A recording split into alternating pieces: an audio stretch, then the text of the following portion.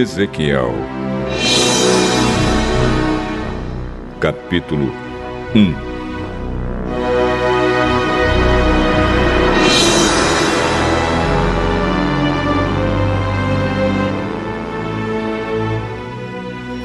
No dia 5 do quarto mês do ano 30, eu, o sacerdote Ezequiel, filho de Buzi, vivia na Babilônia, na beira do rio Quebar, junto com os judeus que haviam sido levados para lá como prisioneiros.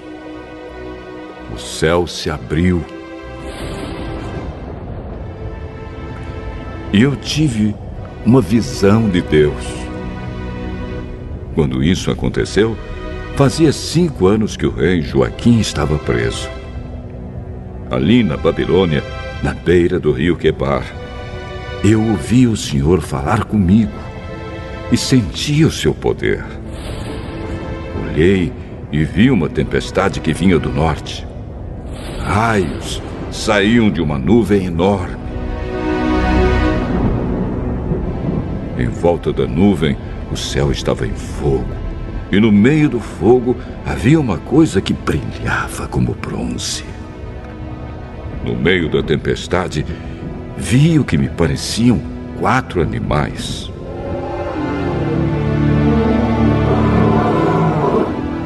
Sua forma era de gente, porém cada um tinha quatro caras e quatro asas.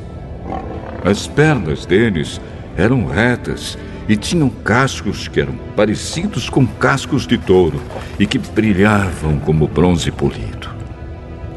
Além das quatro caras e das quatro asas, Cada um tinha quatro mãos de gente, uma debaixo de cada asa. Duas asas de cada animal estavam abertas, com as pontas tocando uma na outra. Assim os animais formavam um quadrado e andavam em grupo, sem virar o corpo. Cada animal tinha quatro caras diferentes. Na frente, a cara era de gente. Do lado direito, era de leão, do lado esquerdo era de boi, e atrás a cara era de águia. Duas asas de cada animal se abriam para cima e tocavam as pontas das asas dos animais que estavam ao seu lado. E com as outras duas asas, eles cobriam o corpo. Cada animal podia olhar para as quatro direções, e por isso o grupo ia aonde queria, sem precisar virar. Entre os animais havia uma coisa que parecia uma tocha acesa e que estava sempre em movimento. O fogo aumentava e do fogo saíam relâmpagos. E os animais corriam para cá e para lá como relâmpagos. Quando eu estava olhando, para os quatro animais, vi quatro rodas no chão, uma ao lado de cada um deles. As quatro rodas eram iguais e brilhavam como pedras preciosas.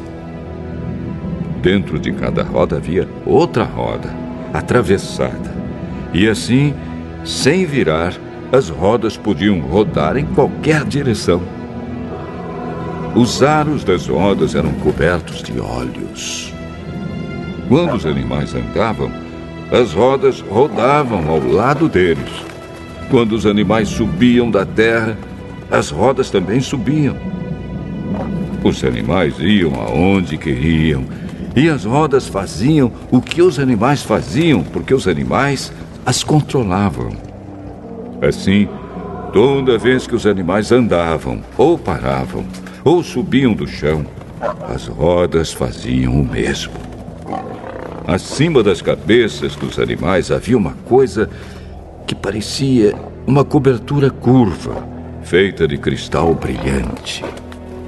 Debaixo da cobertura, cada animal abria duas asas na direção das asas do outro que estava ao seu lado e cobria o corpo com as outras duas asas.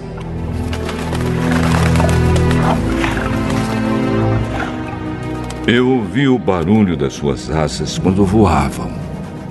Era como o rugido do mar como o barulho de um grande exército, como a voz do Deus Todo-Poderoso. Quando paravam de voar, abaixavam as asas, mas ainda se ouvia um som que vinha de cima da cobertura que estava sobre as cabeças deles. Acima da cobertura curva havia uma coisa parecida com um trono feito de safira. Nele estava sentado alguém que parecia um homem e que brilhava como se fosse bronze no meio do fogo. Todo ele brilhava e com o mesmo clarão de fogo. E a sua luz tinha todas as cores do arco-íris nas nuvens. Esta era a luz brilhante que mostra a presença da glória do Senhor.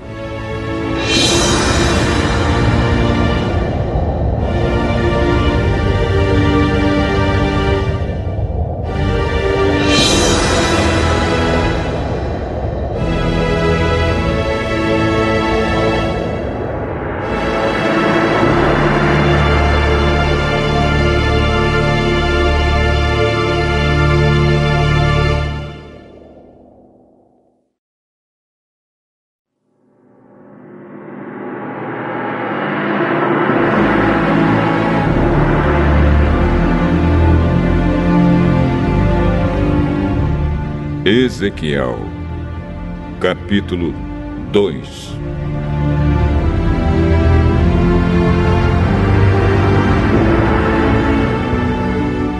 Quando vi isso, caí e encostei o rosto no chão. Então ouvi uma voz que dizia: Homem mortal, fique de pé eu quero falar com você. Enquanto a voz falava, o Espírito de Deus entrou em mim e me fez ficar em pé. E eu ouvi a voz dizer: Homem mortal, eu o estou mandando ao povo de Israel, que se revoltou e se virou contra mim. Eles ainda são rebeldes, como os antepassados deles também eram. São teimosos e não me respeitam. Estou mandando você para dizer a eles aquilo que eu, o Senhor Deus, quero dizer. Tanto se derem atenção a você, como se não derem, eles vão saber que um profeta esteve no meio deles. Mas você, homem mortal, não precisa ficar com medo deles, nem do que eles disserem. Eles o desafiarão e desprezarão. Viver no meio deles será como viver no meio de escorpiões. Mesmo assim, não tenha medo daqueles rebeldes, nem de qualquer coisa que eles disserem. Diga-lhes tudo o que eu mandar, quer eles lhe deem atenção ou não. Lembre que eles são teimosos. Homem mortal, preste atenção no que eu estou dizendo. Não seja teimoso como eles. Abra a boca. E como que eu vou dar a você? Aí eu vi uma mão que se estendia para mim, segurando um rolo. Ela o desenrolou e vi que nos dois lados havia coisas escritas. E o que estava escrito eram gritos de dor, lamentos e gemidos.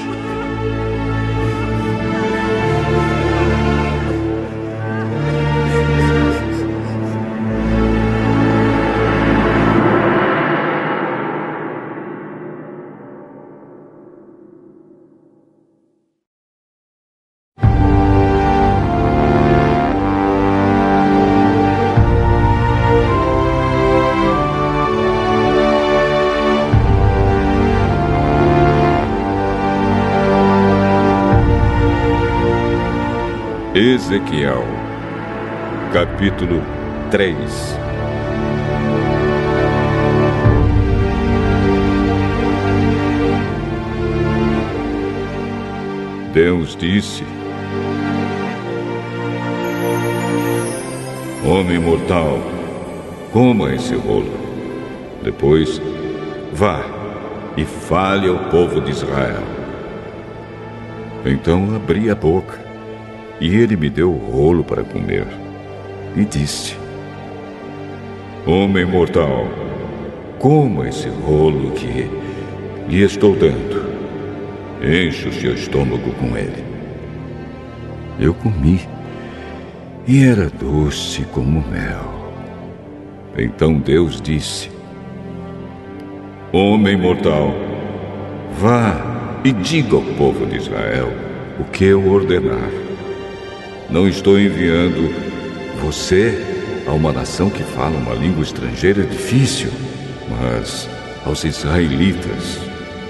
Se eu o enviasse a grandes nações que falam línguas difíceis que você não pudesse entender, elas dariam atenção a você. Porém, o povo de Israel não vai lhe dar atenção, pois eles não querem ouvir o que eu digo. Todos eles são teimosos e rebeldes.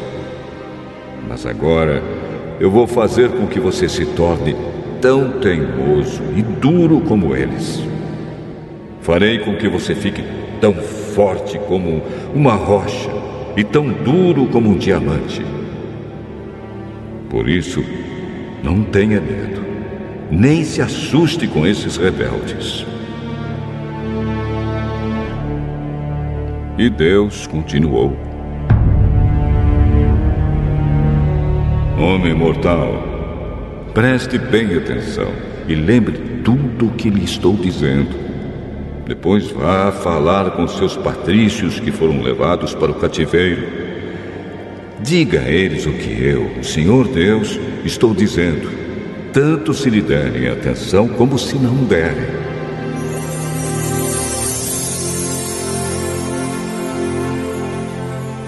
Então o Espírito de Deus me levou para o alto e ouvi atrás de mim uma voz forte como um trovão.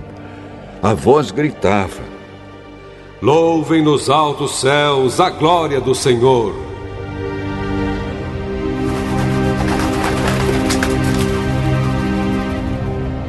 Ouvi as asas dos animais batendo juntas no ar e também o barulho das rodas, que era tão forte como o de um trovão. Aí o poder do Senhor me dominou e o seu espírito me levou dali. Aí eu fiquei zangado e cheio de amargura.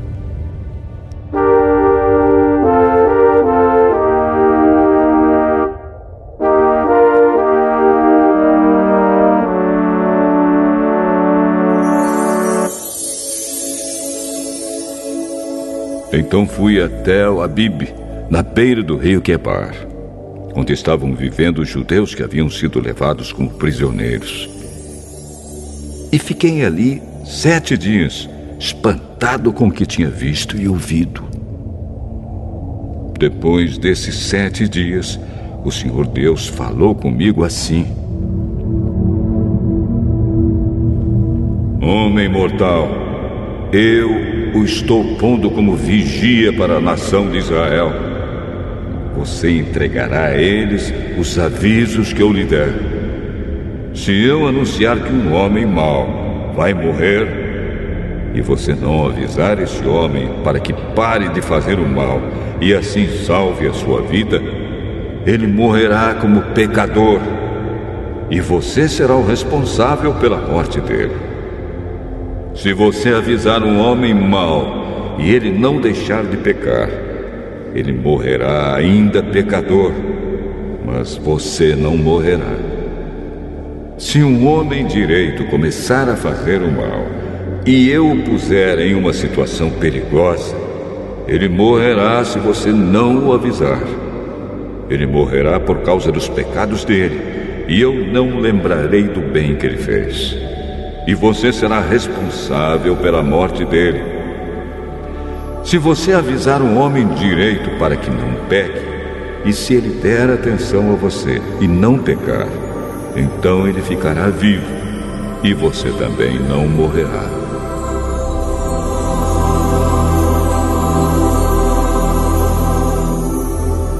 Eu senti a presença poderosa do Senhor Deus e ouvi. vi ele dizer o seguinte: Levante-se e vá até o vale, que eu falarei com você ali.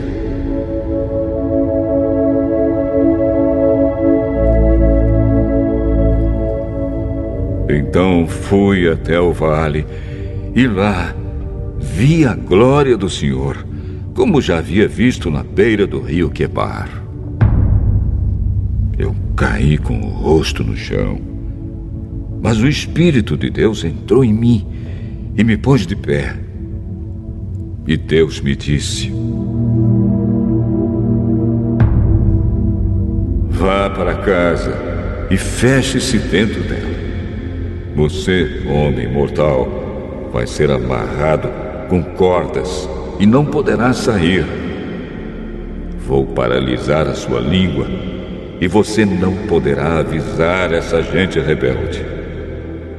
Depois, quando eu falar de novo com você e lhe devolver a fala, você dirá a esse povo que eu, o Senhor Deus, disser.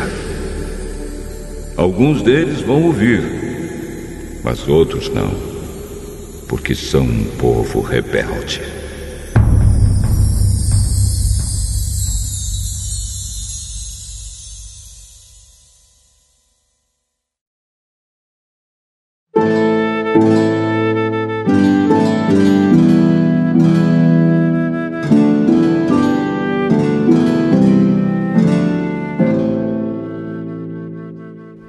Ezequiel, capítulo 4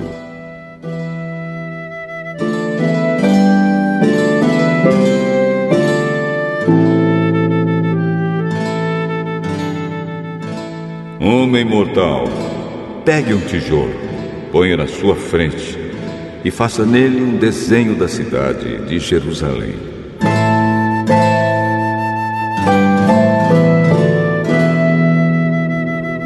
Nesse desenho, a cidade deverá estar cercada pelos inimigos, com rampas e torres de ataque, com um acampamento e com máquinas de derrubar muralhas. Pegue uma frigideira de ferro e ponha como se fosse um muro entre você e a cidade. Vire o rosto na direção da cidade. Ela está cercada e é você quem a está cercando. Isso será um sinal para o povo de Israel. Deite-se do lado esquerdo, que eu vou colocar sobre você a culpa do povo de Israel.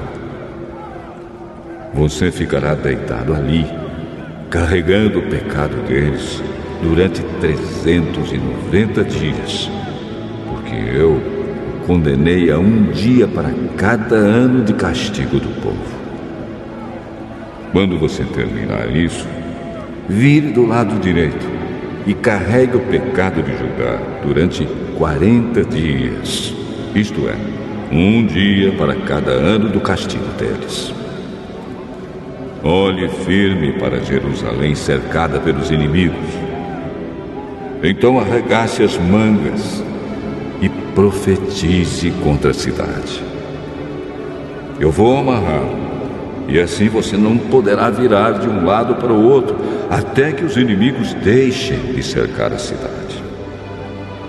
Agora, pegue trigo, cevada, ervilhas, lentilhas, trigo miúdo e aveia Misture tudo e faça pão. É isso que você vai comer durante os 390 dias em que estiver deitado do lado esquerdo. Você só vai poder comer quatro pãezinhos por dia e coma aos poucos. A água que beber também será medida, dois copos por dia, para beber aos poucos. Você fará fogo com fezes secas de gente. Assará o pão nas brasas e comerá esse pão em um lugar onde possa ser visto por todos.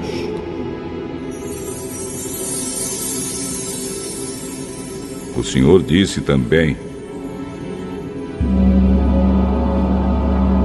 Quando eu espalhar os israelitas por outros países, é assim que eles terão de comer alimentos que a lei proíbe. Mas eu respondi: oh, Senhor meu Deus, isso não. Eu nunca me manchei comendo comida impura. Desde criança, nunca comi carne de nenhum animal que tivesse tido morte natural ou que tivesse sido despedaçado por animais ferozes. Aí o Senhor disse: Está bem, eu vou deixar você usar esterco de vaca para fazer fogo.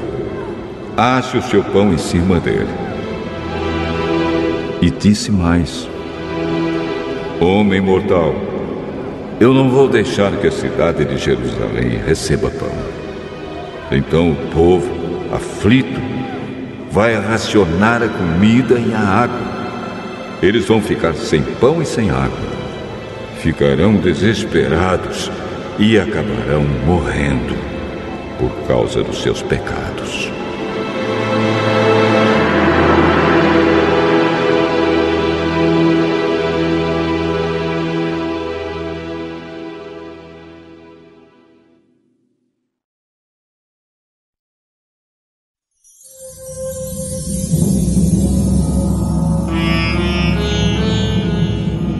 Ezequiel, capítulo 5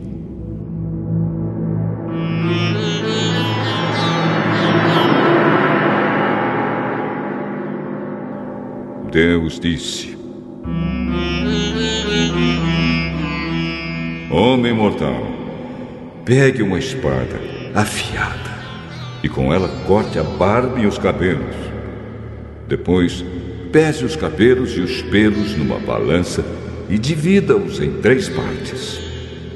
Quando os inimigos deixarem de cercar a cidade, vá ao centro e queime ali uma terça parte desses cabelos e pelos. Depois, ande em volta da cidade e vá picando outra terça parte com a espada. Jogue a última terça parte para o ar e o vento a levará. Aí eu a atacarei com a minha espada. Guarde alguns fios de cabelo e prenda-os na barra da sua roupa. Então tire dali alguns fios, jogue-os no fogo e deixe queimar. O fogo que sairá deles se espalhará por toda a nação de Israel.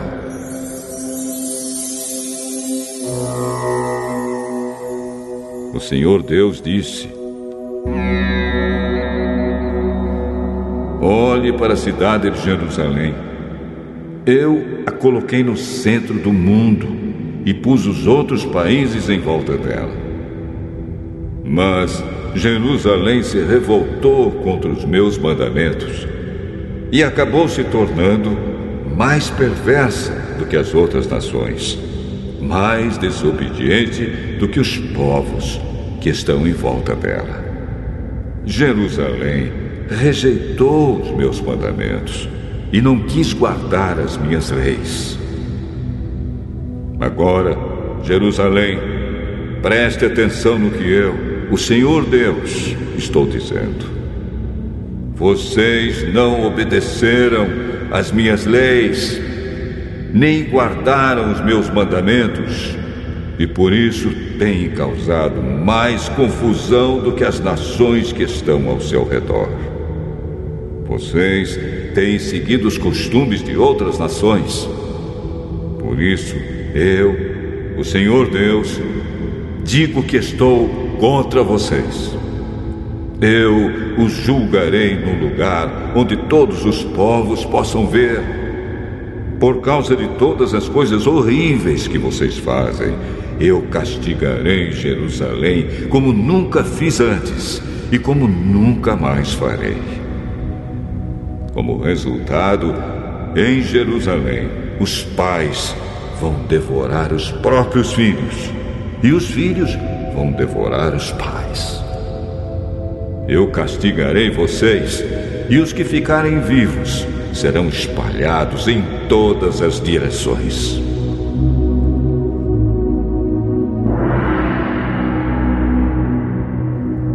Portanto, é esta é a palavra do Senhor Deus. Vocês profanaram o meu templo com tudo que é mal e sujo, e por isso juro pela minha vida que eu os destruirei sem dó nem piedade. Uma terça parte do povo morrerá de peste e de fome dentro da cidade. Outra terça parte será morta por espadas fora da cidade. E a outra terça parte eu espalharei aos ventos e a perseguirei com uma espada. Vocês sentirão toda a força da minha ira e do meu furor, até que eu fique satisfeito. Quando tudo isso acontecer, vocês ficarão convencidos de que eu, o Senhor, lhes disse todas essas coisas porque fui ofendido pela infidelidade de vocês. Eu farei com que você, Jerusalém, fique arrasada, e por isso as nações ao seu redor e os que passarem por você vão zombar dos seus moradores. Quando eu ficar irado e furioso com vocês e castigá-los, todas as nações vizinhas ficarão espantadas. Olharão para vocês com nojo e zombarão não vou deixar que vocês recebam comida de fora e assim morrerão de fome. Vocês sentirão as dores da fome como se fossem flechas pontudas mandadas para destruí-los. Mandarei fome e animais ferozes para matarem os seus filhos, e peste, violência e guerra para matarem vocês. Eu, o Senhor, falei.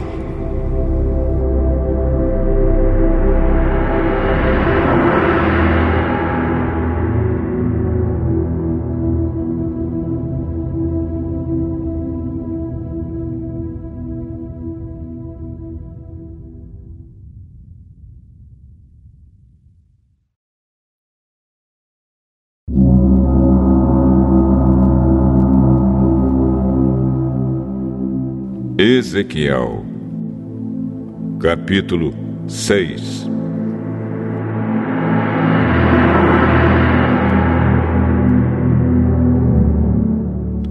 O Senhor Deus falou comigo assim: Homem mortal, olhe para as montanhas de Israel e dê a elas a minha mensagem. Diga que ouçam a palavra do Senhor Deus que ouçam aquilo que estou dizendo às montanhas, às colinas, aos desfiladeiros e aos vales. Eu, o Senhor Deus, mandarei uma espada para destruir os lugares onde o povo adora ídolos. Os altares de sacrifícios e os altares onde se queima incenso serão derrubados e arrasados. Todas as pessoas dali serão mortas na frente dos seus ídolos. Espalharei os cadáveres do povo de Israel, espalharei os ossos deles em volta dos altares. Todas as cidades de Israel serão arrasadas, e os lugares onde se adoram ídolos serão destruídos. Assim, todos os seus altares e os seus ídolos serão quebrados, os seus altares de incenso serão arrebentados, e tudo o que fizerem desaparecerá. Pessoas serão mortas por toda parte, e os que ficarem vivos reconhecerão que eu sou o Senhor. No entanto, deixarei que alguns escapem da matança e sejam espalhados entre as nações para onde forem levados como prisioneiros. Ali eles lembrarão de mim e saberão que eu os castiguei e os envergonhei, porque o seu coração infiel me abandonou. E em vez de me adorarem, eles preferiram adorar ídolos. E eles odiarão a si mesmos por causa das suas maldades e das coisas nojentas que fizeram. Saberão que eu sou o Senhor e que as minhas ameaças não foram feitas à toa.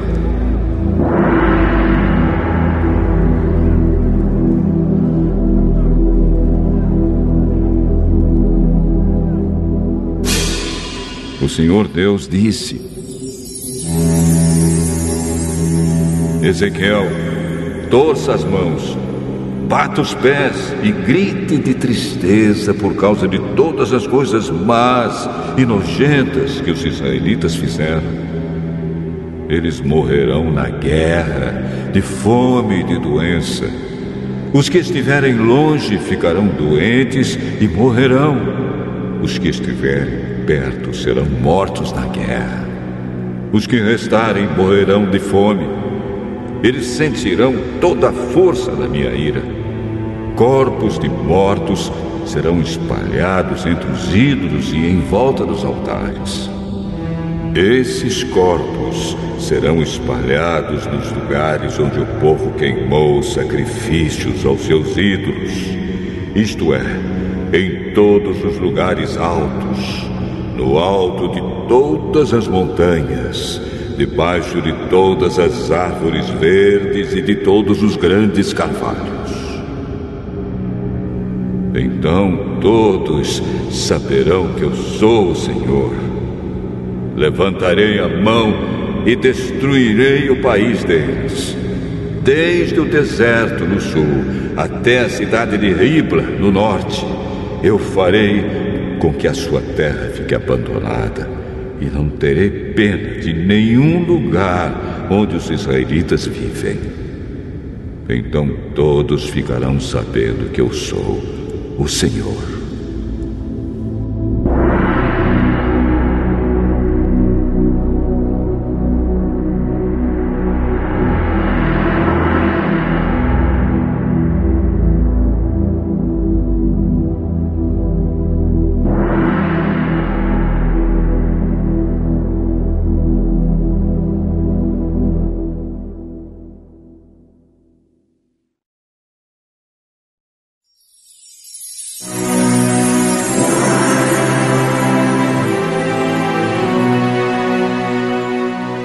Ezequiel, capítulo 7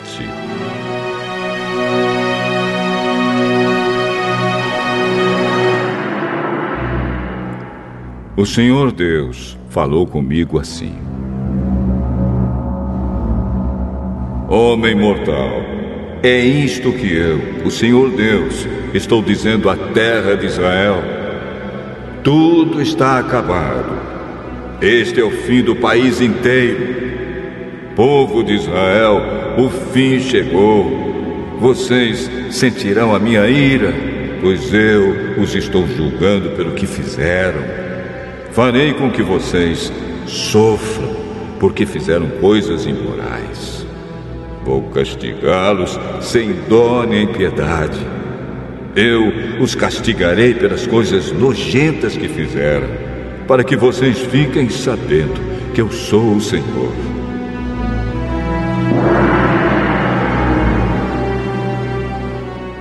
O que o Senhor Deus diz é isto: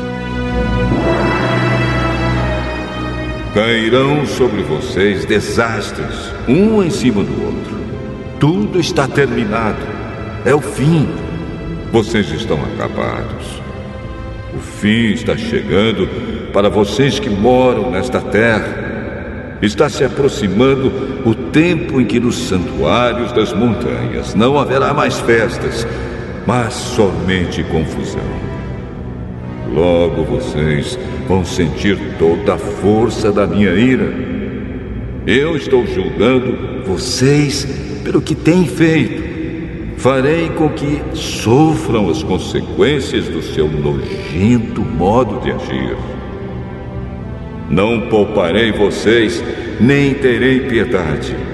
Eu os castigarei pelas coisas imorais que têm feito, de modo que vocês saberão que eu sou o Senhor e que sou eu quem os castiga.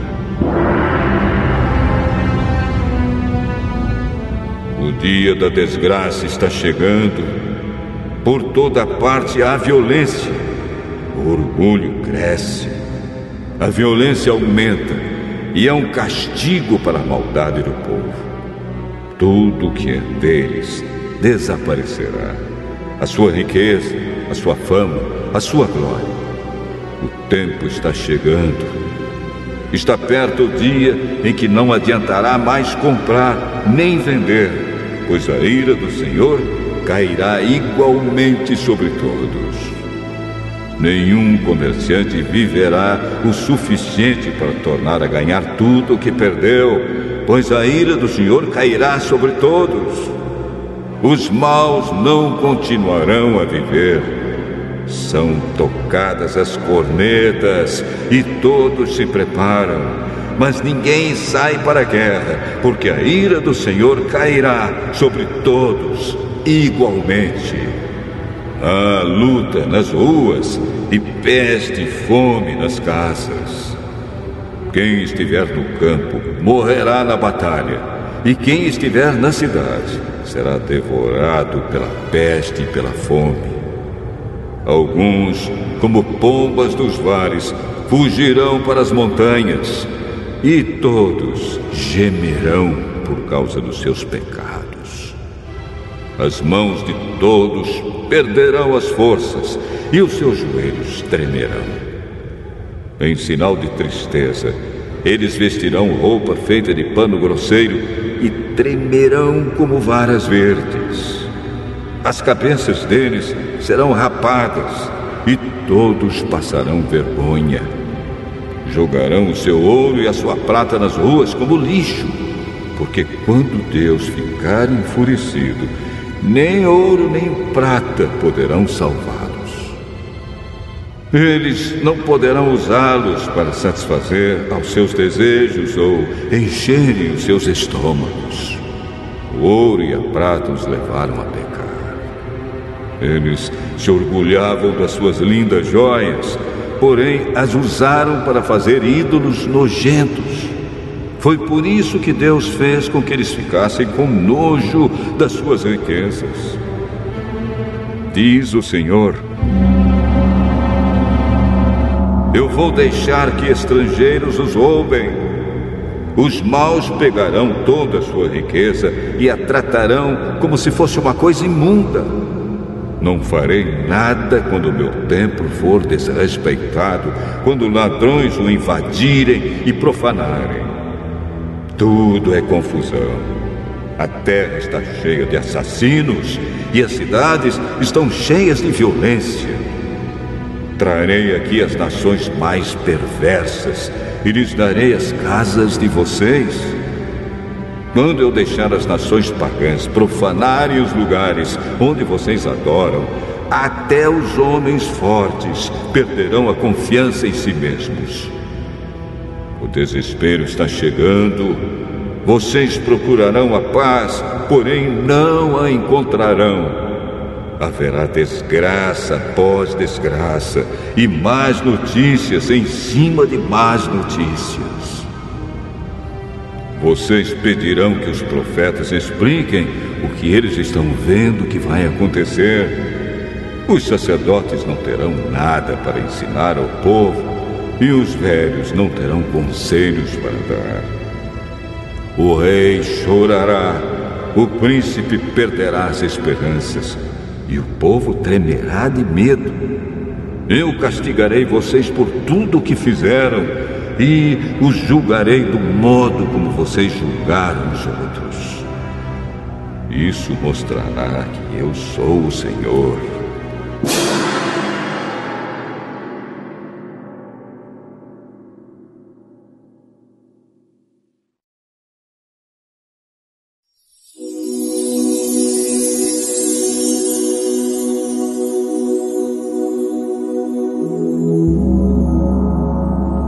Ezequiel, capítulo 8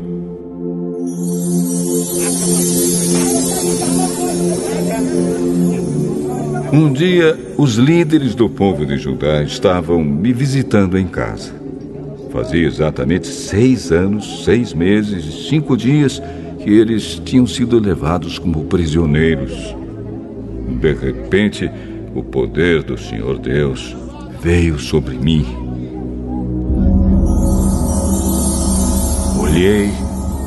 Tive uma visão. Nela, vi um ser que parecia feito de fogo. Da cintura para baixo, o seu corpo parecia fogo, e da cintura para cima brilhava como bronze polido. Ele estendeu o que parecia uma mão e me agarrou pelos cabelos. E nessa visão, o Espírito de Deus me levantou bem alto no ar e me levou a Jerusalém. Ele me levou até a parte de dentro do portão norte do templo, onde havia um ídolo que era uma ofensa contra Deus. Ali eu vi a glória do Deus de Israel, como eu tinha visto na minha visão perto do rio Quebar. Deus me disse: Homem mortal, olhe para o norte. Olhei, e ali, perto do altar, na entrada do portão, vi o ídolo que era uma ofensa contra Deus. E Deus me disse: Homem mortal, você vê o que está acontecendo? Olhe para as coisas nojentas que o povo de Israel está fazendo aqui para me afastar cada vez mais do meu lugar santo. Você verá coisas ainda mais vergonhosas do que essas. Ele me levou até a entrada do pátio de fora e me mostrou um buraco na parede e disse: Homem mortal, arrebente esta parede.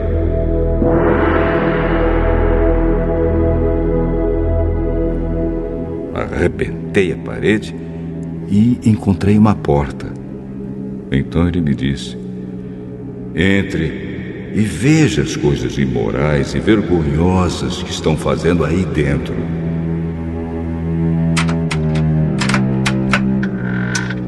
Entrei e olhei.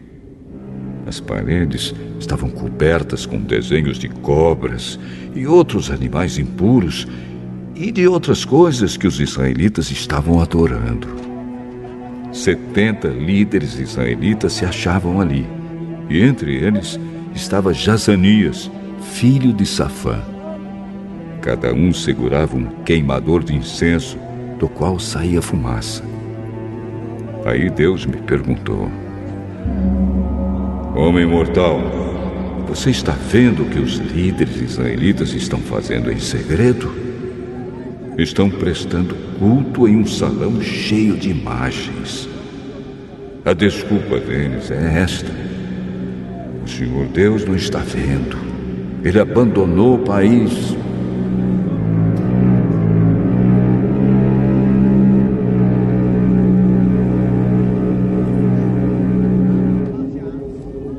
Depois, Deus me disse o seguinte: você verá esses líderes fazendo coisas ainda mais vergonhosas do que isso.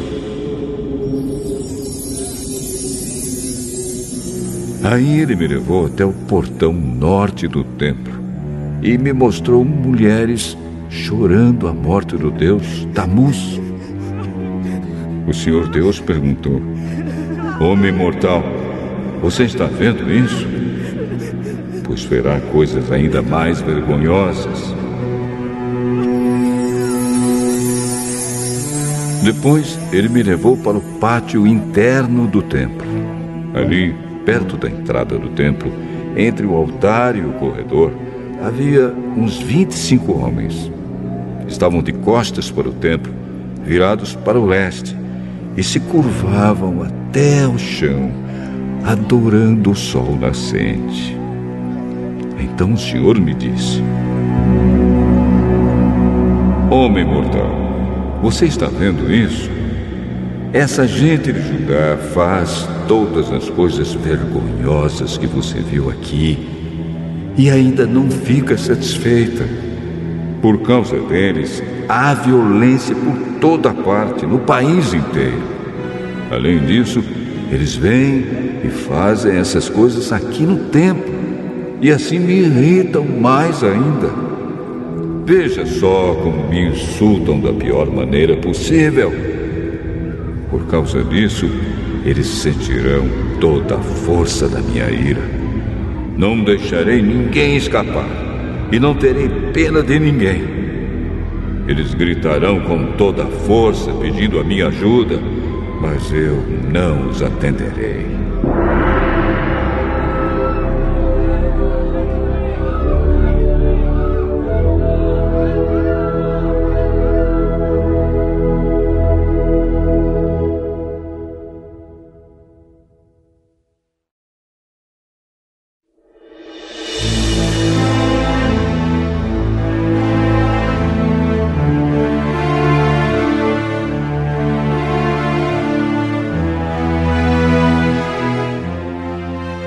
Ezequiel, capítulo 9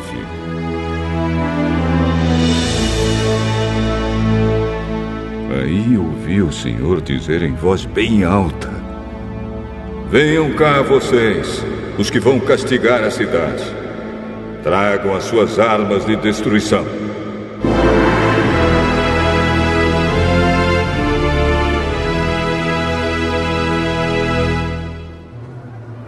Momento, seis homens vieram do templo, do portão externo que fica ao norte, e cada um carregava uma arma mortal.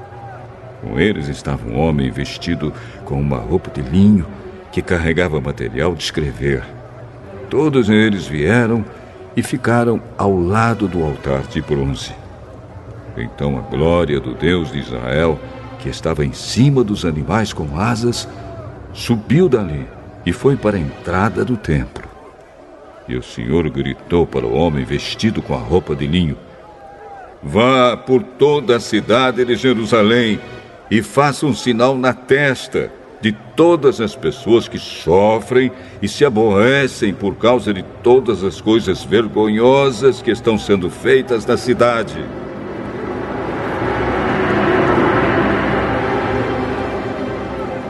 E ouvi o Senhor dizer aos outros homens: Vão atrás dele pela cidade e matem todos. Não deixem escapar ninguém. Não tenham dó de ninguém. Matem os velhos, os moços, as moças, as mães e as crianças. Mas não toquem em quem tiver o sinal na testa. Comecem aqui no meu templo Aí eles começaram a matar os líderes que estavam ali na frente do templo. O Senhor ainda disse a eles: Profanem o templo, encham de cadáveres os pátios, comecem o trabalho. Então eles começaram a matar as pessoas da cidade. Enquanto a matança continuava, fiquei ali sozinho. Eu me atirei no chão com o rosto encostado na terra, e gritei: Senhor Deus, será que estás tão zangado com Jerusalém que vais matar todos os que foram deixados em Israel? O Senhor respondeu: O povo de Israel e de Judá é culpado de pecados terríveis. Eles têm matado pessoas no país inteiro e tem enchido Jerusalém de crimes. Eles dizem: o Senhor abandonou o nosso país, o Senhor não está vendo a gente.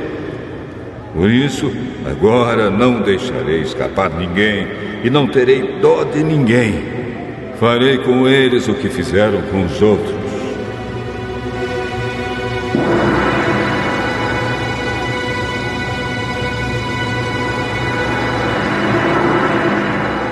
Então o homem que vestia a roupa de linho e carregava material de escrever voltou e contou tudo ao Senhor. E disse: Fiz tudo como mandaste.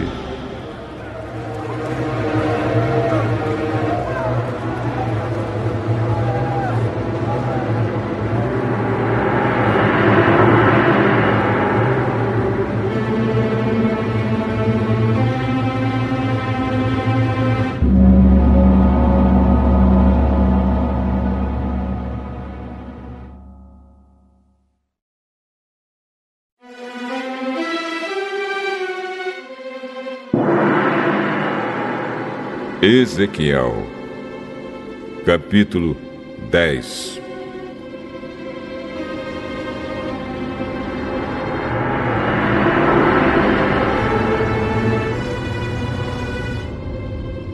Olhei para a cobertura curva que estava sobre as cabeças dos animais com asas, e acima delas havia uma coisa que parecia um trono feito de safira.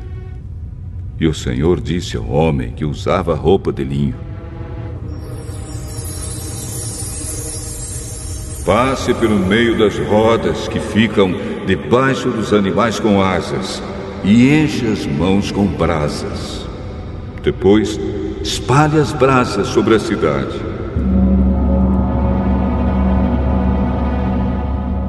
Eu vi que o homem foi. Quando ele entrou, os animais com asas estavam ao sul do templo e uma nuvem encheu o pátio de dentro. A glória do Senhor saiu de cima dos animais e foi para a entrada do templo. Então a nuvem encheu o templo e o pátio ficou brilhando com a glória do Senhor. O barulho das asas dos animais era ouvido até no pátio de fora, e parecia a voz do Deus Todo-Poderoso. O Senhor mandou que o homem que usava a roupa de linho tirasse fogo do meio das rodas que estavam debaixo dos animais. O homem entrou e ficou ao lado de uma das rodas. Um dos animais estendeu a mão para o fogo que estava entre eles, pegou algumas brasas e pôs nas mãos do homem. E ele saiu levando as brasas. Vi que cada animal tinha debaixo das asas uma coisa parecida com mão de gente. Também vi que ao lado de cada animal havia uma roda, e as rodas brilhavam como pedras preciosas. Todas eram iguais, e por dentro cada uma tinha outra roda atravessada. Quando os animais andavam, as rodas iam em qualquer direção sem virar. Todos eles iam juntos na direção que queriam, sem terem de virar. Os corpos dos animais, as costas, as mãos, as asas e as rodas estavam cheios de olhos. Essas rodas eram as mesmas que eu tinha visto na minha primeira visão. Cada animal tinha quatro caras. A primeira cara era de boi, a segunda era de gente, a terceira era de leão e a quarta era de águia. Eram os mesmos animais que eu tinha visto na beira do rio Quebar. Eles subiam da terra e, quando andavam, as rodas rodavam com eles. Quando os animais abriam as asas e voavam, as rodas também iam com eles. Quando os animais paravam, as rodas paravam. E quando os animais voavam, as rodas iam com eles, pois eram controladas por eles. Então a glória do Senhor saiu da entrada do templo e parou por cima dos animais. Enquanto eu estava olhando, os animais abriram as asas e subiram da terra, e as rodas foram com eles. Aí pararam no portão leste do templo, e a glória do Deus de Israel continuou acima deles. Reconheci que estes eram os mesmos animais que eu tinha visto debaixo do Deus de Israel na beira do rio Quebar. Cada um deles tinha quatro caras e quatro asas, e debaixo das asas de cada um havia uma coisa parecida com mão de gente. As suas caras pareciam as mesmas caras que eu tinha visto na beira do rio Quebar. Cada animal andava direto para frente.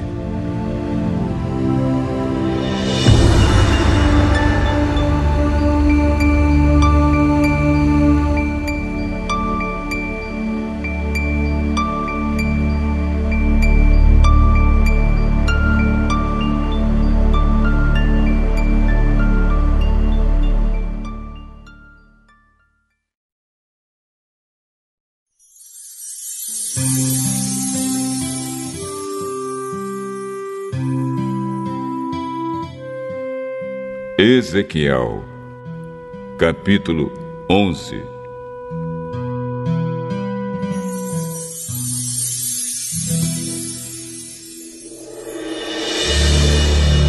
Então o Espírito de Deus me levou pelo ar até o portão leste do templo. Ali perto estavam 25 homens. No meio deles, vi Jazanias, filho de Azur, e Pelatias, filho de Benaías. Os dois eram líderes do povo. Deus me disse: Homem mortal, são estes os dois homens que fazem planos de maldade e dão maus conselhos nesta cidade. Eles dizem: Logo vamos construir casas de novo a cidade é, é uma panela e nós somos como a carne lá dentro, mas pelo menos estamos protegidos do fogo. Por isso, homem mortal, profetize agora contra eles. Aí o Espírito do Senhor me dominou. E o Senhor me mandou dar esta mensagem ao povo povo de Israel, eu sei o que vocês estão falando e conheço os planos que estão fazendo.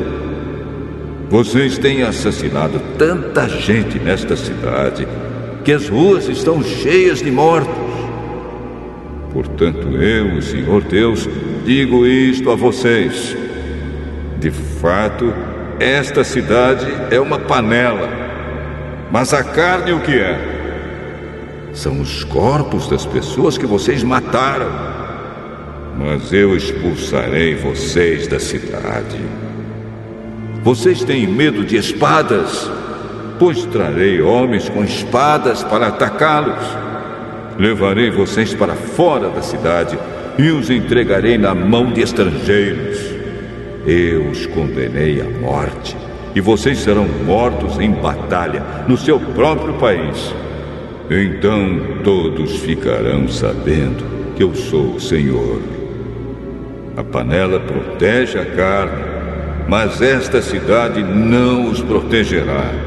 Eu os castigarei onde quer que estejam na terra de Israel. Vocês saberão que eu sou o Senhor. Vocês guardaram as leis das nações vizinhas e ao mesmo tempo quebraram as minhas leis e desobedeceram os meus mandamentos. Enquanto eu estava profetizando, Pelatias, filho de Benaías, caiu morto. Então me atirei no chão, com o rosto encostado na terra, e gritei: Oh Senhor meu Deus! Isso não! Será que vais matar todos os israelitas que sobraram? O Senhor Deus falou comigo assim: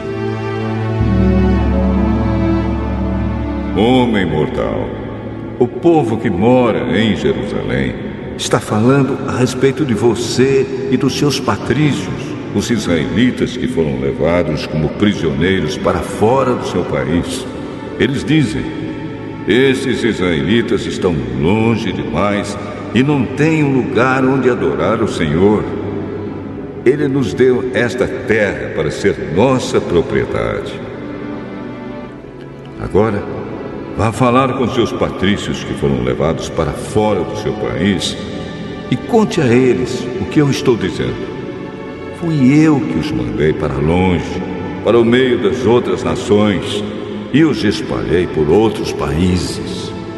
Mas, por um pouco de tempo, nas terras para onde foram, eu mesmo fui para eles um santuário onde podiam me adorar.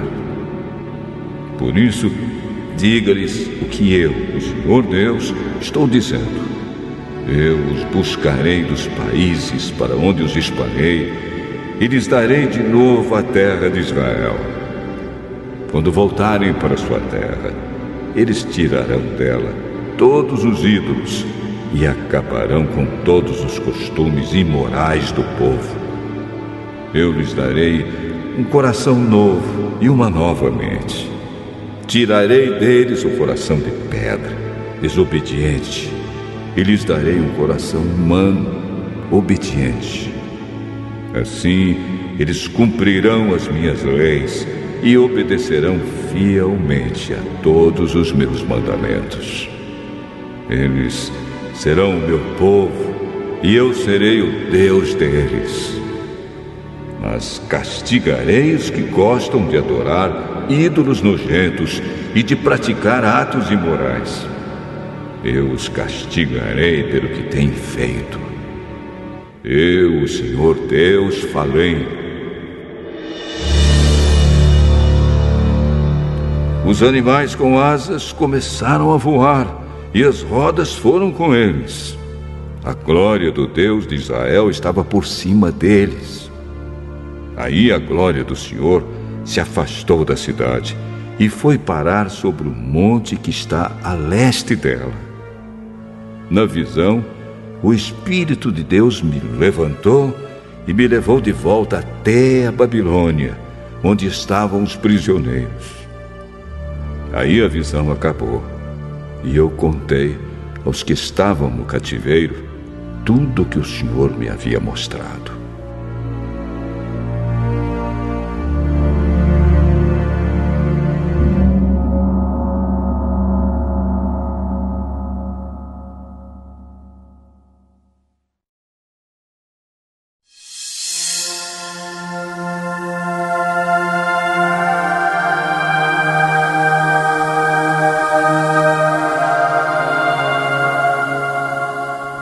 Ezequiel, capítulo 12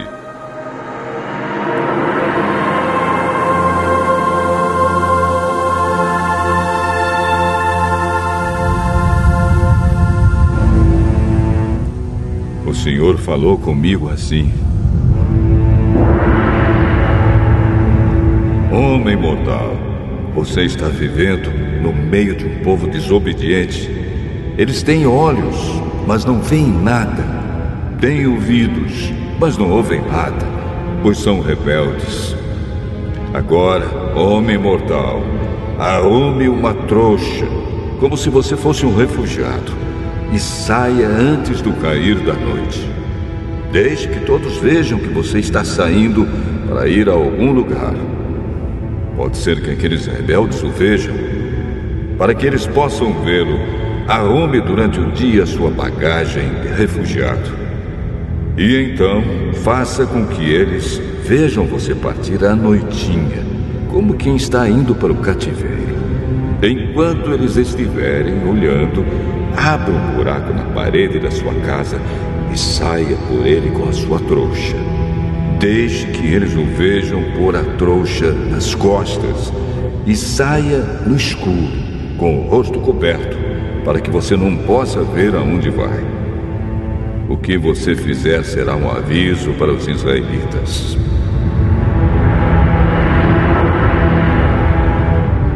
Eu fiz o que o Senhor mandou.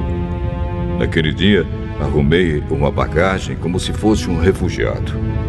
E naquela tarde, quando estava escurecendo, fiz com as minhas próprias mãos um buraco na parede e saí e eles me viram quando coloquei a trouxa nas costas e fui embora.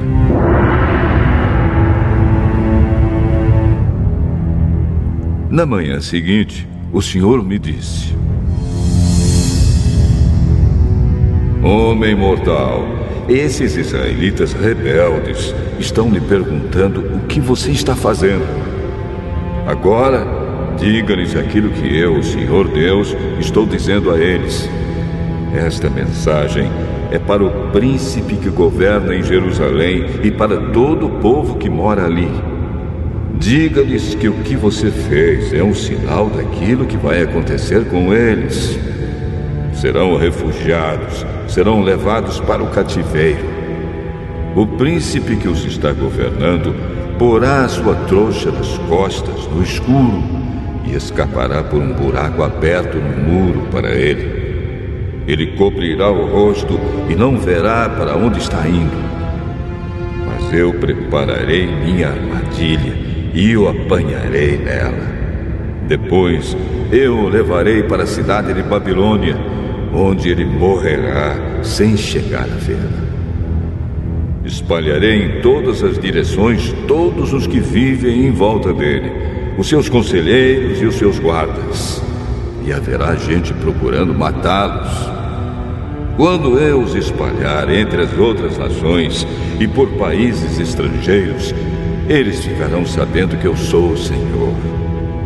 Deixarei alguns escaparem da guerra, da fome e das doenças, de modo que, lá no meio das nações, eles compreenderão o quanto as suas ações foram vergonhosas e reconhecerão que eu sou o Senhor. Senhor falou assim comigo: Homem mortal, trema de medo quando você comer e estremeça quando beber. Diga ao povo deste país que esta é a mensagem do Senhor Deus para a gente de Jerusalém que ainda está vivendo na sua terra. Quando eles comerem, estremecerão, e quando beberem, tremerão de medo. Tudo o que existe na terra deles será tirado, pois todos os que vivem ali são gente violenta. As cidades que agora estão cheias de gente serão destruídas e o país vai virar um deserto. Aí eles ficarão sabendo que eu sou o Senhor. O Senhor falou comigo assim. Homem mortal, por que é que o povo de Israel repete este provérbio? O tempo passa e as profecias dão em nada. Agora diga a essa gente aquilo que eu, o Senhor Deus, penso a respeito disso. Eu vou acabar com esse provérbio. Ele nunca mais será repetido em Israel. Diga isto. O tempo chegou e o que foi dito está se cumprindo. Não haverá mais visões falsas, nem profecias enganadoras no meio do povo de Israel. Eu, o Senhor, falarei, e o que eu disser acontecerá. Não haverá mais demoras. Povo rebelde, vocês ainda estarão vivos quando eu fizer o que prometi. Eu, o Senhor Deus, falei.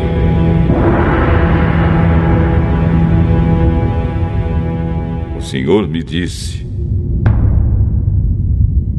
Homem mortal, os israelitas pensam que as visões que você tem e as suas profecias são a respeito de um futuro que está longe. Por isso, diga a eles o que eu, o Senhor Deus, estou dizendo. Não haverá mais demoras. O que eu disse vai acontecer.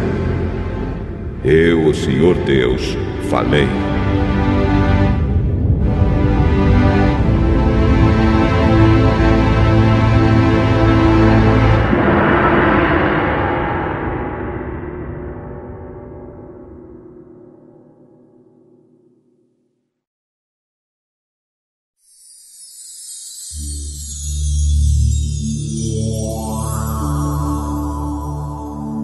Ezequiel, capítulo 13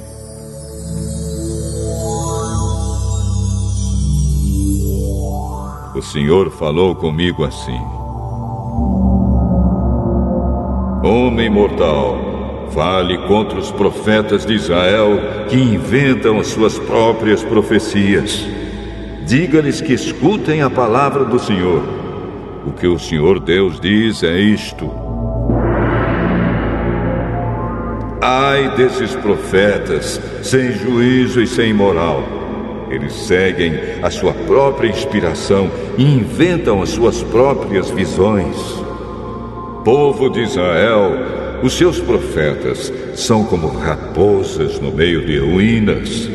Eles não defendem os lugares onde as muralhas caíram, nem levantam de novo essas muralhas. E assim, quando a guerra vier no dia do Senhor, o povo de Israel não poderá se defender. As suas visões são falsas e o que eles anunciam é tudo mentira. Eu não os enviei, mas eles dizem: a palavra do Senhor é esta. E ainda esperam que as palavras deles se cumpram. Eu lhes digo: as visões que vocês veem são falsas, e o que vocês anunciam é tudo mentira.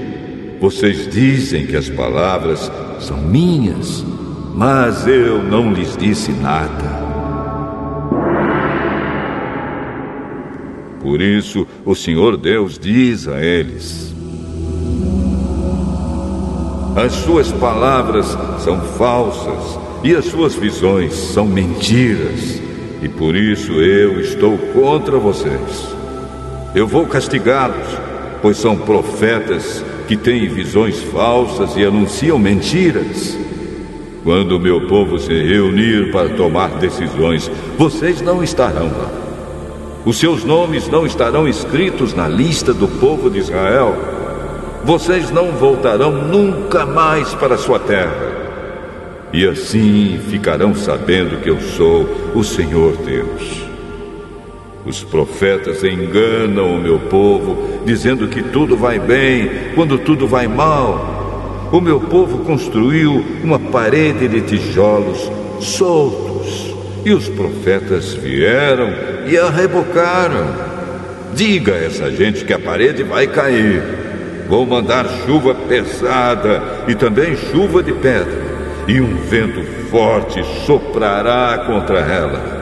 A parede cairá e todos perguntarão a vocês de que adiantou rebocá-la.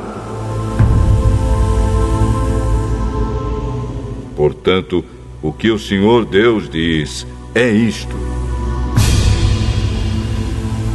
No meu furor mandarei um vento forte, chuva pesada e chuva de pedra para destruir essa parede.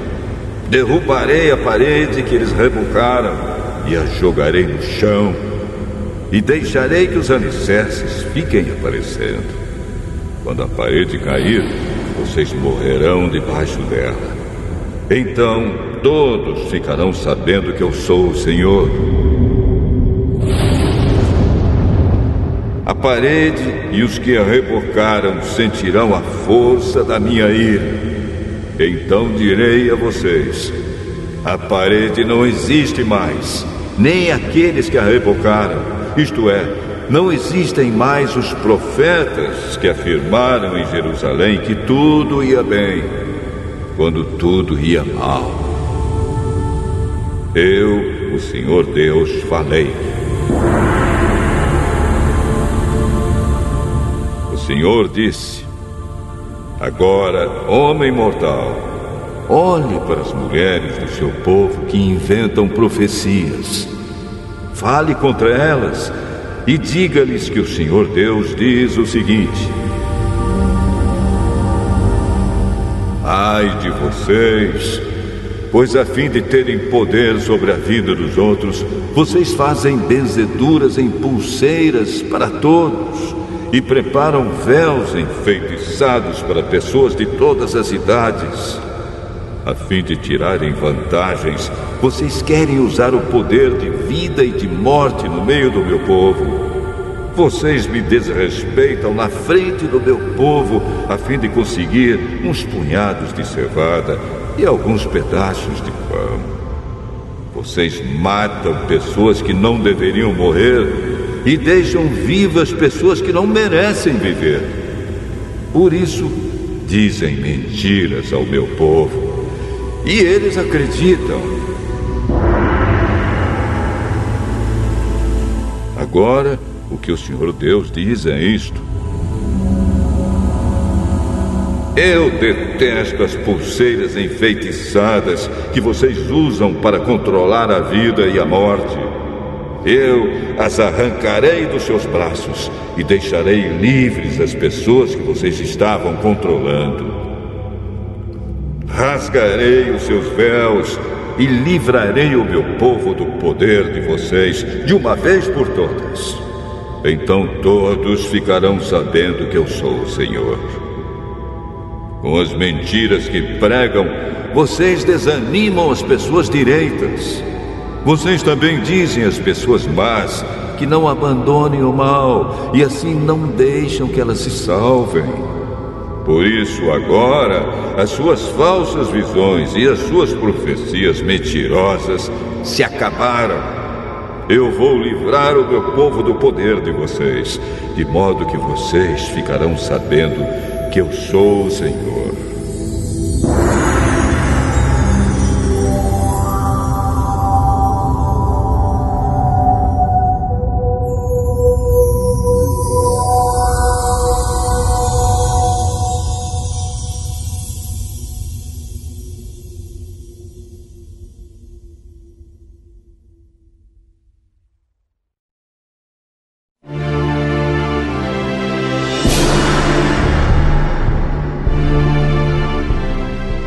Ezequiel, capítulo 14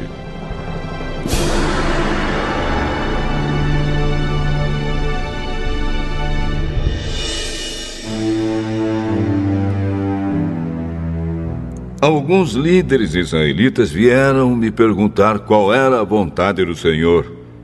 Então o Senhor me disse o seguinte: Homem mortal, esses homens deram o seu coração aos ídolos e estão deixando que os ídolos os façam pecar.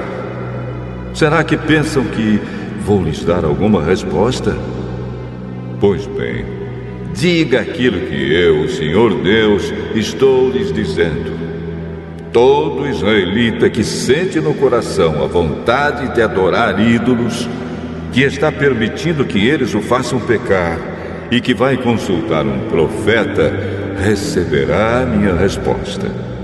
E será a resposta que os seus muitos ídolos merecem. Todos esses ídolos desviaram o meu povo de mim, porém, com a minha resposta, espero que ele volte a ser fiel a mim como antes. Por isso, diga aos israelitas que eu, o Senhor Deus, estou dizendo o seguinte: Arrependam-se e abandonem os seus ídolos nojentos. Quando um israelita ou um estrangeiro que mora em Israel se afastar de mim e for tentado a adorar ídolos e deixar que eles o façam pecar, e então for consultar um profeta, eu, o Senhor, é que lhe darei a resposta. Eu ficarei contra essa pessoa e farei dela um exemplo eu a arrancarei do meio do meu povo, e assim todos ficarão sabendo que eu sou o Senhor. Se um profeta for enganado e der uma resposta falsa, fui eu, o Senhor, quem o enganou. Eu o tirarei do meio do povo de Israel. Tanto o profeta como aquele que o consultar receberão o mesmo castigo. Farei isso para evitar que os israelitas me abandonem e se manchem com seus pecados. Eles serão o meu povo e eu serei o Deus deles. Eu, Senhor Deus, falei. O Senhor me disse o seguinte: Homem mortal, se uma nação pecar e for infiel a mim, eu levantarei a mão contra ela e destruirei os seus depósitos de alimentos. Farei com que haja fome para matar gente e animais. Mesmo que Noé, Daniel e Jó estivessem vivendo ali, a honestidade desses três homens salvaria apenas a vida deles. Eu, o Senhor Deus, falei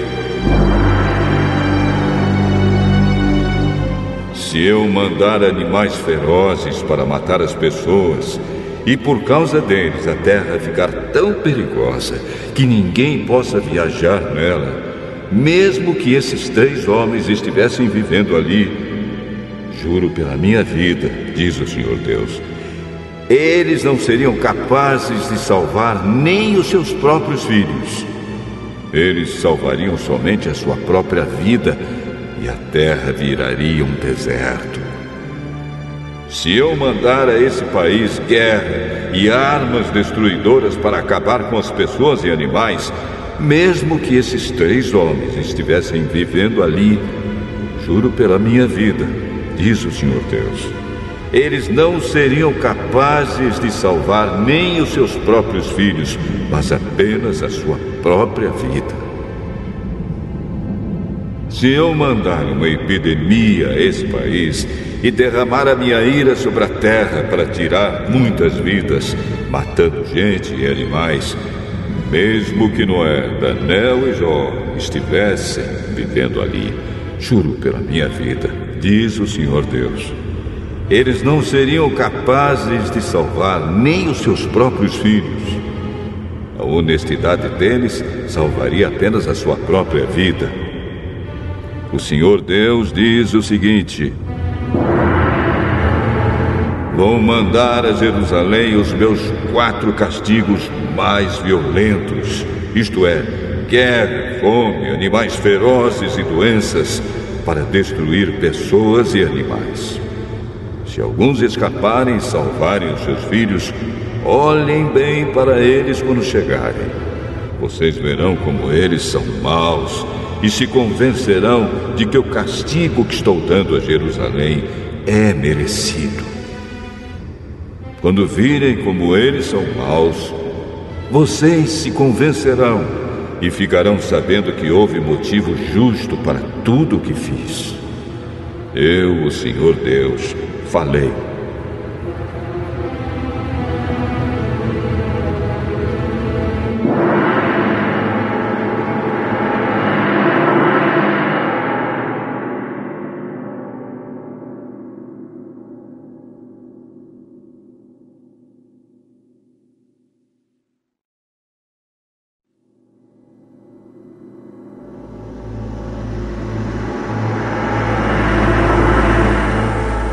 Ezequiel, capítulo 15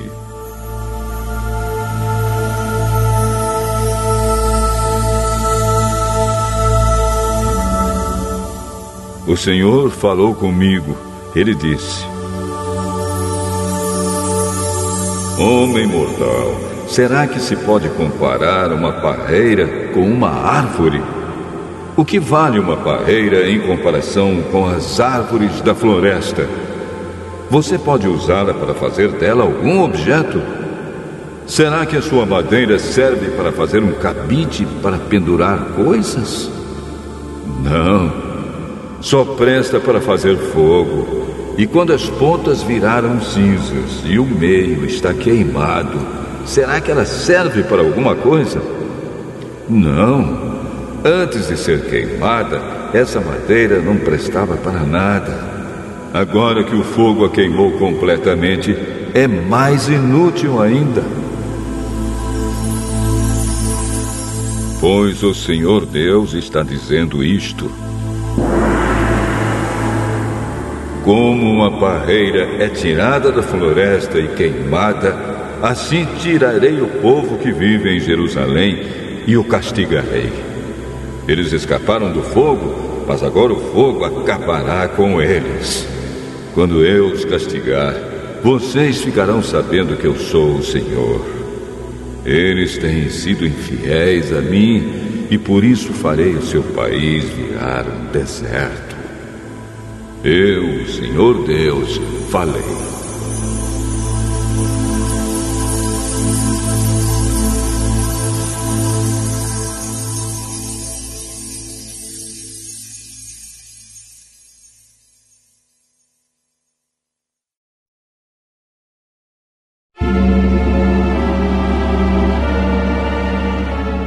Ezequiel, capítulo 16 O Senhor falou comigo de novo. Ele disse: Homem mortal, mostre a Jerusalém as coisas nojentas que ela tem feito. Diga a Jerusalém que o Senhor Deus lhe diz o seguinte: Você nasceu na terra de Canaã.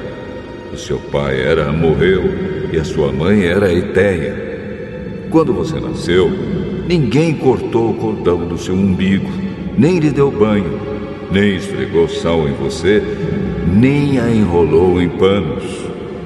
Ninguém teve dó bastante para lhe fazer qualquer uma dessas coisas. Quando você nasceu, ninguém gostava de você e até a jogaram no mato. Então passei por perto e vi você rolando no seu próprio sangue. Embora você estivesse coberta de sangue, eu não deixei que morresse. Eu a fiz crescer como uma planta sadia. Você cresceu forte e alta e ficou moça. Os seus seios se formaram e os seus cabelos ficaram compridos. Mas você estava nua. Quando passei de novo, vi que havia chegado o tempo de você amar. Então cobri o seu corpo nu com a minha capa e prometi amar você.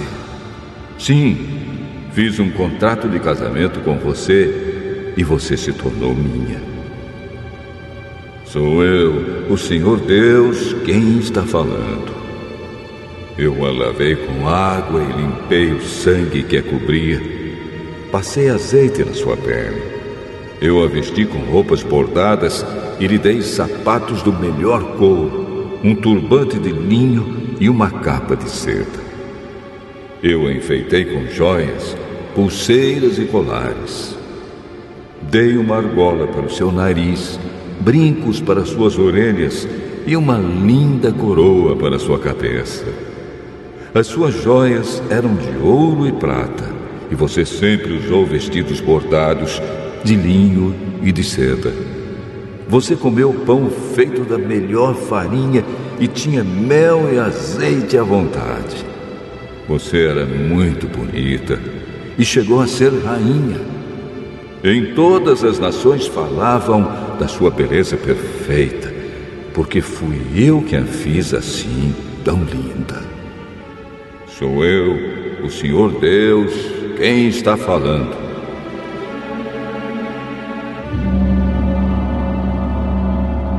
Mas você se aproveitou da sua beleza e da sua fama para dormir com qualquer um que passava.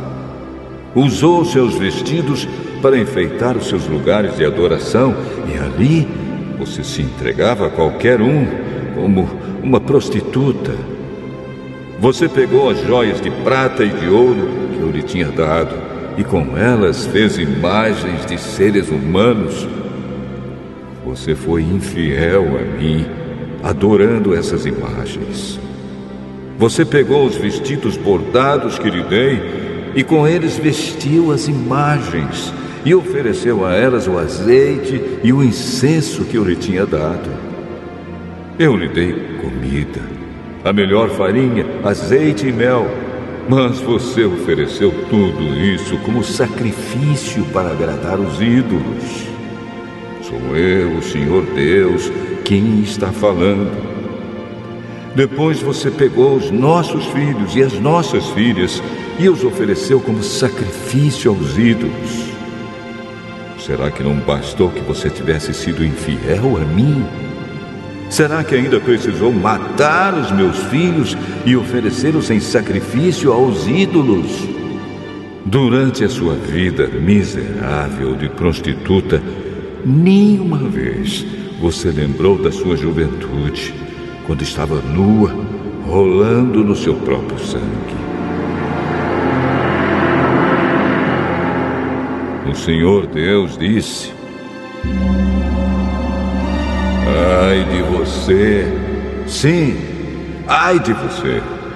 Depois de ter feito todo esse mal, você ainda construiu altares em todas as estradas para ali adorar ídolos e praticar a prostituição. Você arrastou a sua beleza pela lama e se ofereceu a todos os que passavam e se afundou cada vez mais na prostituição e na adoração de ídolos. Você convidou os egípcios, seus vizinhos imorais, para que fossem para a cama com você por isso me deixou irado. Portanto, Agora eu levantei a mão para castigá-la e para tirar a parte que você tinha na minha bênção. Eu a entreguei aos filisteus que a odeiam e que estão com nojo das ações imorais que você tem praticado. Não satisfeita com tudo isso, você correu atrás dos assírios. Você foi prostituta deles, mas eles também não a deixaram satisfeita. Depois, você serviu de prostituta para os babilônios, aquela nação de comerciantes, mas eles também não a deixaram satisfeita. O Senhor Deus diz o seguinte: Você fez tudo isso como uma prostituta sem vergonha. Em todas as ruas, você construiu altares para ali adorar ídolos e praticar a prostituição. Mas você não faz isso por dinheiro, como uma prostituta qualquer. Você é como uma mulher que, em vez de amar o seu marido, comete adultério com estranhos. A prostituta é paga, mas você deu presentes a todos os seus amantes e ainda lhes ofereceu lembranças para que viessem de todas as partes dormir com você. Você é uma prostituta diferente. Ninguém a obrigou a se tornar prostituta. Você não recebe nada, mas paga. Sim, você é diferente. Por isso, agora, você, prostituta, Escute o que o Senhor Deus diz. E o que ele diz é isto: Você tirou a roupa e, como prostituta, se entregou aos seus amantes e a todos os seus ídolos vergonhosos e matou seus filhos em sacrifício aos ídolos. Por causa disso, eu vou reunir todos os seus antigos amantes tanto os que você apreciava como os que detestava. Eu os colocarei ao seu redor em círculo. Então arrancarei a sua roupa e eles verão você nua. Eu a condenarei por adultério e assassinato. E na minha ira e furor vou castigá-la com a morte. Vou entregá-la a eles e eles derrubarão os altares onde você se entregava à prostituição e onde adorava ídolos. Eles levarão as suas roupas e as suas joias e a deixarão completamente nua. Eles vão atiçar a multidão para apedrejá-la e com as suas espadas cortarão você em pedaços. Eles destruirão com fogo as suas casas e deixarão que muitas mulheres vejam o seu castigo. Farei com que você deixe de ser prostituta. Farei com que deixe de dar presentes aos seus amantes. Aí o meu furor passará e eu me acalmarei. Não ficarei mais irado, nem terei ciúmes. Você esqueceu como eu a tratei quando era moça me deixou irado com todas as coisas que fez. Foi por isso que eu fiz pagar por tudo. Porque é que, além de todas as coisas nojentas que você fez, ainda foi imoral. Eu, Senhor Deus, falei. O Senhor Deus diz o seguinte: Jerusalém os outros usarão este provérbio a respeito de você: tal mãe, tal filha. De fato, você é a filha da sua mãe. Ela detestava o marido e os filhos. Você é como as suas irmãs que odiavam seus maridos e os seus filhos. Você e as cidades que são suas irmãs tiveram mãe Eteia e pai Amorreu. A sua irmã mais velha é Samaria, no norte, com os povoados que ficam ao seu redor.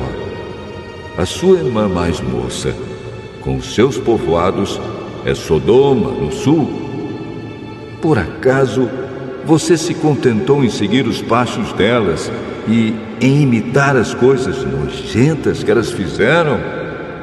Não. Em pouco tempo, você se tornou mais imoral do que elas em tudo o que fazia. Jerusalém, juro pela minha vida, diz o Senhor Deus, que a sua irmã Sodoma e os povoados que ficam ao seu redor nunca pecaram tanto quanto você e os seus povoados. Sodoma e as suas filhas eram orgulhosas porque tinham muita comida e viviam no conforto sem fazer nada, porém não cuidaram dos pobres e dos necessitados. Elas foram orgulhosas e teimosas e fizeram as coisas que eu detesto. Por isso, eu as destruí, como você sabe muito bem. Samaria não cometeu a metade dos pecados que você, Jerusalém, cometeu. Você fez coisas ainda mais vergonhosas do que as suas irmãs Sodoma e Samaria fizeram.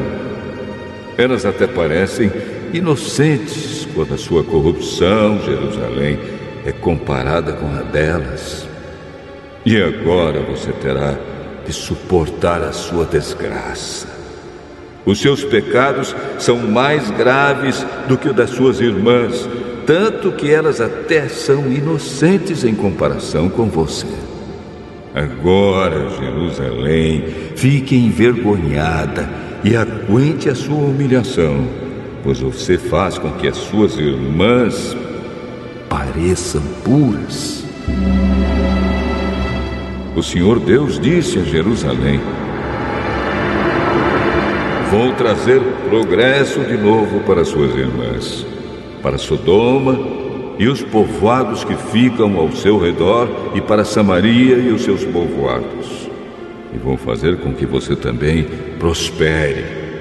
Você terá vergonha de você mesmo, e a sua desgraça mostrará às suas irmãs que elas estão em muito boas condições. De novo haverá progresso para elas e você e os seus povoados também serão reconstruídos. No seu orgulho, você zombou de Sodoma antes de ser descoberto o mal que você fazia. Agora você se tornou igual a Sodoma. Zombam de você os Edomitas, os filisteus e os seus outros vizinhos que a odeiam. Você precisa sofrer pelas coisas imorais e vergonhosas que fez. Eu, o Senhor, falei.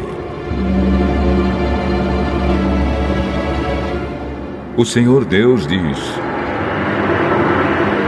Jerusalém, eu a tratarei como merece, pois você quebrou as suas promessas e não respeitou a aliança. Mas eu manterei a aliança que fiz com você na sua mocidade, e farei com você uma aliança que durará para sempre.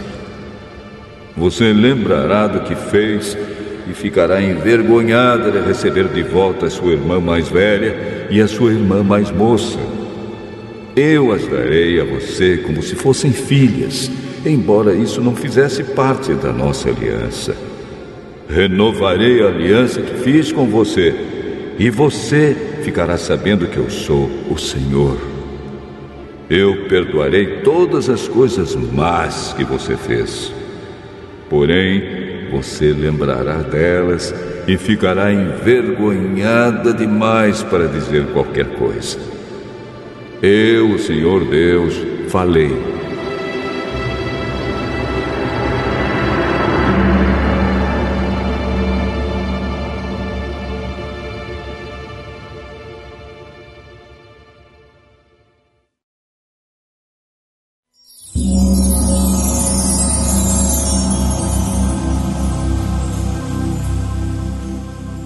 Ezequiel, capítulo 17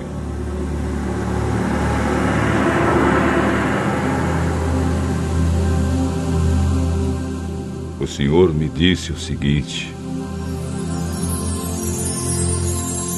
Homem mortal, faça para os israelitas uma comparação para que saibam que eu, o Senhor Deus, estou dizendo. Era uma vez uma águia gigantesca, de asas enormes, bem abertas, toda coberta de lindas penas. Ela voou para os montes Líbanos e quebrou a ponta de um cedro. Ela levou essa ponta para uma terra de negociantes e a deixou numa cidade de vendedores. Aí ela pegou na terra de Israel a muda de uma planta e a plantou numa terra boa, onde sempre havia água para fazê-la crescer.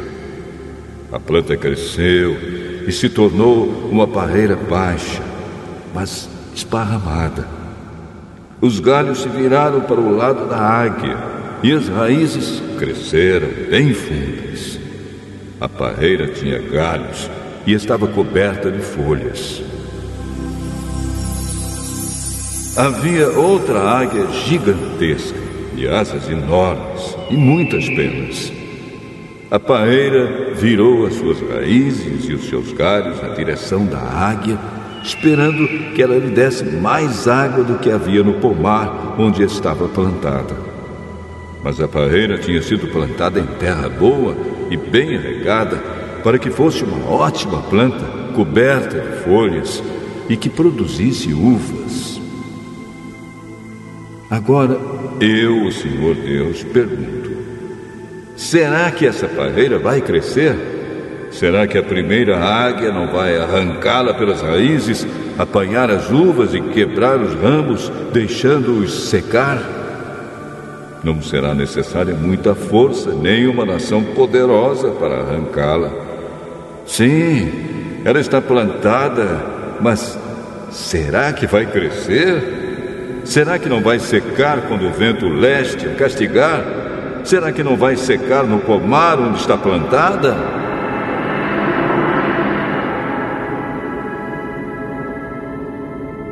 E o Senhor me disse: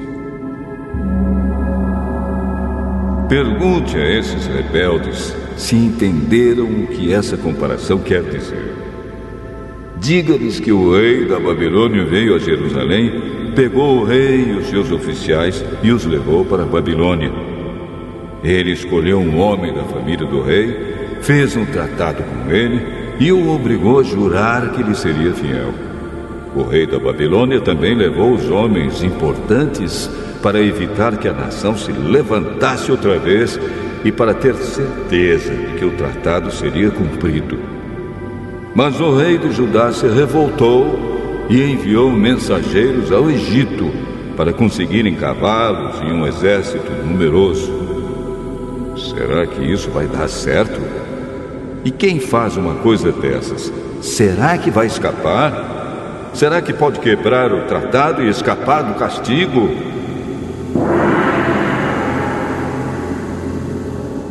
Juro pela minha vida, diz o Senhor Deus, que esse rei morrerá na Babilônia, pois quebrou o juramento e o tratado que havia feito com o rei da Babilônia, que o pôs no trono.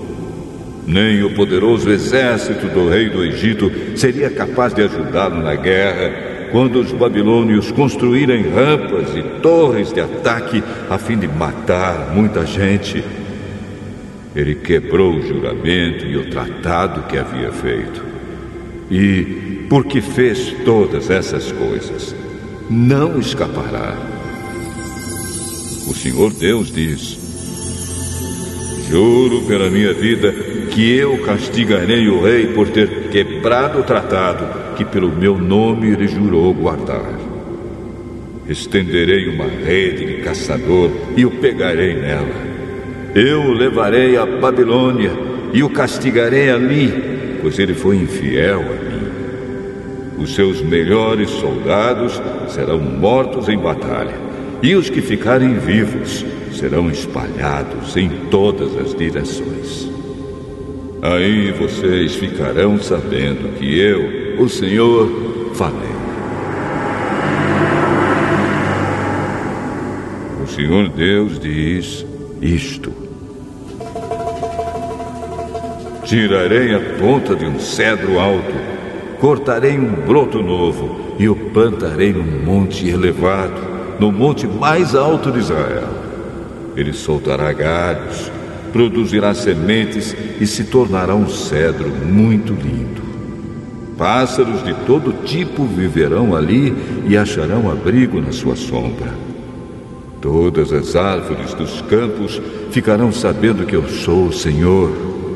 Eu derrubo as árvores altas e faço as árvores pequenas crescerem. Eu seco as árvores verdes e faço com que as árvores secas fiquem verdes de novo. Eu, o Senhor, falei. Eu cumprirei o que prometi.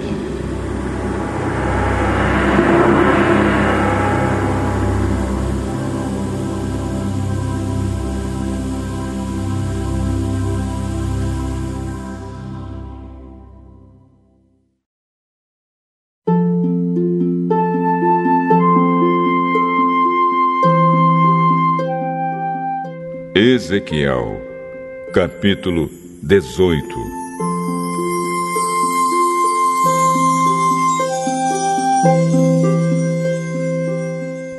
O Senhor me disse o seguinte: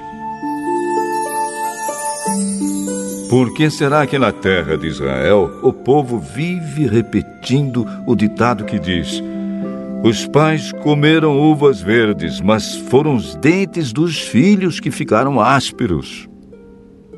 Juro pela minha vida, diz o Senhor Deus, que vocês nunca mais repetirão esse ditado em Israel.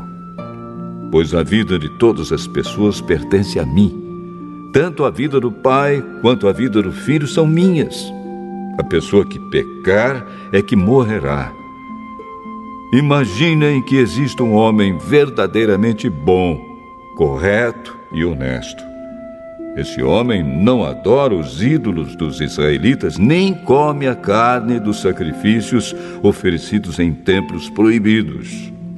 Ele não seduz mulheres casadas, nem tem relações com mulher durante as regras. Não engana, nem rouba ninguém devolve aquilo que lhe foi dado como garantia de empréstimo.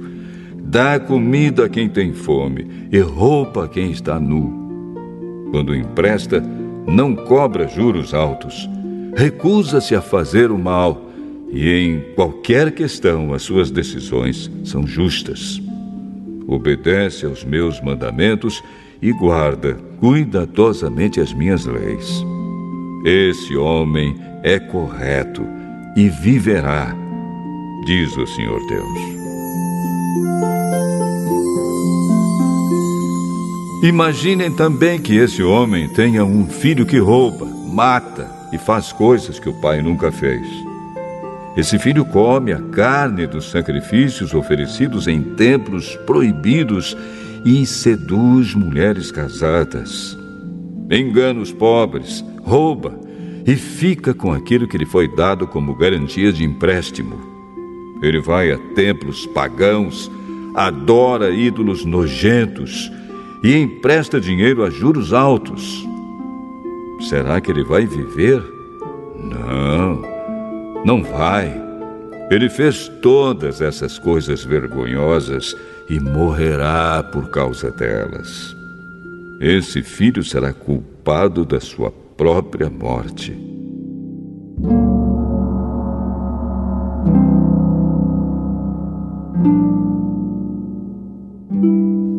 Agora, imaginem que, por sua vez, esse filho tenha um filho. Esse filho vê todos os pecados que o pai cometeu, mas não segue o seu exemplo. Não adora os ídolos dos israelitas, nem come a carne dos sacrifícios oferecidos em templos proibidos. Não seduz mulheres casadas e não explora nem rouba ninguém. Ele devolve aquilo que lhe foi dado como garantia de empréstimo. Dá comida a quem tem fome e roupa a quem está nu. Ele se recusa a fazer o mal e não empresta dinheiro a juros altos guarda as minhas leis e obedece aos meus mandamentos. ele não morrerá por causa dos pecados do pai. É certo que viverá. O pai dele enganou e roubou e só prejudicou os outros. Por isso morreu por causa dos seus próprios pecados. Mas vocês perguntam: por que é que o filho não sofre por causa dos pecados do pai? A resposta é esta: é porque o filho fez o que era correto e bom. Ele guardou as minhas leis e as seguiu cuidadosamente, e por isso é certo que viverá. Aquele que peca e que morre. O filho não sofrerá por causa dos pecados do pai, nem o pai por causa dos pecados do filho. A pessoa boa será recompensada por fazer o bem, e a pessoa má sofrerá pelo mal que praticar. Se um homem mau parar de pecar, se guardar as minhas leis e se fizer o que é certo e bom, não morrerá, é certo que viverá todos os seus pecados serão perdoados e ele viverá porque fez o que é certo. Vocês pensam que eu gosto de ver um homem mau morrer? Pergunta o Senhor Deus.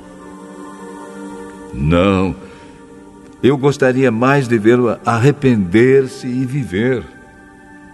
Mas, se um homem correto deixar de fazer o bem e começar a fazer todas as coisas más e vergonhosas que os homens maus fazem, será que ele vai continuar a viver?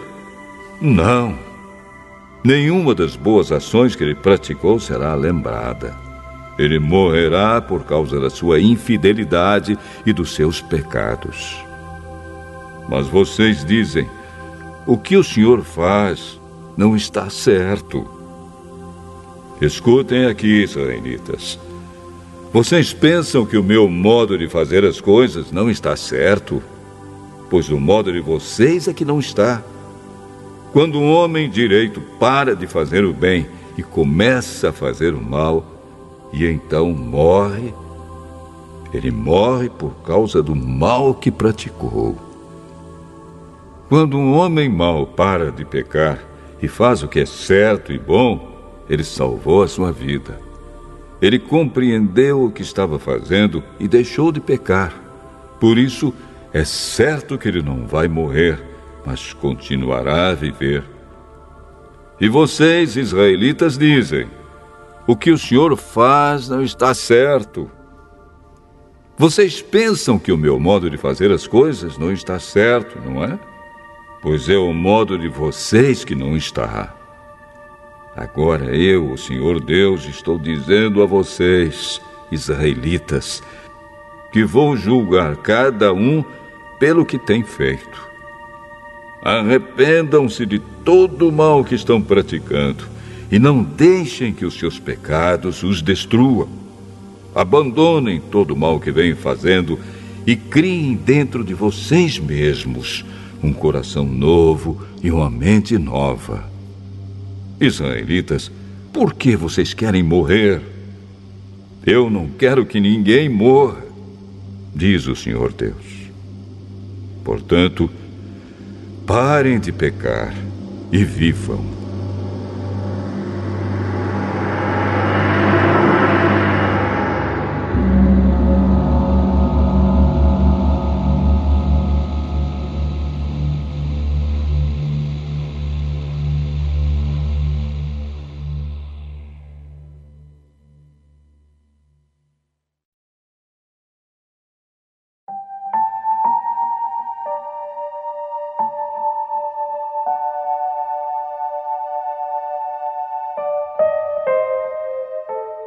Ezequiel, capítulo 19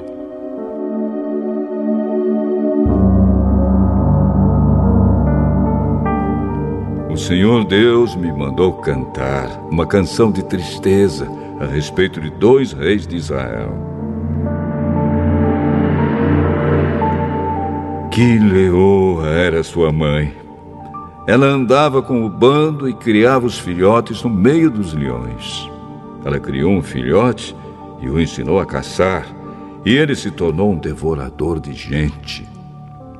As nações ouviram falar dele e o apanharam numa cova. Puseram uma argola no nariz dele e o arrastaram para o Egito. A leoa viu que as suas esperanças estavam perdidas.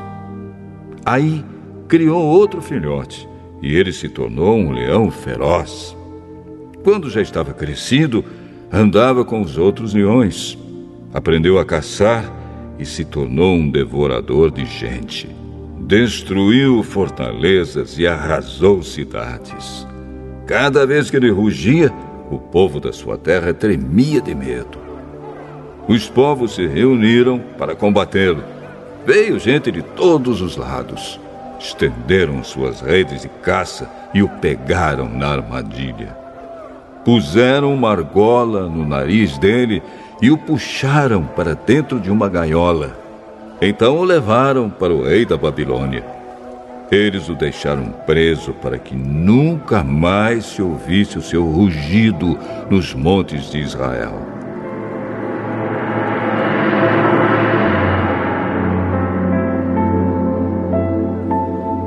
Israelitas, a mãe de vocês era como uma parreira plantada perto de um ribeirão. Ela estava cheia de galhos e produzia muitas uvas porque havia bastante água. Os seus galhos eram fortes e cresceram até se tornarem cetros reais. A parreira cresceu tanto que os seus galhos chegaram até as nuvens. Todos viram como era alta e cheia de galhos.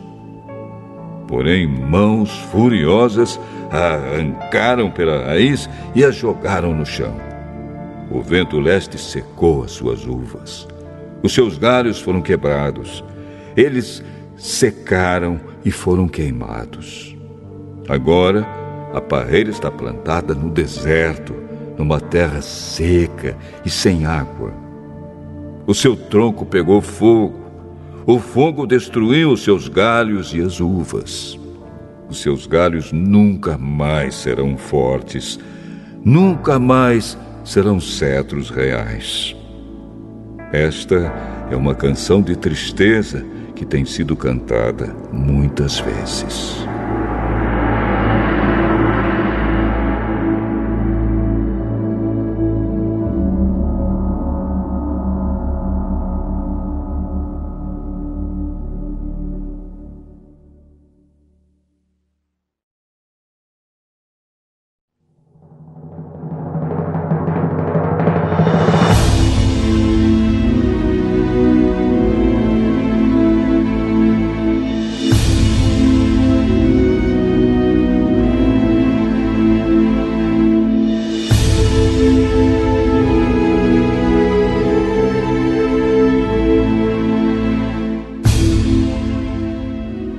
Ezequiel, capítulo 20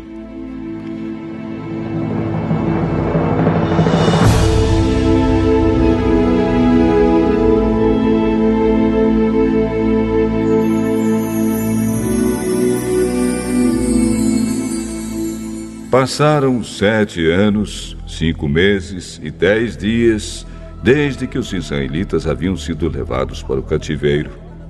Então alguns líderes vieram falar comigo para saber a vontade do Senhor. Eles chegaram e se sentaram na minha frente. O Senhor falou comigo. Ele disse: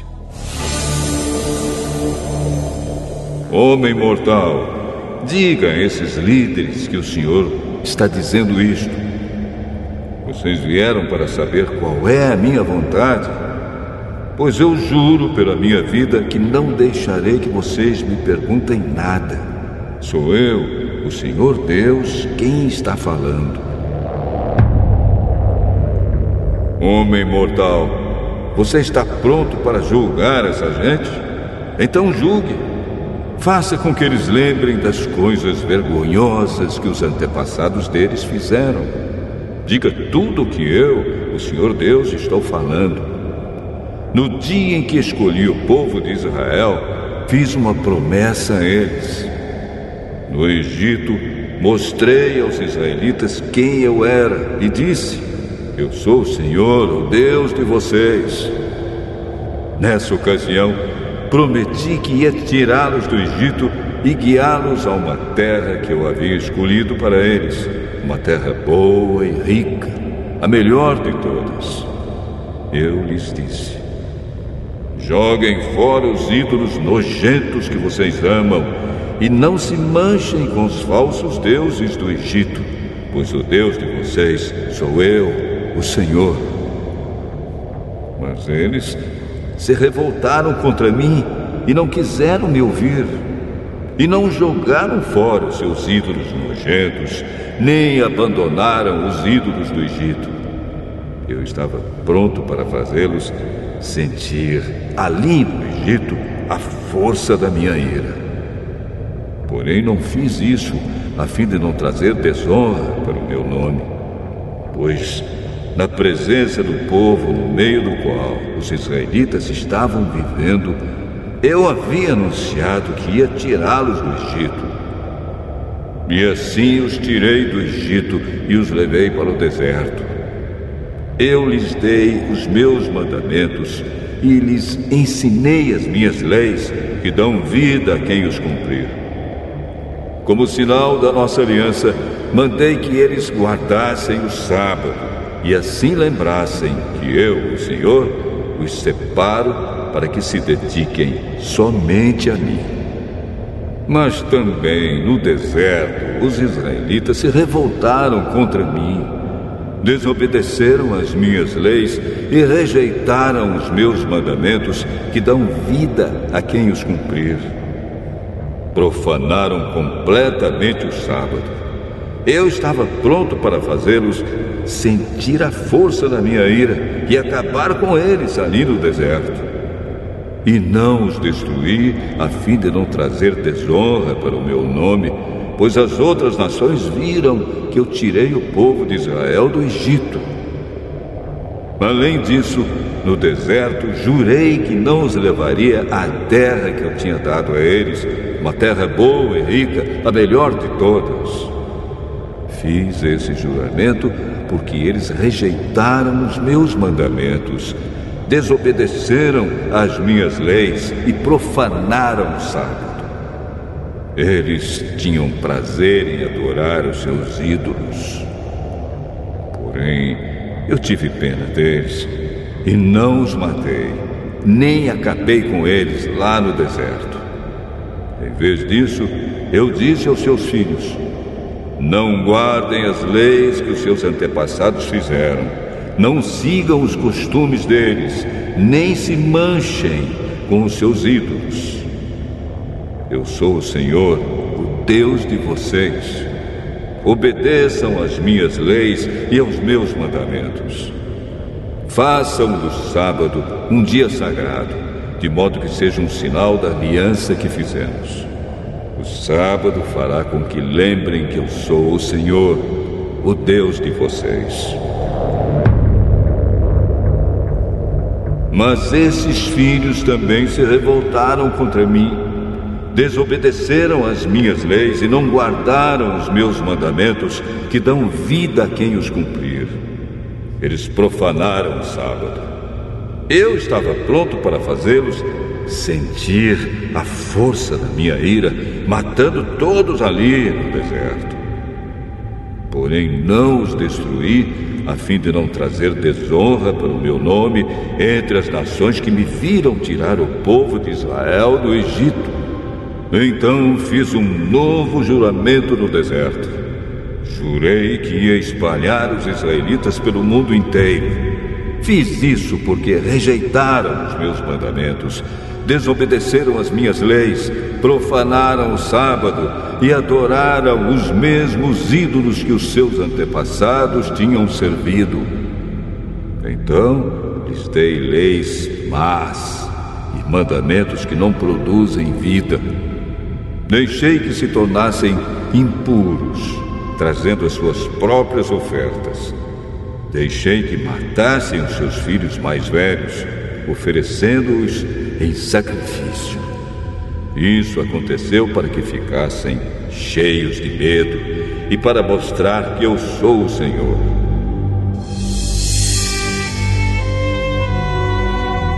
Por isso, homem mortal, conte aos israelitas o que eu, o Senhor Deus, estou dizendo a eles. Os pais deles também me insultaram de outro modo com a sua infidelidade. Quando eu os trouxe para a terra que havia jurado dar-lhes, eles viram os montes altos e as árvores que dão sombra e ofereceram sacrifícios em todos eles. Eles me fizeram ficar irado por causa dos sacrifícios que queimaram e das ofertas de bebidas que trouxeram.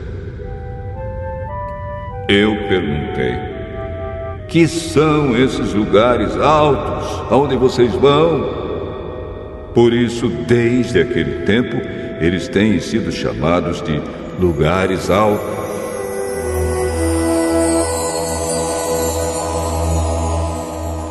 Agora, diga aos israelitas o que estou dizendo. Por que é que vocês precisam cometer os mesmos pecados que os seus antepassados cometeram? Por que têm de correr atrás dos ídolos deles? Até hoje, vocês apresentam as mesmas ofertas e se tornam impuros por causa dos mesmos ídolos, queimando vivos os seus filhos como sacrifício. E aí vocês, israelitas, ainda vêm me perguntar o que eu quero. Juro pela minha vida, diz o Senhor Deus, que não deixarei que vocês me perguntem nada. Vocês já resolveram que querem ser como as outras nações, como aquela gente que mora em outros países e adora árvores e pedras. Mas isso nunca acontecerá. Juro pela minha vida, diz o Senhor Deus, que governarei vocês com mão forte, com todo o meu poder e a minha ira. Mostrarei a vocês o meu poder e a minha ira quando eu os ajuntar e trouxer de volta de todos os países por onde foram espalhados. Eu os levarei ao deserto das nações e ali os julgarei cara a cara. Eu os condenarei agora como condenei os seus antepassados no deserto do Sinai, diz o Senhor Deus. Eu os dominarei com firmeza e farei com que obedeçam a minha aliança. Tirarei do meio de vocês os que são rebeldes e pecadores. Eu os tirarei das terras onde agora estão vivendo, porém não os deixarei voltar à terra de Israel. Então eles ficarão sabendo que eu sou o Senhor.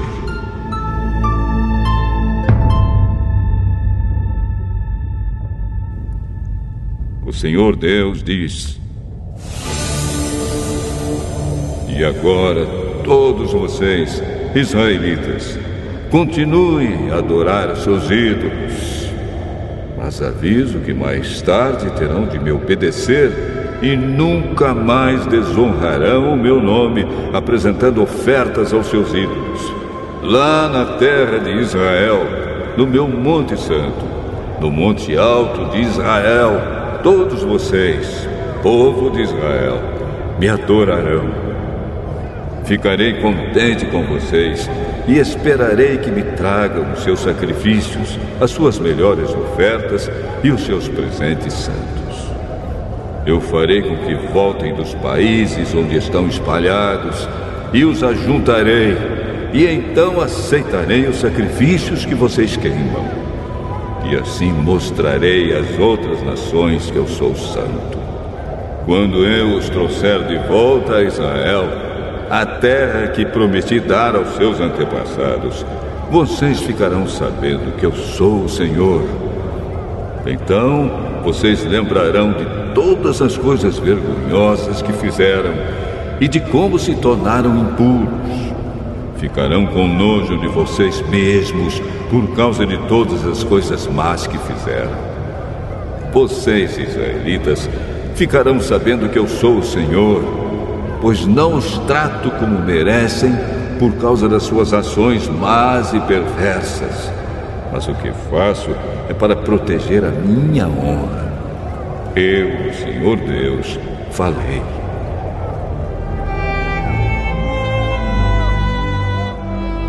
O Senhor me disse o seguinte: Homem mortal, olhe para o sul. Fale contra o sul e profetize contra a floresta do sul. Diga a essa floresta que escute, pois o Senhor Deus está dizendo o seguinte: Vejam, estou acendendo um fogo que destruirá todas as árvores secas e todas as árvores verdes daí. Nada poderá apagar as chamas. Elas se espalharão do sul ao norte e queimarão todos os rostos. Todos verão que fui eu, o Senhor, que acendi esse fogo, fogo que ninguém pode apagar.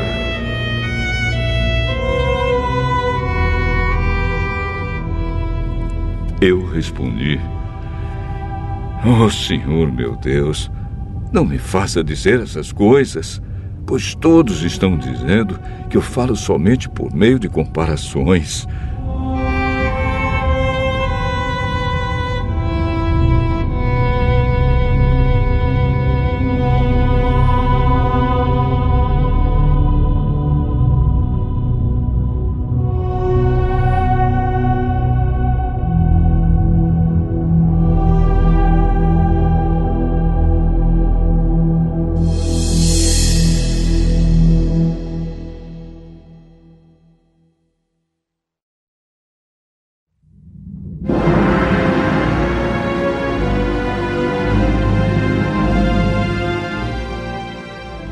Ezequiel, capítulo 21.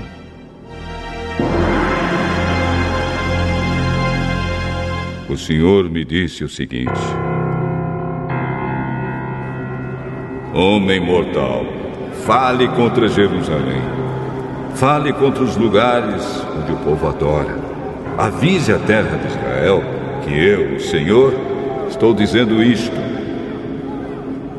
Eu estou contra vocês.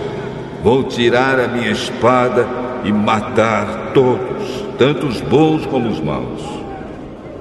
Usarei a minha espada contra todos, do sul ao norte.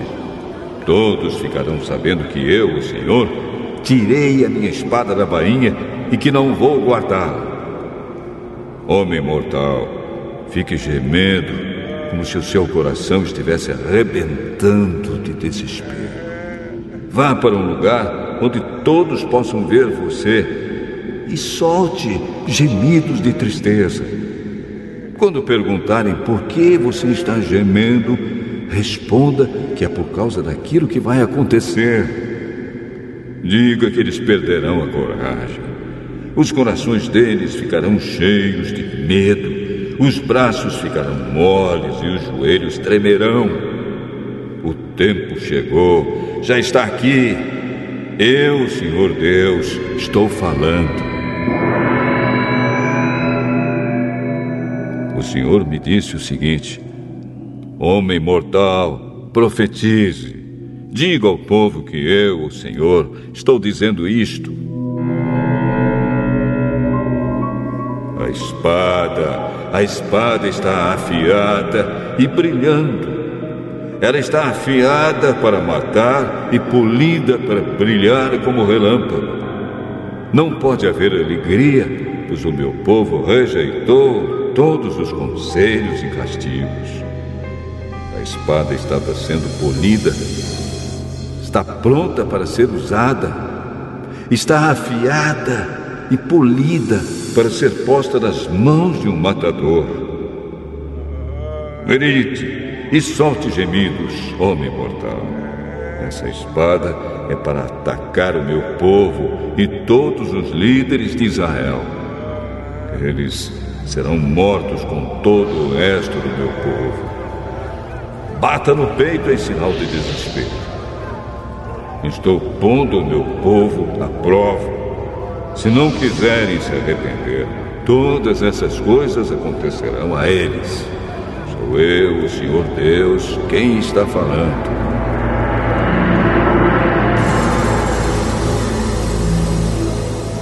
Agora, homem mortal, profetize, bata palmas, e a espada ferirá muitas vezes. É uma espada que mata, uma espada que produz terror e matança. Ela faz o meu povo perder a coragem e tropeçar. Estou ameaçando a cidade deles com a espada que brilha como relâmpago e que está pronta para matar. Espada afiada, corte à direita e à esquerda, corte em todos os lados para onde você virar. Eu também baterei palmas e a minha ira passará. Eu, Senhor, falei.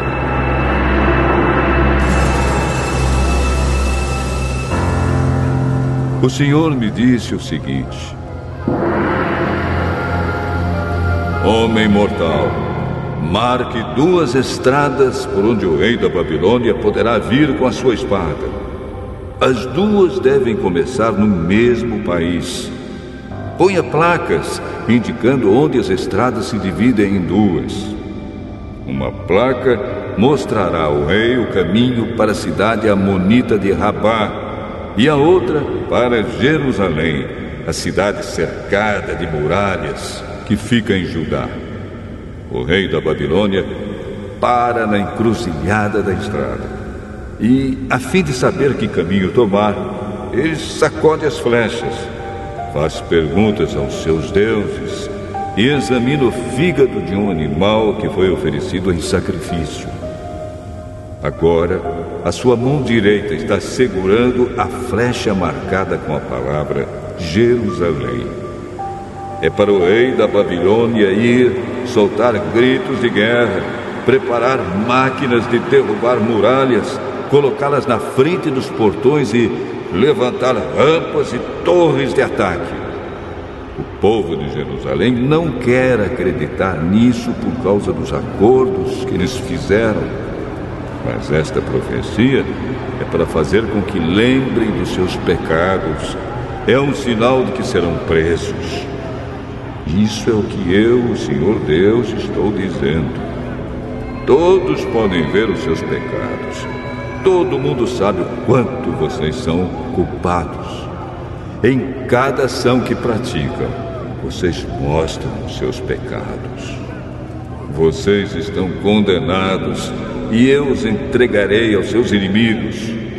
Você, governador de Israel, é perverso e não teme a Deus, e por isso seu dia, o dia do seu castigo final, também está chegando. A sua coroa e o seu turbante serão tirados. As coisas não vão continuar como estão. Os pobres terão poder e os que estão no poder serão rebaixados. Destruição, destruição, sim, destruirei a cidade. Mas isso não acontecerá até que venha aquele a quem vou entregar a cidade. Eu, o Senhor Deus, falei. Homem mortal, profetize, anuncie aquilo que eu, Senhor Deus, estou dizendo aos Amonitas que estão insultando o povo de Israel. Diga isto. A espada está pronta para destruir, está polida para matar e para brilhar como relâmpago. Amonitas, as suas visões são falsas e as profecias que fazem são mentiras. Vocês são maus e perversos. O seu dia está chegando, o dia do seu castigo final. A espada cairá sobre o pescoço de vocês.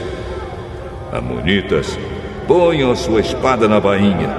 Eu os julgarei no lugar onde foram criados, na terra onde nasceram. Quando a minha ira cair sobre vocês, ela os queimará como labaredas de fogo. Eu os entregarei a homens violentos, preparados para destruir. Vocês serão destruídos pelo fogo.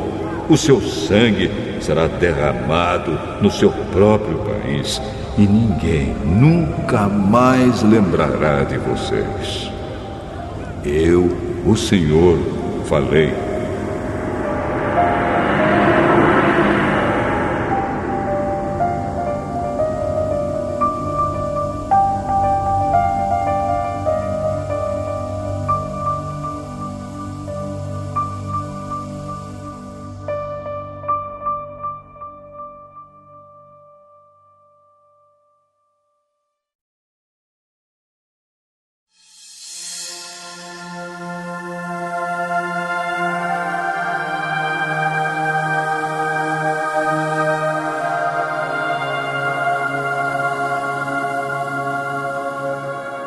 Ezequiel, capítulo 22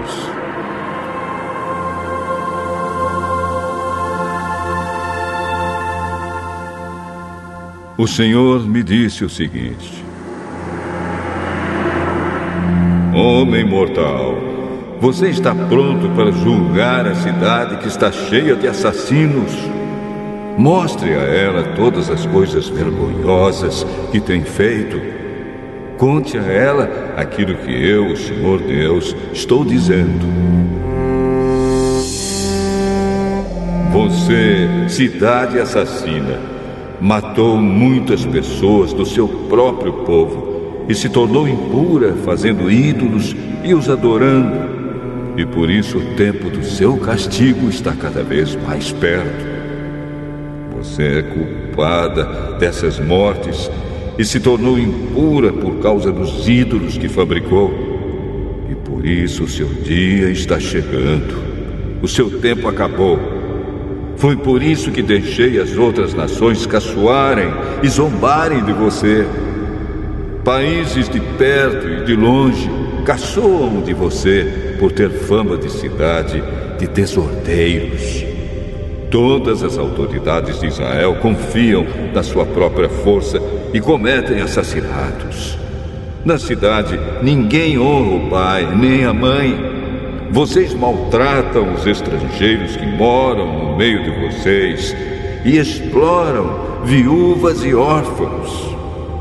Vocês não respeitam os lugares sagrados, nem guardam o sábado.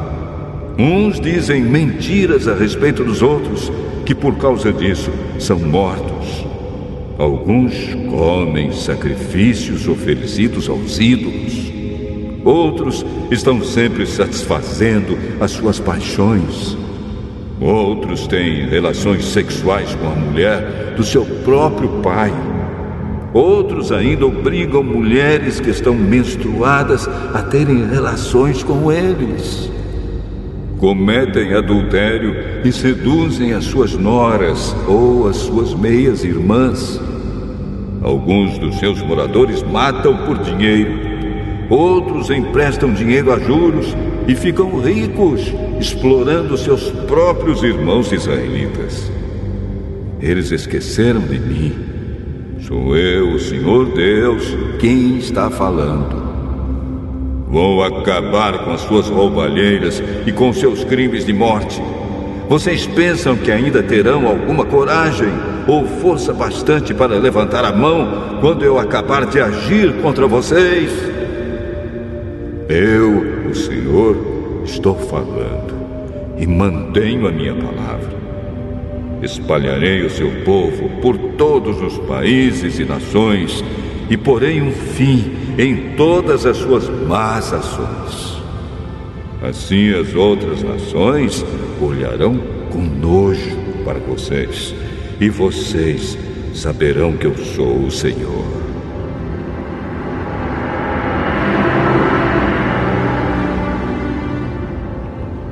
O Senhor me disse o seguinte: Homem mortal, os israelitas não têm valor para mim. Eles são como uma mistura de cobre, estanho, ferro e chumbo que sobra depois que a prata é refinada na fornalha. Agora eu, o Senhor Deus, estou lhes dizendo que eles são tão inúteis como essa mistura. Reunirei todos em Jerusalém, como se fossem minério de prata, cobre, ferro, chumbo e estanho jogados numa fornalha de refinação. A minha ira e o meu furor os derreterão, assim como o fogo derrete o minério. Sim, eu os ajuntarei em Jerusalém, porei fogo debaixo deles e os derreterei com a minha ira. Eles se derreterão em Jerusalém, assim como a prata é derretida na fornalha, e aí ficarão sabendo que eu, o Senhor, derramei sobre eles a minha ira. O Senhor falou comigo de novo ele disse: Homem mortal, diga aos israelitas que a terra deles é impura e que eu os estou castigando por causa da minha ira. As suas autoridades são como leões rugindo em cima dos animais que mataram. Matam as pessoas, tiram as suas propriedades e as suas riquezas e, por causa dos seus crimes de morte, deixam viúvas muitas mulheres. Os sacerdotes desobedecem à minha lei e não têm respeito por aquilo que é santo. Não fazem diferença entre o que é santo e o que não é. Não ensinam a diferença entre as coisas puras e as impuras e não respeitam o sábado. Como resultado disso, o povo de Israel não me respeita. As autoridades são como lobos que despedaçam os animais que mataram. Matam para enriquecer. Os profetas escondem esses pecados como quem pinta de branco uma parede. Eles têm visões falsas e fazem falsas profecias afirmam que falam a palavra do Senhor Deus, mas eu, o Senhor, não falei com eles. Os ricos enganam e roubam, eles maltratam os pobres e exploram estrangeiros. Procurei alguém que construísse uma muralha, alguém que ficasse nos lugares onde as muralhas desmoronaram e que defendesse a terra, a fim de que a minha ira não a destruísse porém não encontrei ninguém. Por isso, farei cair o fogo da minha ira sobre eles e os destruirei como castigo pelo que eles têm feito. Eu, o Senhor Deus, falei.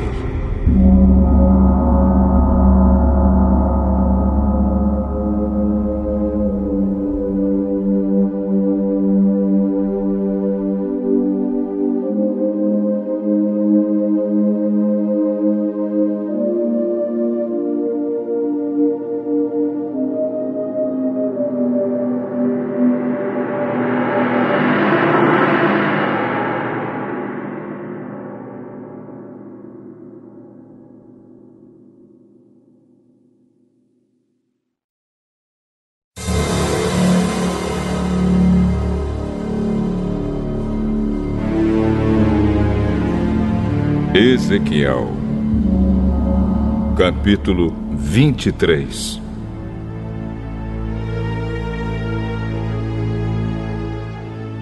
O Senhor me disse o seguinte: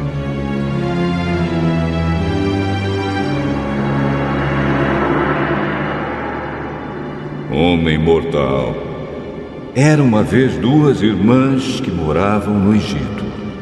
Quando eram jovens, elas perderam a virgindade e se tornaram prostitutas. A mais velha se chamava Olá, que representa Samaria, e a mais nova, Olibá, que representa Jerusalém. Eu casei com as duas e elas me deram filhos. Embora fosse minha, Olá continuou a ser prostituta e estava louca pelos seus amantes da Síria. Eles eram soldados de uniformes vermelhos, nobres e oficiais graduados, todos eles jovens atraentes, oficiais da cavalaria. Olá foi prostituta de todos os oficiais assírios, e a paixão dela a levou a se tornar impura, adorando os ídolos assírios. Ela continuou o que havia começado como prostituta no Egito, onde tinha perdido a virgindade.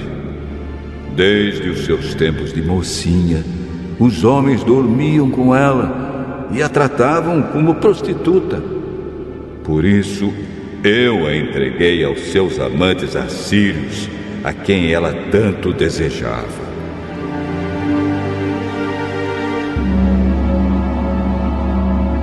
Eles a deixaram nua, prenderam seus filhos e filhas e depois a mataram com uma espada. Em toda parte, as mulheres falavam a respeito do fim que ela teve. Apesar de ter visto isso, Olibá se tornou uma prostituta ainda mais sem vergonha e imoral do que a irmã. Ela também se apaixonou pelos nobres e pelos oficiais assírios, soldados de uniformes vistosos, e pelos oficiais da cavalaria, todos eles jovens simpáticos. Vi que ela era totalmente imoral. Assim, a segunda irmã seguiu o mesmo caminho da primeira. O Olibá se afundou cada vez mais na imoralidade foi atraída pelas figuras esculpidas na parede e pintadas de vermelho vivo. Eram figuras de altos oficiais da Babilônia. Eles usavam cinturões e turbantes de luxo. Logo que viu as figuras desses oficiais, o Olibar apaixonou-se por eles e mandou que mensageiros fossem falar com eles na Babilônia. Os babilônios vieram para ter relações com Olibar. Eles se aproveitaram dela e cometeram com ela tantas imoralidades que ela ficou com nojo deles. Olibá ficou nua em público e todo mundo ficou sabendo que era prostituta. Eu fiquei revoltado contra ela, como havia ficado contra sua irmã. Ela afundou cada vez mais na prostituição fazendo como nos tempos de moça, quando era prostituta no Egito.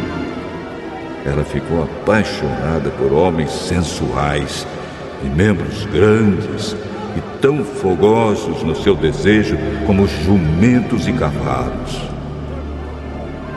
Assim, Olipa, você quis repetir a imoralidade dos seus tempos de moça no Egito, quando os homens apalpavam seus seios e você perdeu a virgindade.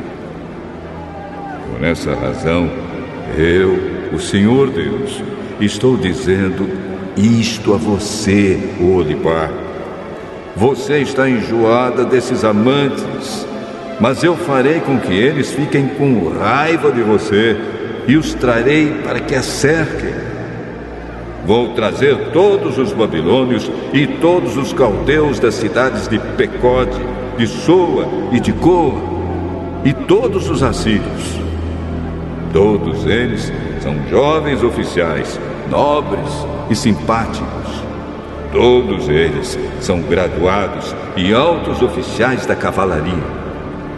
Do norte, eles atacarão, trazendo um grande exército com carros de guerra e carretas de mantimentos. Armados com escudos e capacetes, eles cercarão você. Eu a entregarei a eles, e eles a julgarão pelas leis deles. Deixarei que eles a tratem com ódio, pois estou irado com você. Eles cortarão o seu nariz e as suas orelhas, e matarão seus filhos. Sim, eles tirarão de você os seus filhos e filhas e os queimarão vivos. Eles arrancarão as suas roupas e tirarão as suas joias. Eu acabarei com a sua imoralidade e com a prostituição que você tem praticado desde que estava no Egito. Nunca mais você olhará para nenhum ídolo, nem pensará mais no Egito.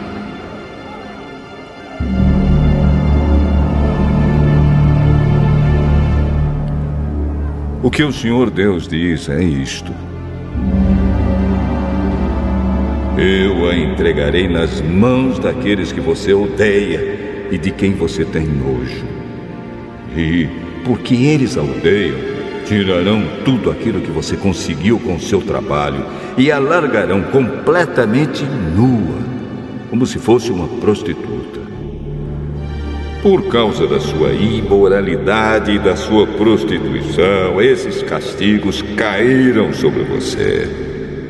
Você foi prostituta dos povos e ficou impura por causa dos ídolos deles. Você seguiu o exemplo da sua irmã, por isso castigarei você também, como castiguei a sua irmã.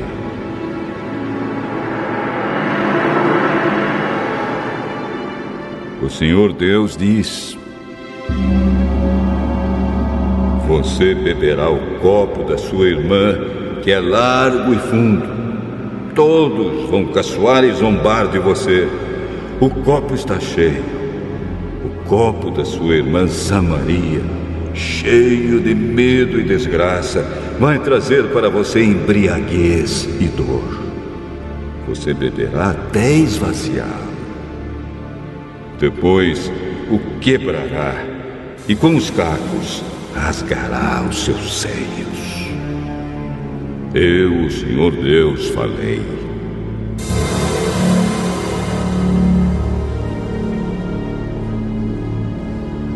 Agora, o que o Senhor Deus está dizendo é isto. Você me esqueceu e me virou as costas. Portanto, sofrerá por causa da sua imoralidade e da sua prostituição. O Senhor me disse: Homem mortal, você está pronto para julgar Olá e Olibá? Então, acuse-as das coisas vergonhosas que têm feito. Elas cometeram adultério e assassinato. Cometeram adultério com ídolos e mataram filhos que geraram para mim. Elas ofereceram os meus filhos para serem mortos em sacrifício aos seus ídolos. E isso ainda não foi tudo o que fizeram. Também profanaram o meu templo e quebraram o sábado que eu havia mandado guardar. Mataram os meus filhos como sacrifícios aos ídolos. E naquele mesmo dia vieram ao meu templo e o profanaram. Olá e Olibá enviaram mensageiros para convidar homens de longe, e eles vieram. Elas tomaram banho, pintaram os olhos e se enfeitaram com joias. Sentaram-se numa bela cama, com uma mesa bem posta diante delas. E sobre a mesa puseram o incenso e o azeite que eu lhes tinha dado. Então ouviu-se o barulho de uma multidão alegre, e entrou um grupo de homens do deserto. Colocaram pulseiras nos braços das mulheres e lindas coroas nas cabeças. E eu disse a mim mesmo que eles estavam usando como prostituta uma mulher gasta pelo adultério.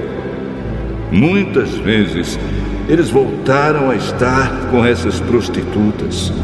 Tornaram a se encontrar com Olá e Olibá, essas mulheres imorais.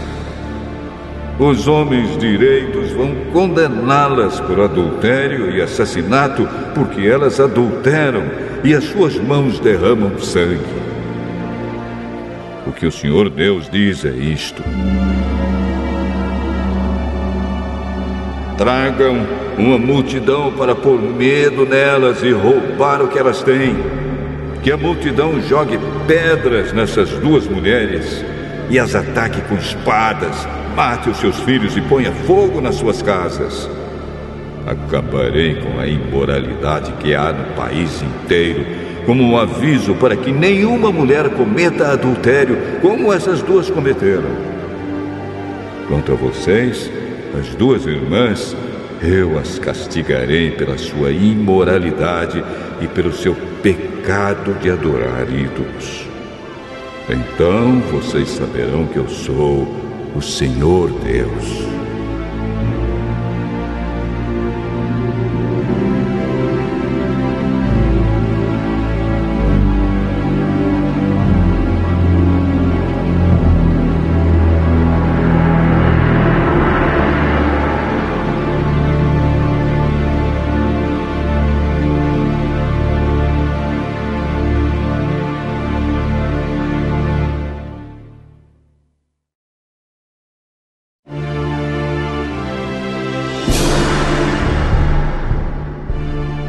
Ezequiel, capítulo 24.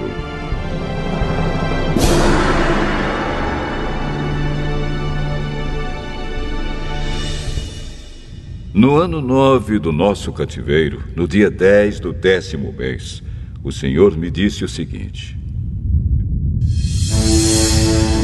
Homem mortal, Escreva a data de hoje, porque este é o dia em que o rei da Babilônia está começando o cerco de Jerusalém.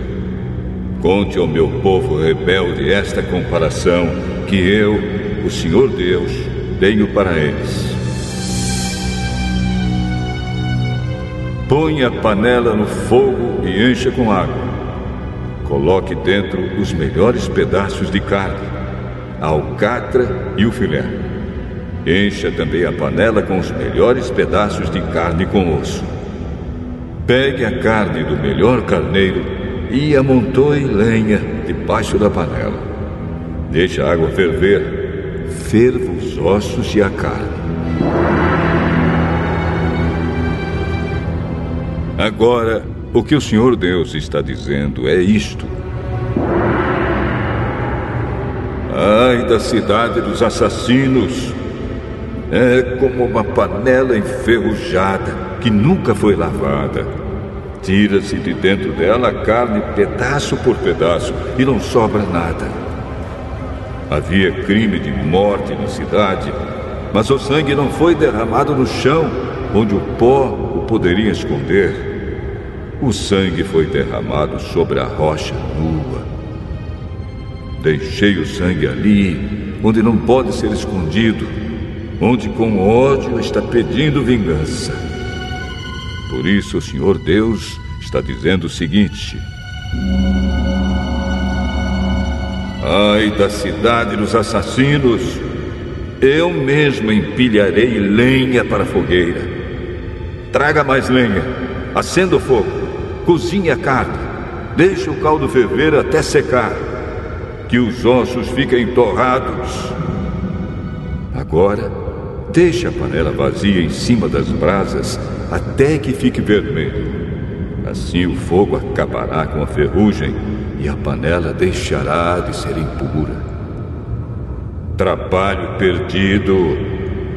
Toda ferrugem não vai desaparecer das chamas. Jerusalém, os seus atos imorais mancharam você. Eu tentei purificá-la mas você continuou impura. Você não será pura de novo até que sinta toda a força da minha ira. Sou eu, o Senhor, quem está falando. Chegou a minha hora de agir. Não esquecerei os seus pecados. Não terei dó nem piedade. Você será castigada pelo que tem feito. Eu, o Senhor Deus, falei.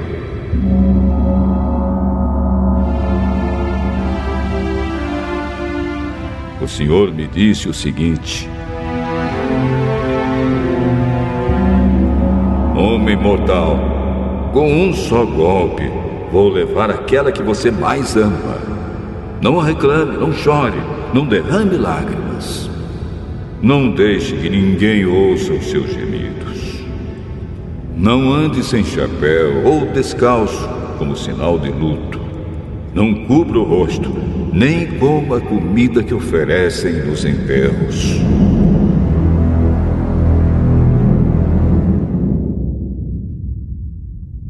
De manhã eu estava falando com o povo e à noite a minha esposa faleceu. No dia seguinte fiz como o senhor havia mandado. Então o povo me perguntou: Por que você está agindo assim? Aí eu disse: o Senhor falou comigo e me disse para dar a vocês, israelitas, esta mensagem. Vocês estão orgulhosos porque o templo é tão firme. Vocês gostam de olhar para ele e de visitá-lo, porém o Senhor Deus o tornará impuro. Os seus filhos e filhas que ficaram em Jerusalém serão mortos na guerra. Aí vocês vão fazer como eu fiz. Vocês não cobrirão o rosto, nem comerão a comida que oferecem nos enterros. Vocês não andarão sem chapéu, nem descalços. Não vão por luto, nem vão chorar. Por causa dos seus pecados, vocês se acabarão e ficarão gemendo juntos. Assim eu, Ezequiel, serei um sinal para vocês. Vocês farão tudo o que eu fiz. O Senhor diz que, quando isso acontecer, vocês ficarão sabendo que Ele é o Senhor Deus.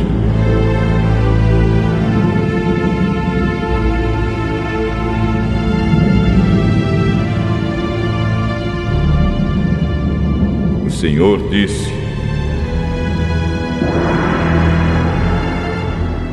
Agora, homem mortal, vou tirar deles o templo, que é firme, que era o orgulho e alegria deles, e que gostavam tanto de admirar e de visitar. E também vou tirar os seus filhos e as suas filhas. No dia em que eu fizer isso, alguém que escapar da destruição virá para contar o que aconteceu. Nesse dia, você poderá falar outra vez e conversar com aquele que escapou. Nesse dia, você será um sinal para os israelitas, e eles ficarão sabendo que eu sou o Senhor.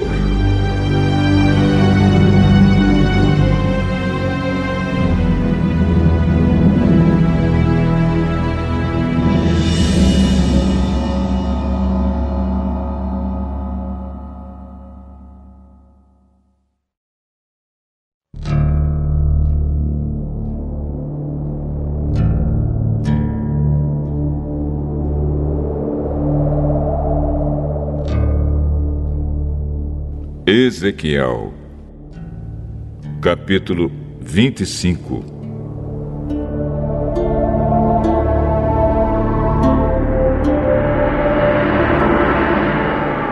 O Senhor me disse o seguinte: Homem mortal, agora fale contra o país de Amon. Diga que tem atenção a isto que eu, o Senhor Deus, estou dizendo. Vocês ficaram contentes quando viram o meu templo profanado, quando viram a terra de Israel arrasada e o povo de Judá ser levado para o cativeiro. Por isso, vou deixar que as tribos do deserto oriental conquistem vocês. Esses povos montarão os seus acampamentos no país de vocês e ficarão morando aí eles comerão as frutas e beberão o leite que eram de vocês. Transformarei a cidade de Rabá num curral de camelos e toda a terra de Amon num curral de ovelhas. E assim vocês ficarão sabendo que eu sou o Senhor. O que o Senhor Deus está dizendo é isto. Vocês, amonitas, bateram palmas e pularam de alegria. Vocês desprezaram a terra de Israel. Por isso, eu os entregarei a outras nações, para que elas roubem o que vocês têm. Eu os destruirei completamente, de modo que não serão mais uma nação, nem terão mais um país de vocês mesmos. Aí vocês ficarão sabendo que eu sou o Senhor. Senhor Deus disse: Moabe disse que Judá é como todas as outras nações, e por isso deixarei que as cidades que defendem a fronteira de Moabe sejam atacadas. Entre elas estarão as mais importantes: Bet-Gesimote, Baal-Meon e Kiriataim. Deixarei que as tribos do deserto oriental conquistem Moabe juntamente com Amon, e assim Moabe não será mais uma nação. Castigarei Moabe, e os morbitas ficarão sabendo que eu sou o Senhor. O Senhor Deus disse: O povo de Edom foi cruel na vingança contra Judá E essa vingança fez com que a culpa de Edom aumentasse muito. Agora anuncio que castigarei Edom e matarei ali todos os homens e animais. O povo será morto na batalha e eu farei Edom virar um deserto, desde a cidade de Temã até Dedã. Por meio do meu povo de Israel, eu me vingarei de Edom. Ele fará Edom sentir a fúria da minha ira. Os edomitas saberão o que é sofrer a minha vingança.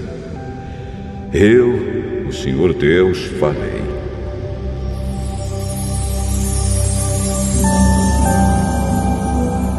O Senhor Deus disse: Os filisteus foram cruéis na vingança contra os seus antigos inimigos e os destruíram com ódio. Agora eu estou anunciando que atacarei os filisteus e os cretitas e acabarei com eles. Destruirei todos aqueles que forem deixados vivos na planície da Filisteia. Eu os castigarei duramente e a minha vingança será completa. Aí ficarão sabendo que eu sou o Senhor.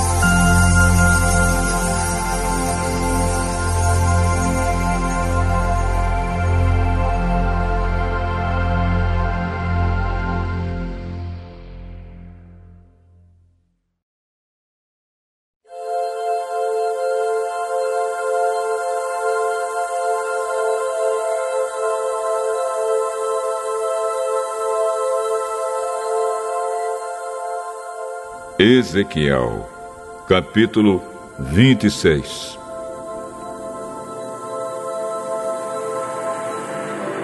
No ano décimo primeiro do nosso cativeiro, no primeiro dia do mês, o Senhor falou comigo de novo. Ele disse: Homem mortal, o povo da cidade de Tiro está se alegrando por causa de uma coisa. Eles estão gritando Jerusalém, a nossa rival no comércio, está arrasada. As suas portas se abriram para nós entrarmos, e com a sua derrota nós vamos enriquecer. Agora, o que eu, Senhor Deus, estou dizendo é isto: cidade de Tiro, eu estou contra você. Vou trazer muitas nações para lutarem contra você, e elas virão como as ondas do mar. Elas destruirão as muralhas da sua cidade e derrubarão as suas torres. Aí eu varrerei o pó e deixarei a rocha nua. Os pescadores estenderão as redes para secarem em cima dela, ali no mar onde se encontra. Sou eu, Senhor Deus, quem está falando. As nações vão atacar e roubar Tiro, e com as suas espadas vão matar aqueles que vivem nas cidades que estão perto, em terra firme. Aí a cidade de Tiro ficará sabendo que eu sou o Senhor.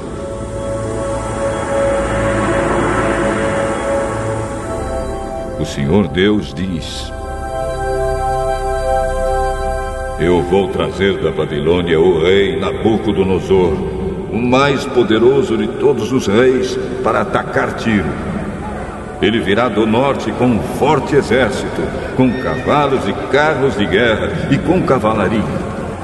Aqueles que vivem perto, nas cidades que estão em terra firme, serão mortos na batalha.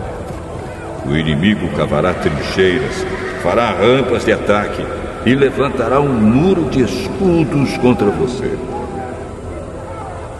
com máquinas de lançar pedras, eles derrubarão as suas muralhas e com barras de ferro derrubarão as suas torres.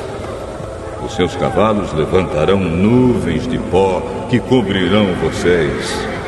Quando eles passarem pelos portões da cidade conquistada, o barulho dos cavalos deles, puxando carretas e carros de guerra, fará tremer as suas muralhas.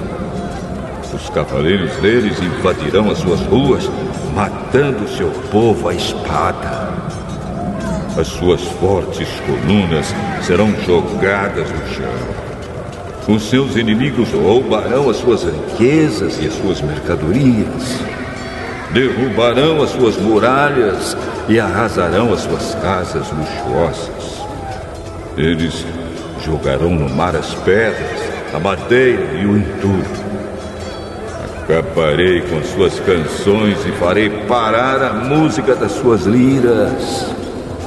De você só deixarei uma rocha nua, onde os pescadores estenderão as redes para secar. A cidade nunca mais será reconstruída. Eu, o Senhor Deus, estou falando. O Senhor Deus diz isto à cidade de Tiro.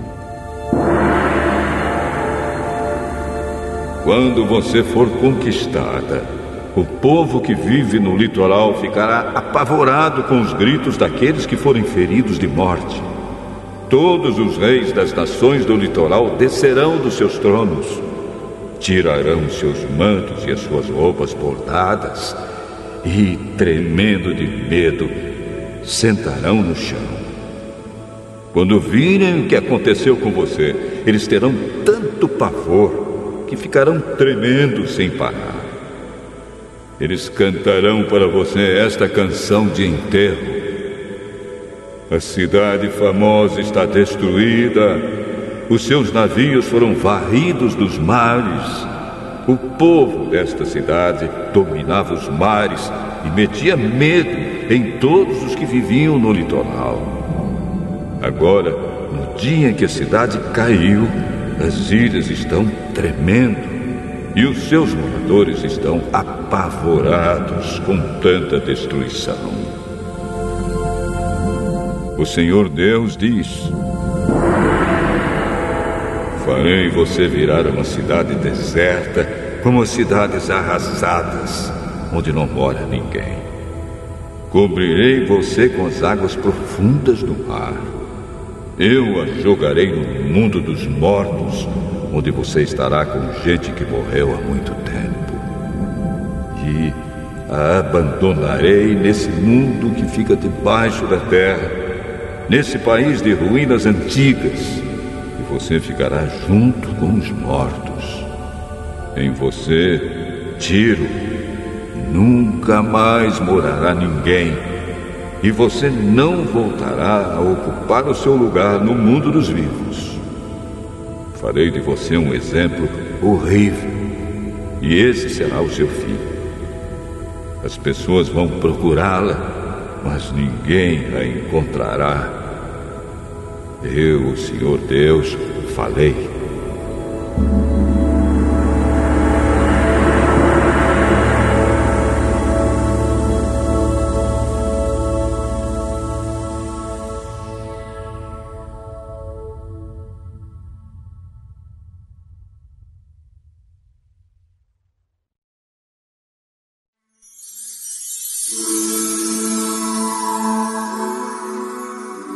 Ezequiel, capítulo 27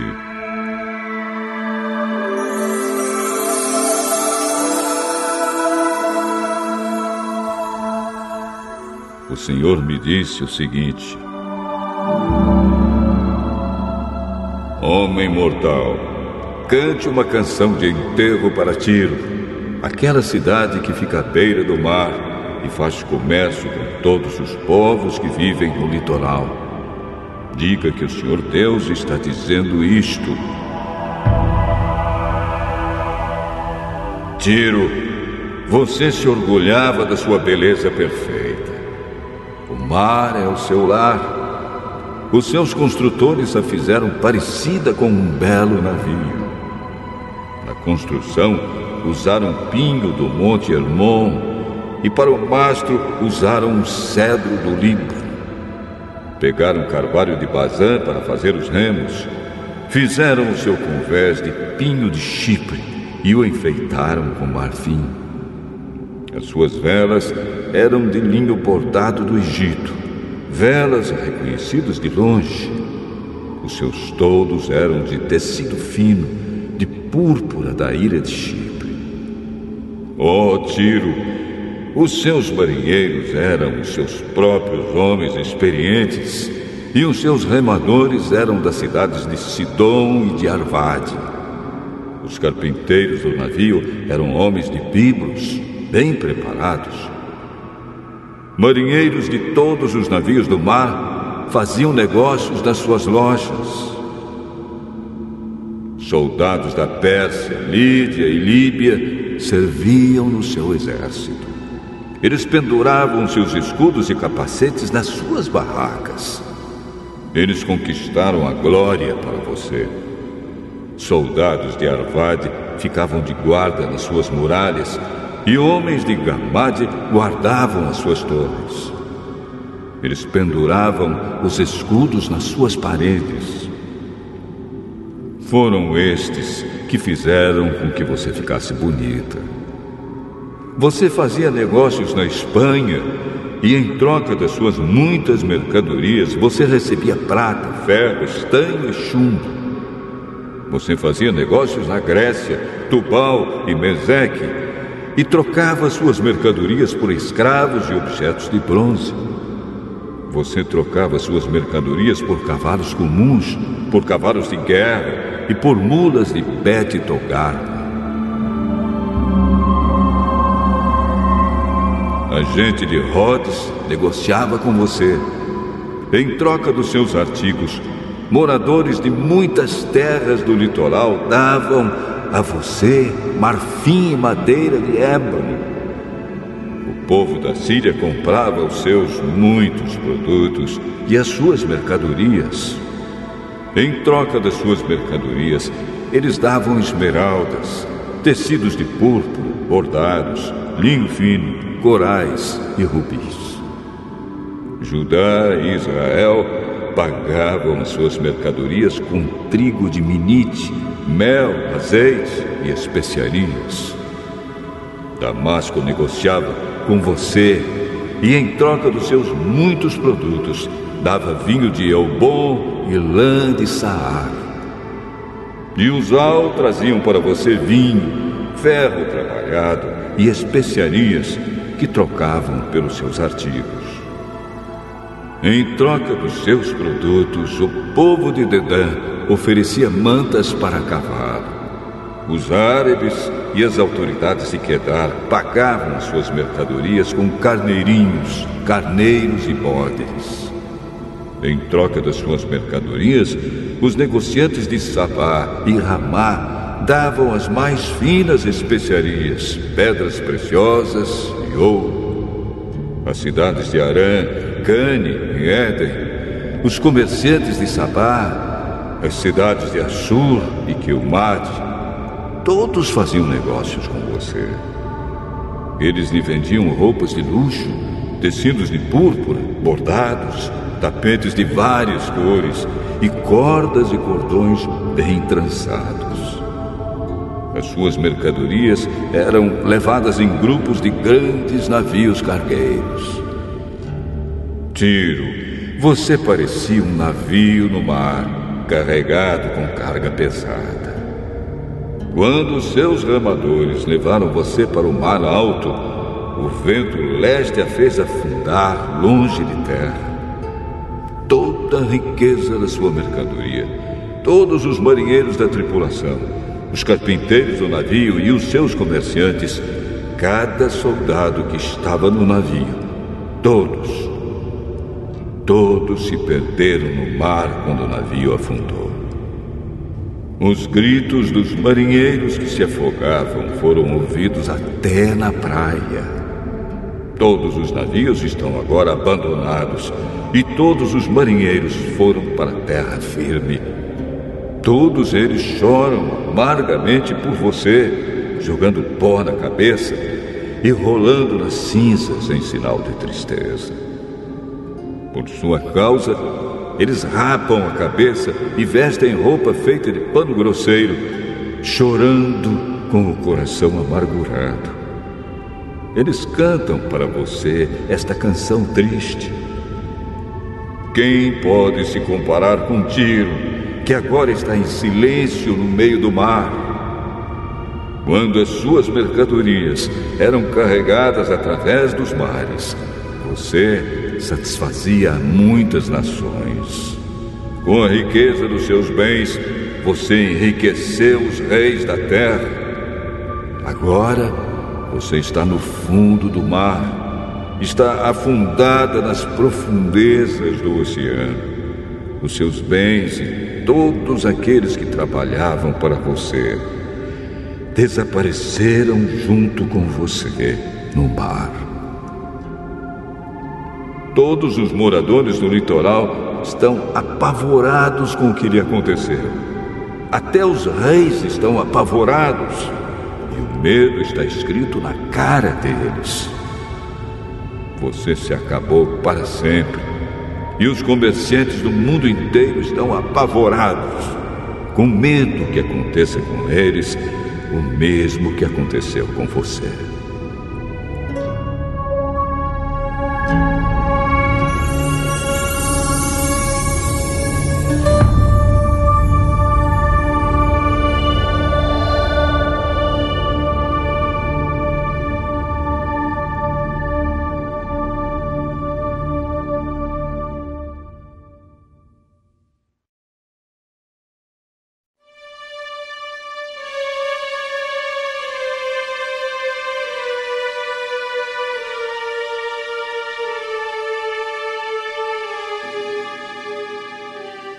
Ezequiel, capítulo 28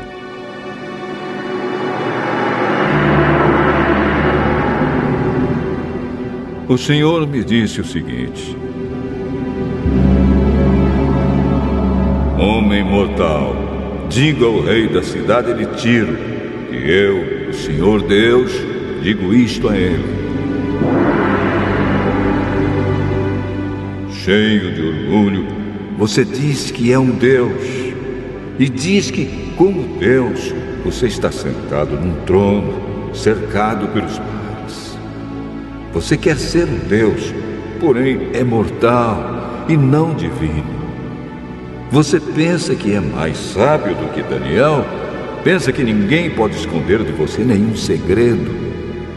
A sua sabedoria e a sua inteligência o enriqueceram com tesouros de ouro e prata. Você fez bons negócios e continuou aumentando os lucros. E como você tem orgulho da sua riqueza. Pois agora, eu, Senhor Deus, digo isto.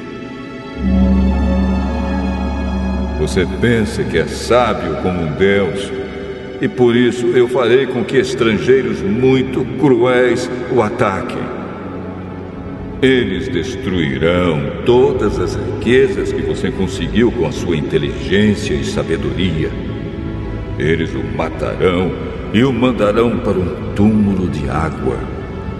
Quando eles chegarem para matá-lo, será que você ainda vai dizer que é um Deus? Quando enfrentar os seus assassinos, você será mortal e não divino. Você morrerá como um cachorro nas mãos de estrangeiros pagãos. Eu, Senhor Deus, dei esta ordem.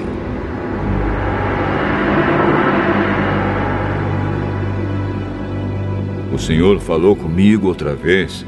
Ele disse: Homem mortal, Cante uma canção de tristeza por causa do fim que o rei de Tiro vai ter. Diga-lhe que eu, o Senhor Deus, digo isto. Você era um exemplo de perfeição. Como era sábio e simpático. Você vivia no Éden, o jardim de Deus, e usava pedras preciosas de todo tipo: rubis e diamantes, topázio, berilo, ônix e jaspe, safiras, esmeraldas e granadas. Você tinha joias de ouro que foram feitas para você no dia em que foi criado. Eu fiz de você um anjo protetor com as asas abertas. Você vivia no meu Monte Santo e andava pelo meio de pedras brilhantes. A sua conduta foi perfeita desde o dia em que foi criado até que começou a fazer o mal. Você ficou ocupado comprando e vendendo, e isso levou à violência e ao pecado. Por isso, anjo protetor, eu humilhei e expulsei do monte de Deus, do meio das pedras brilhantes.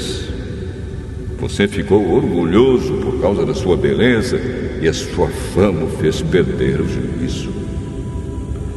Então, eu o joguei no chão a fim de servir de aviso para outros reis. Você foi tão desonesto nas compras e vendas que os seus lugares de culto foram profanados. Por isso, pus fogo na cidade e a queimei completamente. Todos os que agora olham para você estão vendo que você virou cinzas. Você está acabado para sempre. E todas as nações que o conheceram estão apavoradas, com medo que aconteça a mesma coisa com elas. O Senhor me disse: Homem mortal, fale contra a cidade de Sidom. Diga ao povo dali que eu, o Senhor Deus, digo o seguinte: Sidom, eu estou contra você. Por causa daquilo que vou fazer com você, todos me louvarão. Quando eu castigar os seus moradores, Todos ficarão sabendo que eu sou o Senhor e que sou santo. Eu lhe mandarei doenças e farei com que corra sangue nas suas ruas. Você será atacada de todos os lados e todos os seus moradores serão mortos. Assim você ficará sabendo que eu sou o Senhor.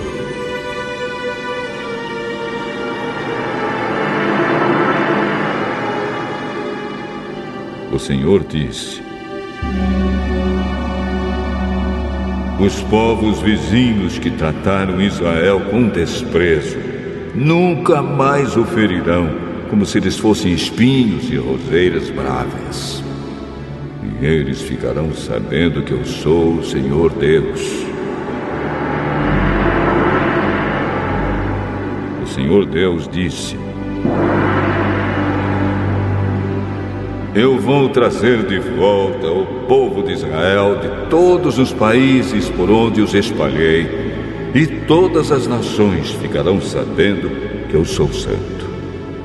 O povo de Israel viverá na sua própria terra, a terra que dei a Jacó, meu servo. Ali eles vão viver com segurança, vão construir casas e fazer plantações de uvas. Eu castigarei todos os seus vizinhos que os trataram com desprezo. E Israel ficará seguro. Aí eles ficarão sabendo que eu sou o Senhor, o Deus de Israel.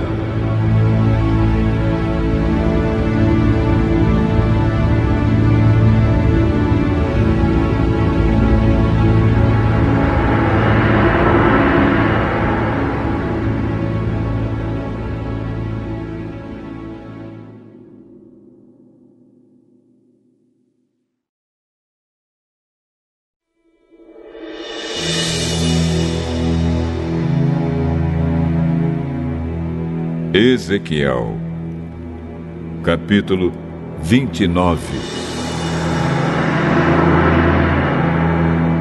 No décimo ano do nosso cativeiro, no dia 12 do décimo mês, o Senhor me disse o seguinte: Homem mortal, fale contra o rei do Egito.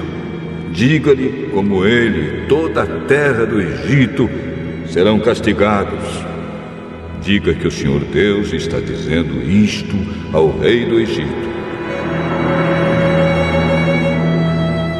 Eu estou contra você, crocodilo monstruoso deitado no rio. Você diz que o rio Nilo é seu, que você mesmo o fez mas eu porei um gancho no seu focinho e farei com que os peixes do seu rio fiquem agarrados em você.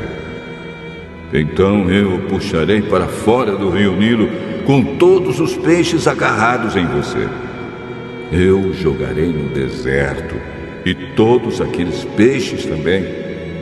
O seu corpo ficará largado no chão e não será sepultado. Eu o darei às aves e aos animais selvagens como alimento. Assim todo o povo do Egito ficará sabendo que eu sou o Senhor.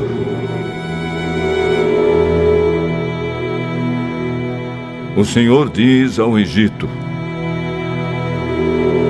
Os israelitas se apoiaram em você, mas você foi um bastão fraco.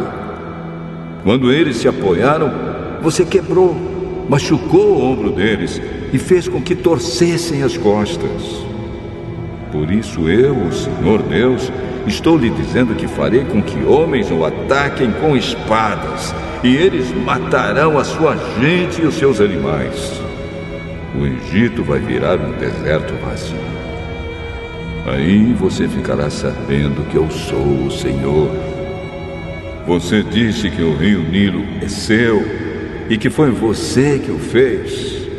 E por isso eu estou contra você e contra o seu rio Nilo. Farei com que todo o Egito vire um deserto vazio, desde a cidade de Migdol, no norte, até a cidade de Assuã, no sul, e até a fronteira da Etiópia.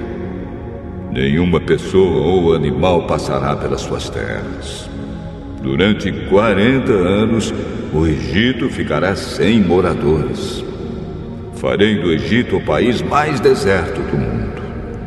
Durante 40 anos, as cidades do Egito ficarão arrasadas, mais arrasadas do que quaisquer outras cidades.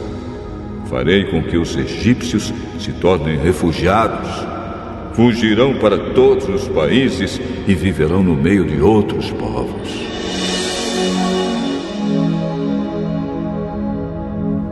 Senhor Deus diz: Depois desses quarenta anos, trarei os egípcios de volta das nações por onde os espalhei. Eu os deixarei viver no sul do Egito, a região de onde vieram. Ali eles serão um reino pequeno, o mais fraco de todos, e nunca mais dominarão outras nações. Eu os diminuirei tanto que não serão capazes de dominá-las. Israel nunca mais dependerá da ajuda deles. O que aconteceu com o Egito fará com que o povo de Israel lembre como estava errado em confiar nos egípcios. Então Israel ficará sabendo que eu sou o Senhor Deus.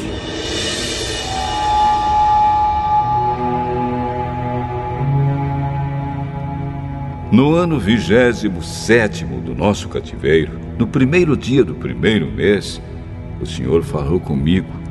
Ele disse: Homem mortal, escute. Nabucodonosor, rei da Babilônia, atacou a cidade de Tiro.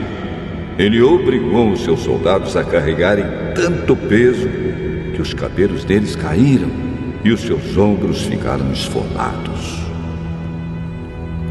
Mas nem o rei, nem o seu exército conseguiram nada como pagamento pelos seus esforços. Agora, eu, Senhor Deus, digo isto: Darei a terra do Egito ao rei Nabucodonosor. Ele vai pegar toda a riqueza do Egito e vai levá-la como pagamento para o seu exército. Eu darei a Nabucodonosor o Egito como pagamento pelos seus serviços, pois o seu exército está trabalhando para mim. Sou eu, o Senhor Deus, quem está falando. Quando isso acontecer, farei com que o povo de Israel fique forte. E a você, Ezequiel, vou dar licença para falar onde todos possam ouvi-lo. E assim eles ficarão sabendo que eu sou o Senhor.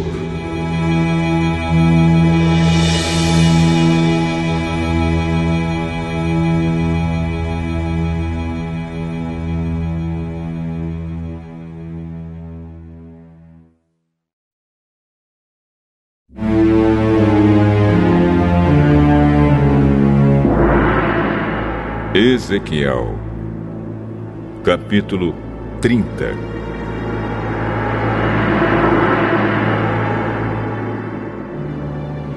Novamente o Senhor falou comigo. Ele disse: Homem mortal, profetize e anuncie o que eu, o Senhor Deus, estou dizendo. Gritem o seguinte: Dia de terror, o dia está perto, o dia em que o Senhor vai agir. Um dia de nuvens e de castigo para as nações.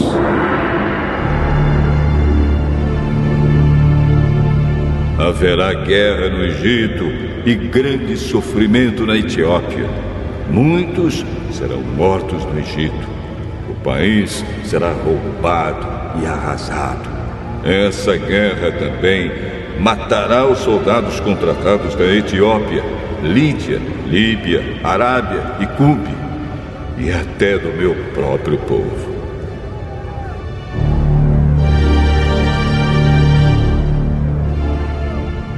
O Senhor diz: Desde Migdol, que fica no norte, até Assuã, que fica no sul, Todos os que defendem o Egito serão mortos em batalha. O orgulhoso exército egípcio será destruído. Sou eu, o Senhor Deus, quem está falando. O país será o mais deserto do mundo e as suas cidades serão completamente arrasadas. Quando eu incendiar o Egito e aqueles que o defendem estiverem mortos, todos ficarão sabendo que eu sou o Senhor.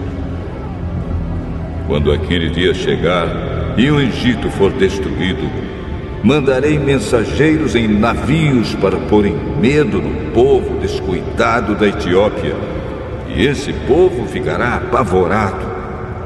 E aquele dia está chegando.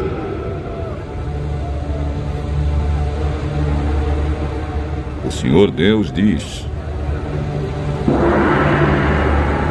usarei Nabucodonosor, rei da Babilônia, para acabar com a riqueza no Egito. Ele e o seu exército violento virão para arrasar o Egito. Eles atacarão com espadas e a terra dos egípcios ficará cheia de mortos. Secarei o rio Nilo, entregarei o Egito a homens maus. Estrangeiros arrasarão país todo. Eu, o Senhor, falei. O Senhor Deus diz: Também destruirei os ídolos e os falsos deuses de Mênfis. Não ficará ninguém para governar o Egito. Espalharei o terror no meio do povo. Farei com que o sul do Egito vire um deserto, e porei fogo na cidade de Joã, no norte. Castigarei Tebas, a capital. Derramarei a minha ira sobre a cidade de Pelúcio, a grande fortaleza do Egito, e acabarei com a riqueza de Tebas. Incendiarei o Egito, e Pelúcio se retorcerá de dor. As muralhas de Tebas serão derrubadas, e a cidade será inundada. Os moços das cidades de Heliópolis e Bubaste morrerão na guerra, e os outros moradores serão levados presos. Quando eu quebrar o poder do Egito e acabar com a força de que tanto se gaba, a escuridão cairá sobre a cidade de Táfilis. Uma nuvem cobrirá o Egito e os moradores de todas as suas cidades serão levados prisioneiros. Assim castigarei o Egito, e aí eles ficarão sabendo que eu sou o Senhor.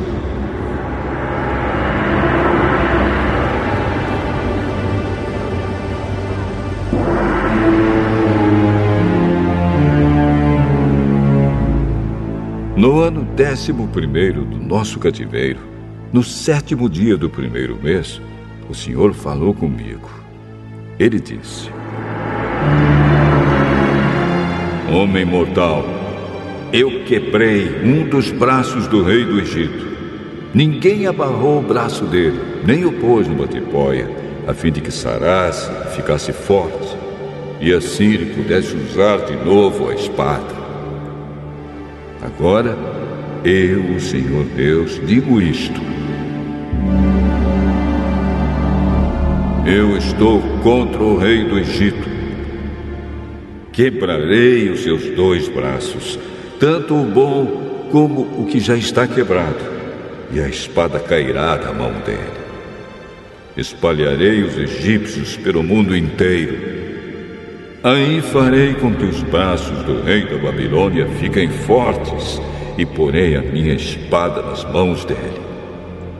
Porém, quebrarei os braços do rei do Egito, e assim ele gemerá e morrerá na frente do seu inimigo. Sim, farei com que o rei do Egito fique fraco, e darei força ao rei da Babilônia. Quando eu lhe der a minha espada, e ele a apontar para o Egito, todos ficarão sabendo que eu sou o Senhor. Espalharei os egípcios pelo mundo Aí eles ficarão sabendo que eu sou o Senhor.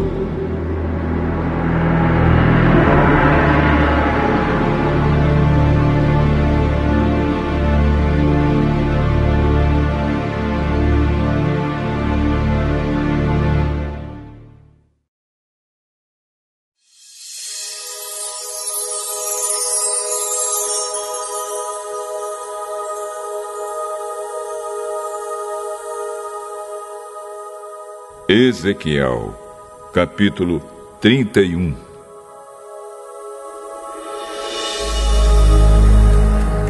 No ano décimo primeiro do nosso cativeiro, no dia primeiro do terceiro mês, o Senhor falou comigo. Ele disse: Homem mortal, diga o seguinte ao rei do Egito e a todo o seu povo Como você é poderoso! Com o que posso compará-lo? Você é como um cedro no Líbano, com galhos lindos, cheios de folhas. Uma árvore tão alta que chega até as nuvens. Havia água para fazê-lo crescer e rios debaixo da terra para alimentá-lo. Regaram o lugar onde a árvore estava crescendo e fizeram com que ribeirões regassem todas as árvores da floresta. Por ter sido bem regado, o cedro cresceu mais do que as outras árvores, e os seus galhos ficaram grossos e compridos. Aves de todo tipo faziam ninhos nos seus galhos. Embaixo dele, os animais ferozes davam cria, e na sua sombra as nações do mundo descansavam.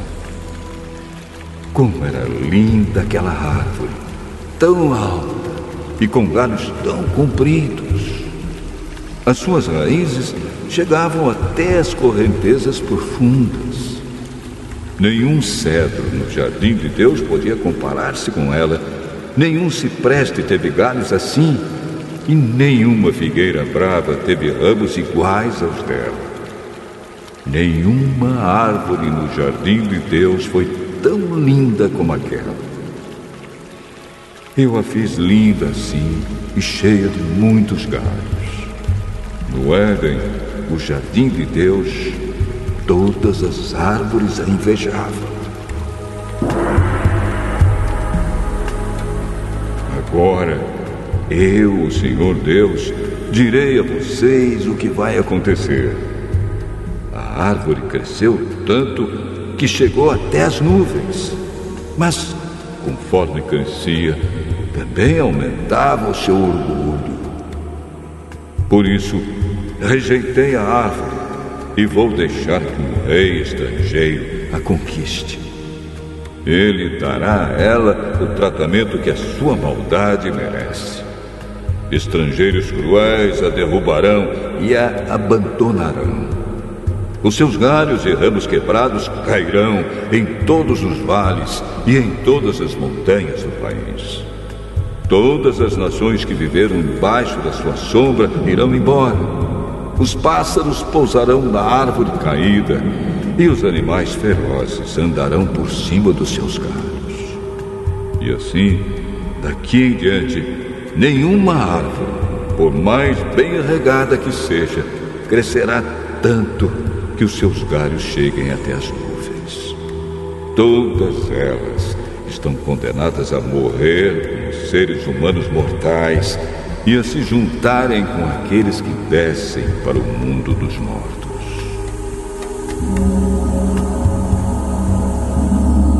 O Senhor Deus diz o seguinte: No dia em que a árvore descer ao mundo dos mortos, Farei com que as águas que estão debaixo da terra a cubram como sinal de tristeza. Farei com que os rios parem e não deixarei que os muitos ribeirões corram. A árvore morreu e por isso trarei escuridão sobre os montes Líbanos e farei com que sequem todas as árvores da floresta.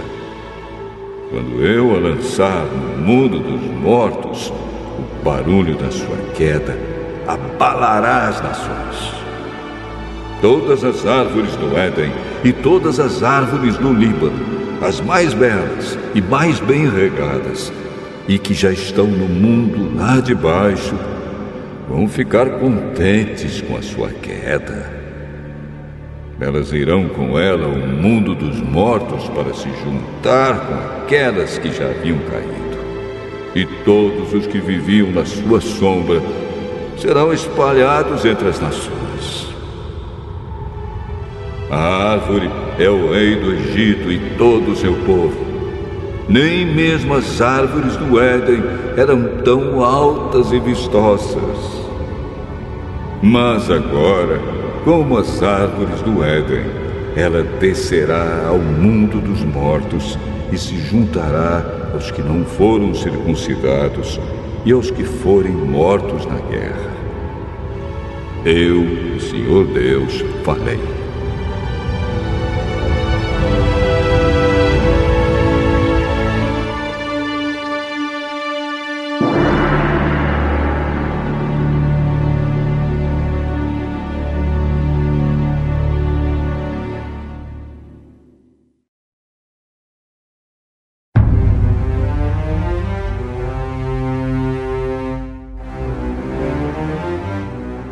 Ezequiel, capítulo 32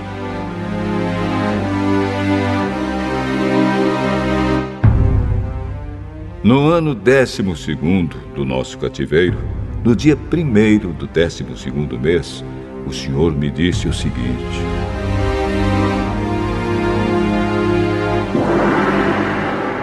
Homem mortal, cante uma canção de enterro a respeito do rei do Egito. Diga-lhe isto.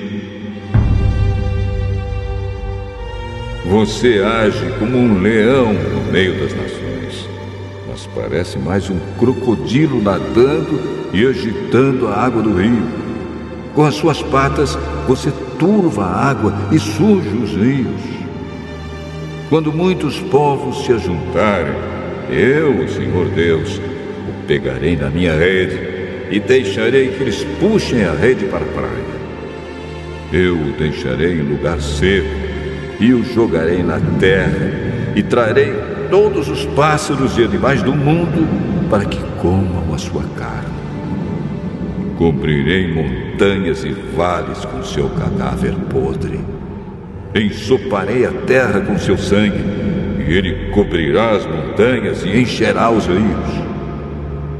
Quando eu destruir você, cobrirei o céu e apagarei as estrelas. Esconderei o sol atrás das nuvens e a lua não brilhará mais. Apagarei todas as luzes do céu e lançarei o seu país na escuridão. Sou eu, o Senhor Deus, quem está falando. Você será destruído e eu espalharei essa notícia em países de que você nunca ouviu falar. Aí muitas nações vão ficar em confusão e espantadas com o que eu vou fazer com você.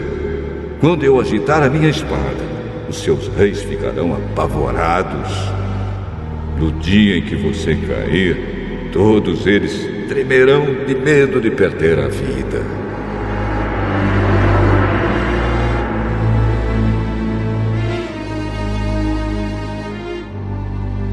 O Senhor Deus continua a dizer ao rei do Egito: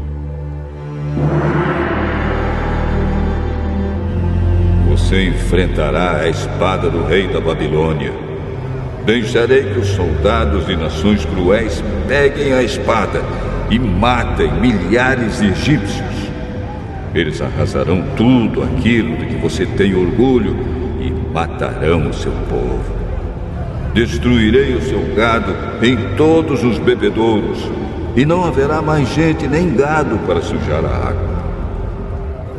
Deixarei que as suas águas assentem e fiquem claras, e farei com que os seus rios corram calmamente. Sou eu, o Senhor Deus, quem está falando. Quando eu fizer o Egito virar um deserto abandonado e destruir todos os que vivem ali, as outras nações ficarão sabendo que eu sou o Senhor.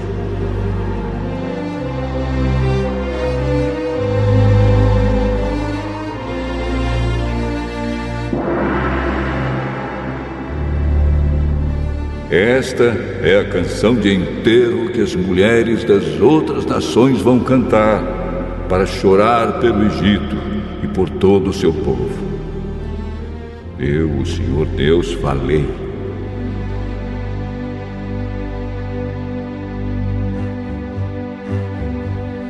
No ano décimo segundo do nosso cativeiro, no dia quinze do primeiro mês, o Senhor me disse o seguinte: Homem mortal, chore pela multidão de gente do Egito. Faça com que eles desçam do mundo dos mortos, junto com outras nações poderosas. Diga o seguinte: será que vocês são mais bonitos do que os outros? Pois vocês vão descer e se deitar nas sepulturas dos maus. Os egípcios cairão junto com aqueles que são mortos em batalha. Uma espada está preparada para matar toda a gente do Egito. Os heróis mais valentes e os que lutaram pelo Egito recebem os egípcios quando estes entram no mundo dos mortos. Eles gritam: Esses que não foram circuncidados morreram na batalha, desceram até aqui e aqui estão deitados. A Síria está ali, e em volta dela estão os túmulos dos seus soldados. Eles foram mortos em combate, e os túmulos deles estão nas profundezas do mundo dos mortos. Todos os seus soldados caíram em combate, e os túmulos deles estão em volta do túmulo da Assíria. Mas antes eles haviam feito tremer de medo os que estão vivos. O país de Elão está ali, e em volta estão os túmulos dos seus soldados. Todos eles foram mortos em combate e, sem terem sido circuncidados, desceram ao mundo dos mortos. Quando estavam vivos, eles espalhavam o terror, mas agora estão mortos e cobertos de vergonha. Belão está deitado no meio dos que foram mortos em combate, e os túmulos dos seus soldados estão em volta dele. Nenhum deles foi circuncidado Todos eles foram mortos em combate. Quando estavam vivos, eles espalhavam terror, mas agora estão mortos e cobertos de vergonha, fazendo companhia aos que foram mortos em combate.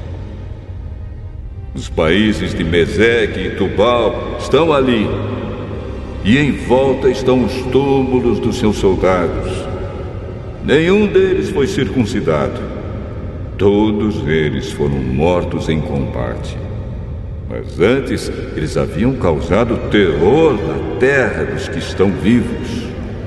Eles não foram sepultados com homenagens, como os heróis dos tempos antigos que desceram ao mundo dos mortos com as suas armas. As suas espadas foram colocadas debaixo das cabeças e os escudos em cima dos corpos. Esses heróis tiveram poder para causar terror na terra dos que estão vivos. Será assim que os egípcios estarão esmagados no meio dos que não foram circuncidados e que morreram em combate. O país de Edom está ali com seus reis e autoridades. Eles foram soldados corajosos, mas agora estão deitados no mundo dos mortos junto com os que não foram circuncidados e que morreram em combate. Todos os príncipes do norte e os moradores de Sidom estão no mundo dos mortos. Eles morreram sem terem sido circuncidados. O seu poder espalhava o terror, mas agora eles descem sem honra junto com os que foram mortos em combate e que estão deitados ali. Eles tomam parte na desgraça daqueles que descem ao mundo dos mortos. O rei do Egito os verá e ficará consolado com a morte de todo o seu exército destruído em combate.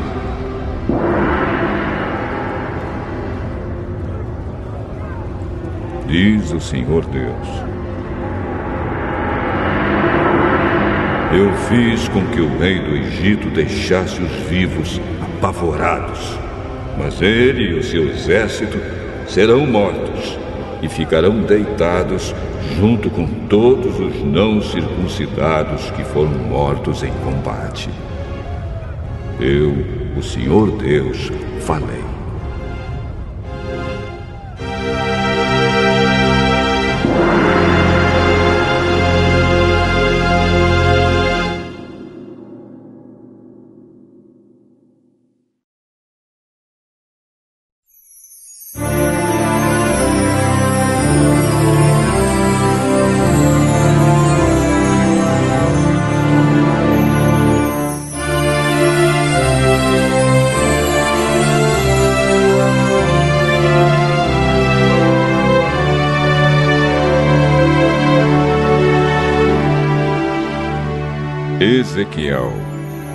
Capítulo 33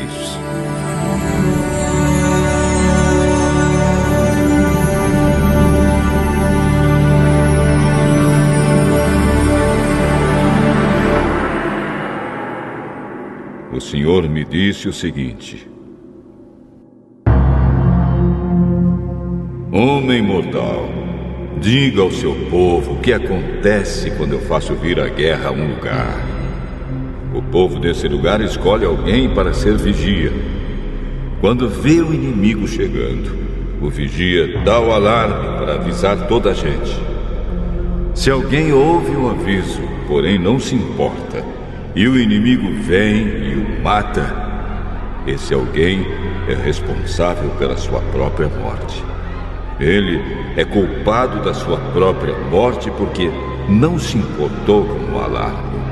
Se tivesse se importado, poderia ter escapado. Mas Se o vigia vê o inimigo se aproximando e não dá o alarme, o inimigo vem e mata aqueles pecadores. Nesse caso, eu considerarei o vigia como responsável pela morte deles. Agora, homem mortal, eu estou pondo você como vigia de toda a nação de Israel. Você dará a eles os avisos que eu lhe der. Se eu disser que um homem mau vai morrer, mas você não o avisar para que mude o seu modo de agir e assim salve a sua vida, aí ele morrerá, sendo ainda pecador. Nesse caso, eu considerarei você como responsável pela morte dele. Porém, se você avisar um homem mau e ele não parar de pecar, ele morrerá como pecador, mas você viverá.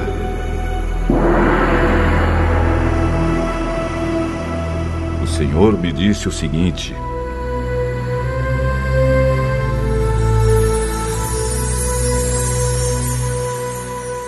Homem mortal, repita aos israelitas o que eles andam dizendo.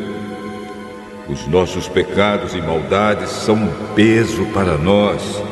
Estamos nos acabando. Como podemos viver? Diga-lhes que juro pela minha vida que eu, o Senhor Deus, não me alegro com a morte de um pecador.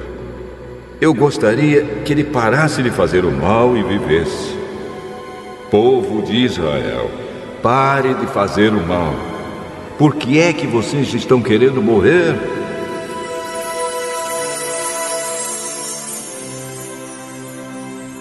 Agora, homem mortal, diga aos israelitas que quando um homem correto pecar, o bem que ele fez não o salvará.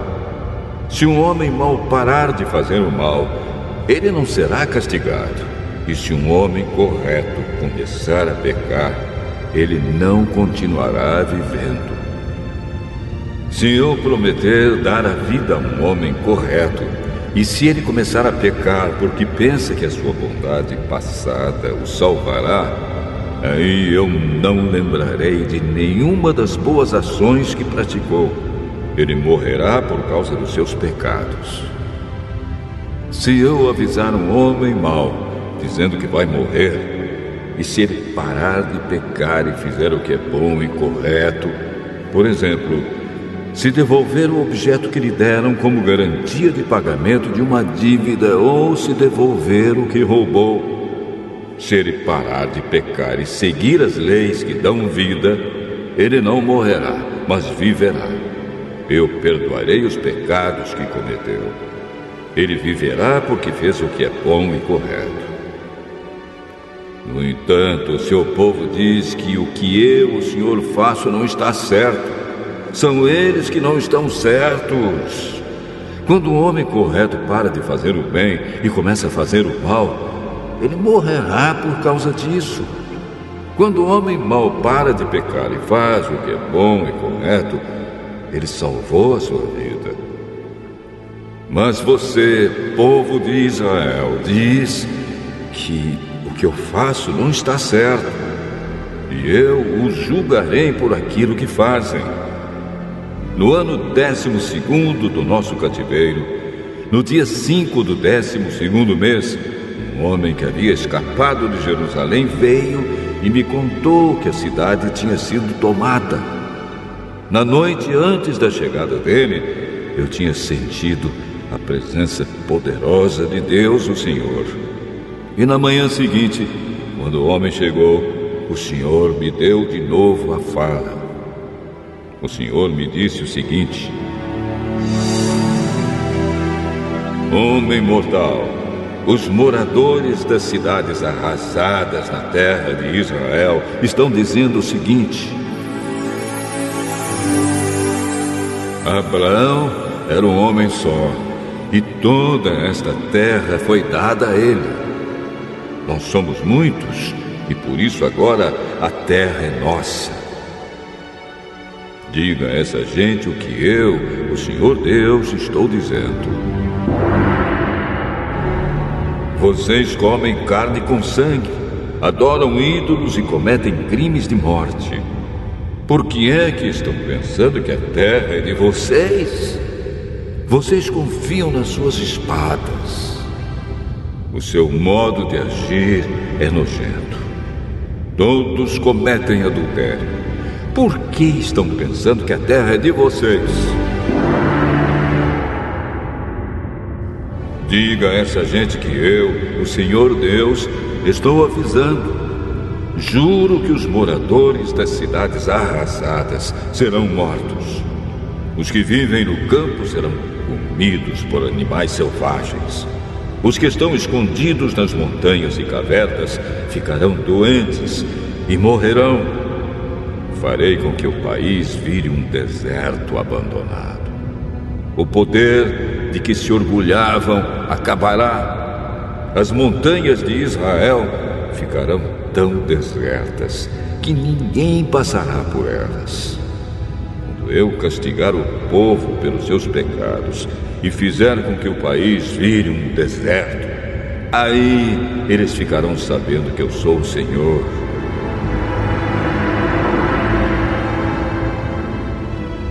O Senhor disse: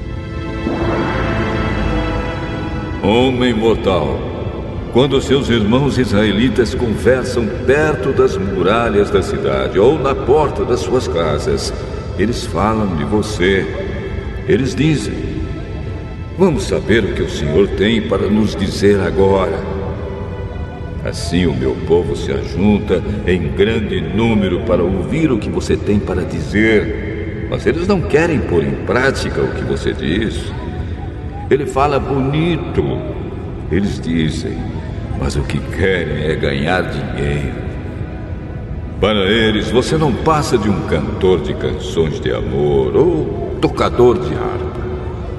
Eles ouvem o que você diz, porém não fazem nada daquilo que você manda.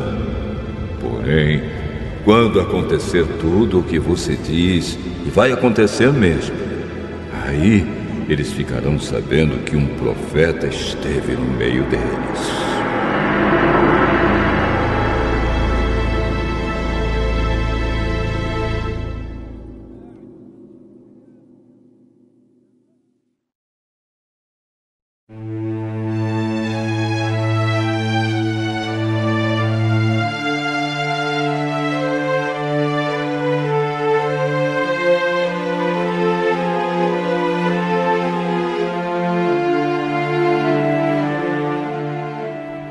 Ezequiel,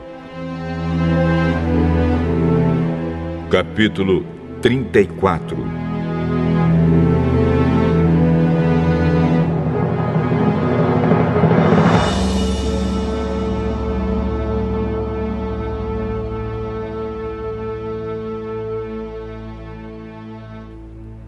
O Senhor me disse o seguinte: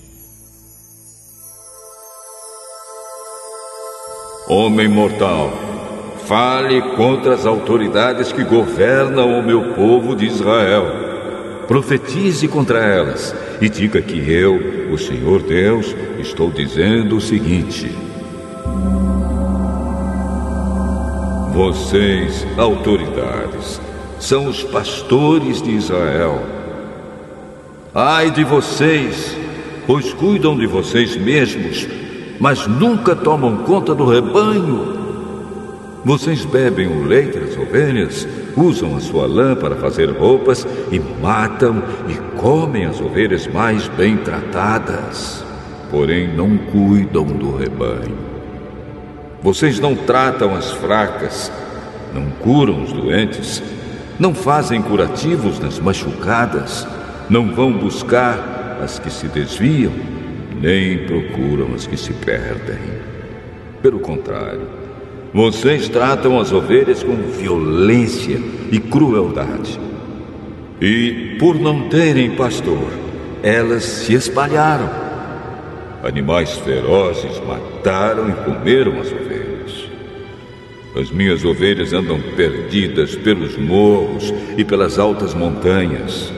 Estão espalhadas por toda a parte. Ninguém busca essas ovelhas, ninguém procura encontrá-las. Pois bem, pastores, escutem o que eu, o Senhor Deus, estou dizendo. Juro pela minha vida que é melhor vocês me escutarem. Por não terem pastor, as minhas ovelhas foram atacadas, mortas e devoradas por animais ferozes. Os meus pastores não foram procurá-las. Eles estavam cuidando de si mesmos e não das ovelhas. Por isso, vocês, pastores, prestem atenção. Eu, o Senhor Deus, declaro que estou contra vocês. Tirarei de vocês as minhas ovelhas e não deixarei que vocês sejam seus pastores. Não deixarei que continuem a ser pastores que só cuidam dos seus próprios interesses. Livrarei as minhas ovelhas do poder de vocês, para que vocês não possam devorá-las.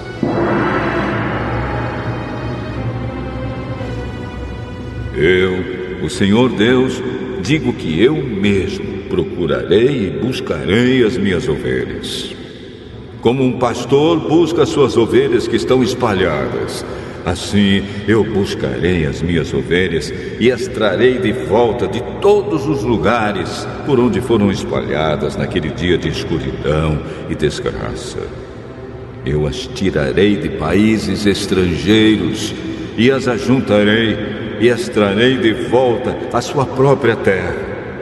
Eu as levarei para as montanhas de Israel e ali as alimentarei, perto dos ribeirões e em todos os lugares onde o povo vive. Deixarei que elas pastem em bons pastos, nas subidas das montanhas, nos vales e em todos os pastos verdes da terra de Israel. Eu mesmo serei o pastor do meu rebanho e encontrarei um lugar onde as ovelhas possam descansar. Sou eu, o Senhor Deus, quem está falando. Procurarei as ovelhas perdidas, trarei de volta as que se desviaram, farei curativo nas machucadas e tratarei das doentes. Mas destruirei as que estão gordas e fortes, porque eu sou um pastor que faz o que é certo. Eu, o Senhor Deus, digo o seguinte a vocês, o meu rebanho. Eu vou julgar cada um de vocês Vou separar os bons dos maus, as ovelhas dos bodes. Será que vocês não ficam satisfeitos com o melhor pasto? Por que precisam pisar o resto do capim? Vocês bebem a água limpa e sujam com os pés a água que não bebem. As minhas outras ovelhas têm de comer o capim que vocês pisaram e beber a água que vocês sujaram.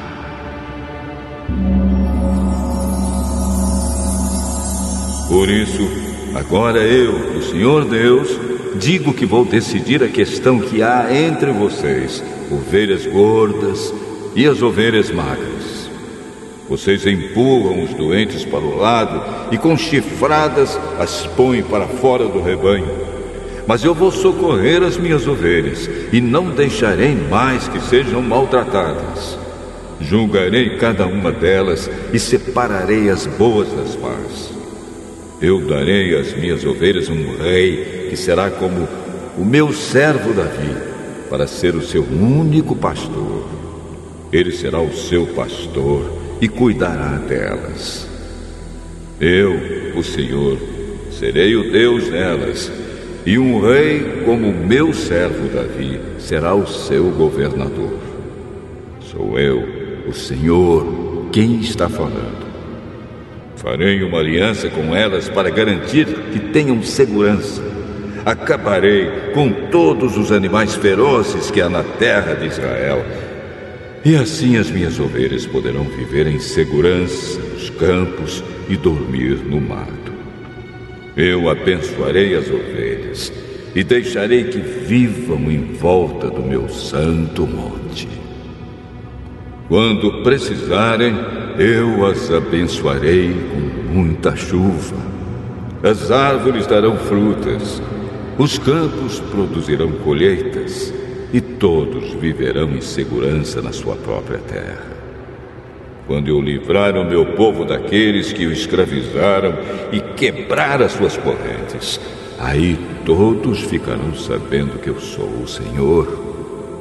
Os pagãos não roubarão o que eles têm, e os animais ferozes não vão matá-los, nem comê-los.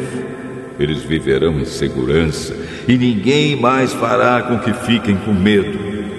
Eu lhes darei terras boas, e acabarei com a fome que há na terra de Israel. As outras nações não zombarão mais deles. Todos ficarão sabendo que eu protejo Israel e que Israel é o meu povo. Sou eu, o Senhor Deus, quem está falando. Vocês, minhas ovelhas, ovelhas que eu alimento, vocês são seres humanos e eu sou o seu Deus, diz o Senhor Deus.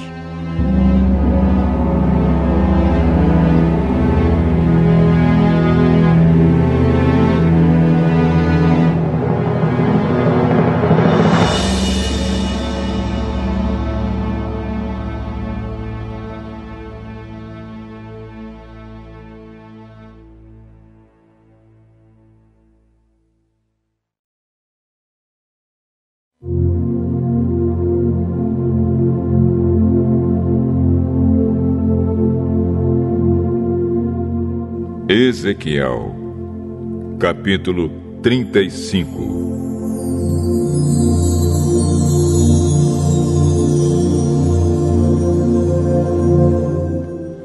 O Senhor falou comigo, ele disse: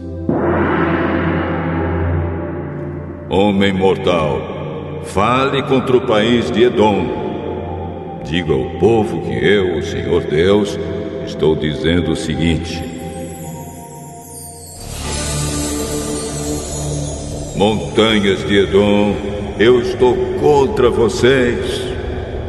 Farei de você, Edom, um deserto sem moradores. Deixarei a sua terra e as suas cidades arrasadas e em ruínas. Aí você ficará sabendo que eu sou o Senhor. Você sempre tem sido inimigo de Israel. No tempo da desgraça dos israelitas, no tempo do seu castigo final por causa dos seus pecados, você deixou que eles fossem mortos.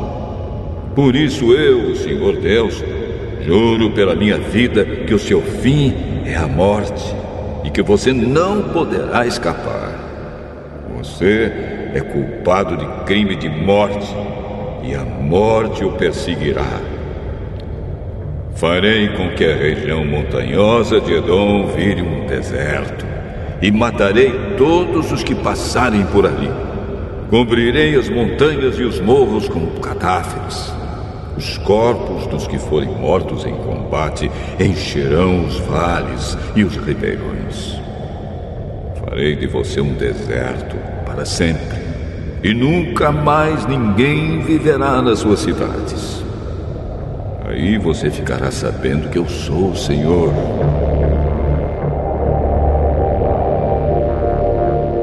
Você disse que a nação de Judá, a nação de Israel e as terras delas são suas e que você vai tomar posse delas, mesmo que eu, Senhor, esteja ali. Por isso eu, Senhor Deus, juro pela minha vida que o tratarei com a mesma ira inveja ódio com que você tratou meu povo. Eles ficarão sabendo que eu o estou castigando pelo que você fez com eles. E você ficará sabendo que eu, o Senhor, ouvi você dizer com desprezo que as montanhas de Israel estavam arrasadas e que você ia devorá-las. Muitas vezes eu ouvi você falar contra mim com desprezo. O Senhor Deus diz: Eu o arrasarei de tal forma que o mundo inteiro se alegrará com a sua queda. Do mesmo modo que você se alegrou quando a minha propriedade particular, a terra de Israel, virou um deserto. Toda a região montanhosa de Edom se tornará um deserto. Aí todos ficarão sabendo que eu sou o Senhor.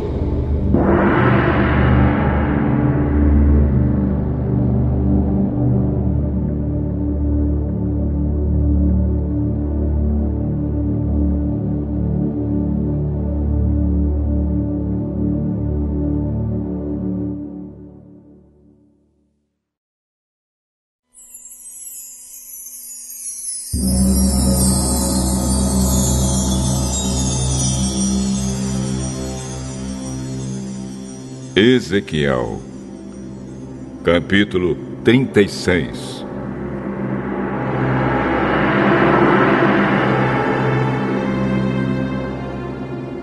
O Senhor disse: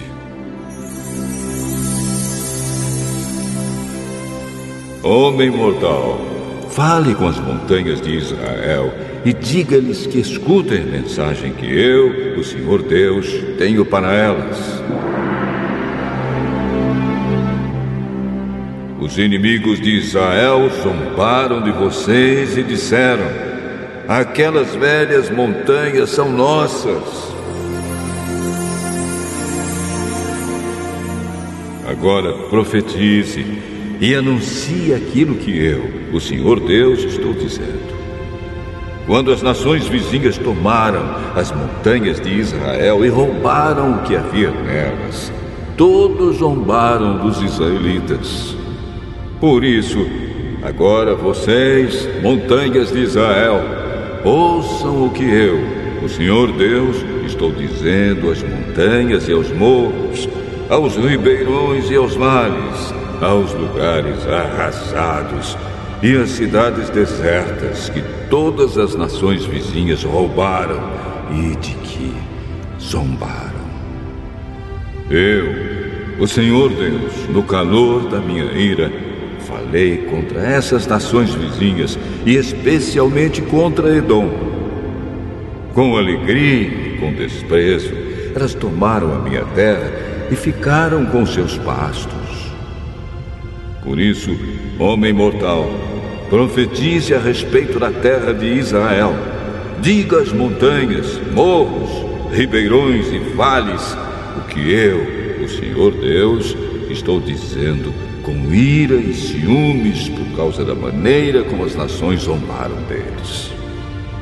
Eu, Senhor Deus, juro que as nações vizinhas de Israel cairão na desgraça. Porém, nas montanhas de Israel, as árvores de novo terão folhas e produzirão frutas para vocês, meu povo de Israel. Logo vocês voltarão para sua pátria. Eu estou do lado de vocês e garantirei que a sua terra será arada de novo para que nela sejam feitas plantações. Farei aumentar a população. Vocês viverão nas cidades e construirão de novo tudo o que estava arrasado. Farei com que haja muita gente e muito gado. Entre vocês haverá mais gente do que nunca e vocês terão muitos filhos. Deixarei que vivam ali como antes, e farei com que fiquem mais ricos do que nunca. Aí vocês ficarão sabendo que eu sou o Senhor. Farei com que vocês, meu povo de Israel, vivam de novo na terra. Ela será a terra de vocês e nunca mais deixará que os seus filhos morram de fome. Eu, o Senhor Deus, afirmo que de fato o povo chama a terra de Israel de comedora de gente e diz que ela rouba do país os seus filhos. Mas de agora em diante, ela não será mais a comedora de gente que rouba de vocês os seus filhos. Sou eu, o Senhor Deus, quem está falando. A terra não precisará mais ouvir as nações zombarem nem fazerem pouco caso dela. A terra não roubará mais do país os seus filhos. Eu, Senhor Deus, estou falando. O Senhor me disse o seguinte: Homem mortal, quando os israelitas viviam na sua terra, eles a tornaram impura por causa da sua maneira de viver e de agir. O comportamento deles era tão impuro como a menstruação de uma mulher. Eu os fiz sentir a força da minha ira por causa dos crimes de morte que haviam cometido na terra e por causa dos ídolos com que eles a tornaram impura. Eu os condenei pela sua maneira de viver e de agir e os espalhei por nações estrangeiras. Mas em todos os lugares aonde eles foram, só envergonharam o meu santo nome, pois as pessoas diziam: Esse povo é de Deus, o Senhor, mas eles tiveram de sair da terra que Ele mesmo lhes deu. Aí eu me preocupei com meu santo nome, porque os israelitas o profanaram em todos os lugares aonde foram. Por isso, dê aos israelitas esta mensagem que eu, o Senhor Deus, tenho para eles. O que vou fazer não é por amor de vocês, israelitas, mas por amor do meu santo nome, que vocês profanaram em todas as nações para onde foram. Quando eu mostrar às nações a santidade do meu grande nome, o nome que vocês profanaram no meio deles, aí eles ficarão sabendo que eu sou o Senhor. Sou eu, o Senhor Deus, quem está falando. Usarei vocês para mostrar às nações que eu sou santo. Eu os tirarei de todas as nações e países e os trarei de volta para sua própria terra. Borrifarei água limpa sobre vocês e os purificarei de todos os seus ídolos e de todas as coisas nojentas que vocês têm feito. Eu lhes darei um coração novo e porei em vocês um espírito novo. Tirarei de vocês o coração de pedra, desobediente e lhes darei um coração bondoso, obediente. Porei o meu espírito dentro de vocês e farei com que obedeçam as minhas leis e cumpram todos os mandamentos que lhes dei. Aí vocês viverão da terra que dei aos seus antepassados. Vocês serão o meu povo e eu serei o seu Deus. Eu os livrarei de todas as coisas que os tornam impuros. Darei ordem para que haja bastante trigo, e assim não haverá mais tempos de fome no meio de vocês. Aumentarei a produção de frutas e das plantações de cereais, de modo que não haverá mais épocas de fome que façam vocês passarem vergonha no meio das outras nações. Vocês lembrarão da sua má conduta e das maldades que cometeram, e ficarão aborrecidos com vocês mesmos por causa dos seus pecados e maldades. Povo de Israel, quero que saibam que eu não estou fazendo tudo isso por amor de vocês.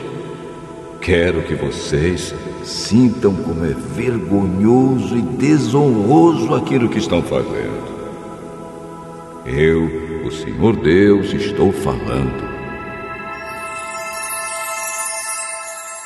O Senhor Deus diz: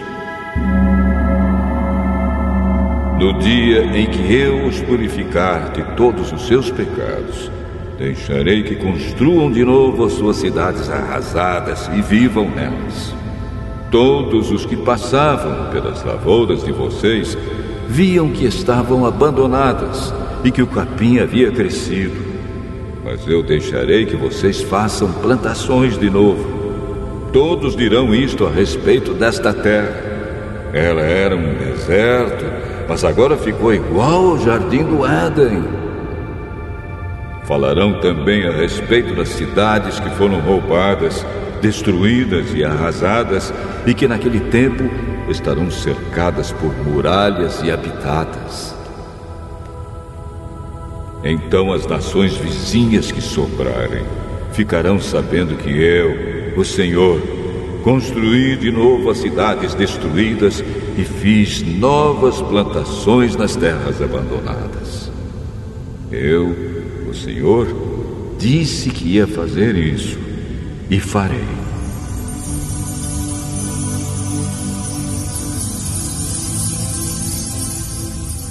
O Senhor Deus diz: Mais uma vez deixarei que os israelitas peçam a minha ajuda. Deixarei que cresçam em número, como se fossem um rebanho de ovelhas. As cidades que agora estão arrasadas ficarão tão cheias de gente como Jerusalém ficava cheia de ovelhas que eram oferecidas em sacrifício num dia de festa. Aí eles ficarão sabendo que eu sou o Senhor.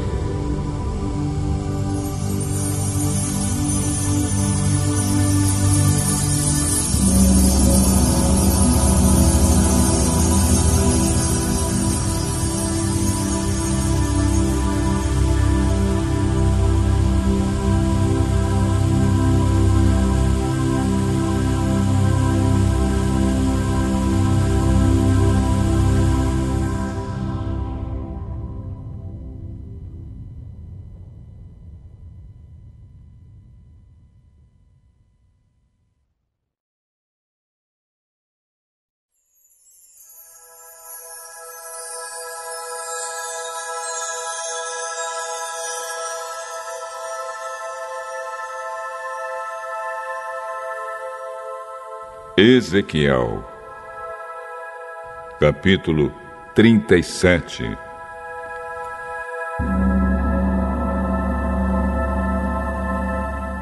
Eu senti a presença poderosa do Senhor, e o seu espírito me levou e me pôs no meio de um vale onde a terra estava coberta de ossos. Ele me levou para dar uma volta por todos os lugares do vale eu pude ver que havia muitos ossos, muitos mesmo, e estavam completamente secos. Então o Senhor me disse: Homem mortal, será que esses ossos podem ter vida de novo? Eu respondi: Senhor meu Deus, só tu sabes se podem ou não. Ele disse: Profetize para esses ossos. Diga a esses ossos secos que deem atenção à mensagem do Senhor. Diga que eu, o Senhor Deus, estou lhes dizendo isto. Eu porei respiração dentro de vocês e os farei viver de novo. Eu lhes darei tendões e músculos e os cobrirei de pele porei respiração dentro de vocês e os farei viver de novo. Aí vocês ficarão sabendo que eu sou o Senhor. Então profetizei conforme a ordem que eu havia recebido. Enquanto eu falava, ouvi um barulho. Eram os ossos se juntando uns aos outros, cada um no seu próprio lugar. Enquanto eu olhava, os ossos se cobriram de tendões e músculos, e depois de pele. Porém, não havia respiração nos corpos. Então o Senhor me disse: Homem mortal, profetize para o vento Diga que o Senhor Deus está mandando que ele venha de todas as direções para soprar sobre esses corpos mortos, a fim de que vivam de novo.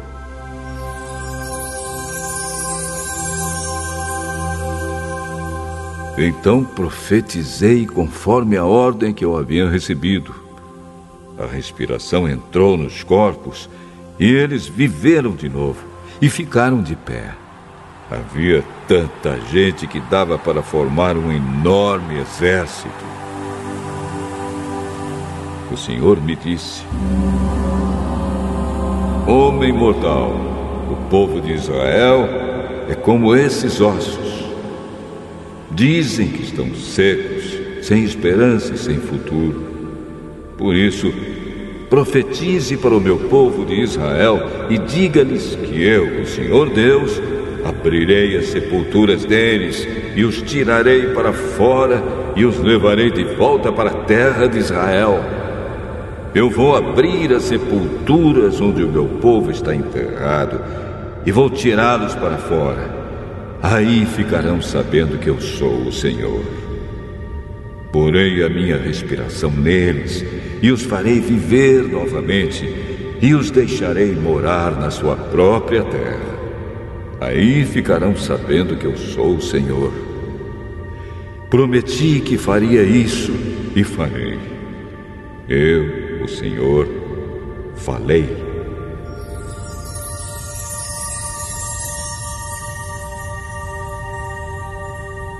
O Senhor falou outra vez comigo. Ele disse: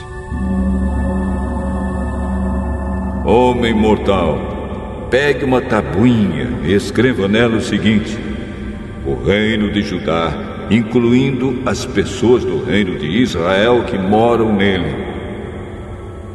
Depois pegue outra tabuinha e escreva: O reino de Israel, representado pela tribo de Efraim, incluindo todos os outros israelitas que moram nele. Então segure as duas tabuinhas juntas na sua mão, de modo que pareçam uma só. Quando o seu povo perguntar o que isso quer dizer, diga que eu, o Senhor Deus, pegarei a tabuinha que representa Israel e a colocarei junto com a que representa Judá. Das duas tabuinhas farei uma só e a segurarei na minha mão. Segure na mão as tabuinhas em que você escreveu e deixe que o povo as veja. Então diga-lhes que eu, o Senhor Deus, tirarei os israelitas do meio das nações para onde foram. Eu os ajuntarei e os levarei de volta à sua própria terra. Farei deles uma só nação na sua terra, nas montanhas de Israel. Eles terão um só rei para governá-los e não serão mais divididos em duas nações, nem separados em dois reinos. Não se mancharão mais com ídolos, nem com ações nojentas, nem com pecados de desobediência. Eu os livrarei de todas as suas maneiras de pecar e de me trair. Eu os purificarei e eles serão o meu povo, e eu serei o seu Deus. Um rei igual ao meu servo Davi os governará. Todos terão um só governador e obedecerão fielmente às minhas leis. Viverão na terra que dei ao meu servo Jacó, a terra em que os antepassados deles viveram. Viverão ali para sempre. Eles seus filhos e todos os seus descendentes. Um rei igual ao meu servo Davi os governará para sempre. Farei com eles uma aliança que garantirá que viverão para sempre em segurança. Aumentarei a população e porei o meu templo na terra deles, e ali ficará para sempre. Viverei ali com eles e serei o Deus deles, e eles serão o meu povo. Quando eu puser o meu templo ali, para eu ficar no meio deles, as nações ficarão sabendo que eu, o Senhor, separei o povo de Israel para ser meu.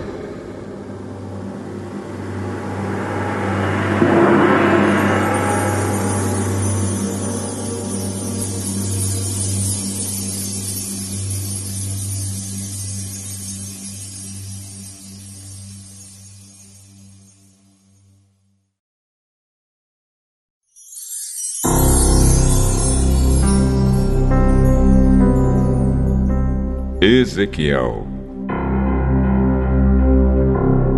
capítulo 38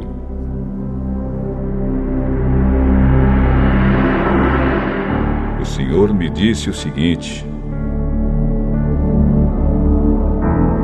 Homem mortal, agora fale contra Gog, o principal governador das nações de Meseque e Tubal, na terra de Magog Profetize contra ele e diga que eu, o Senhor Deus, estou contra ele.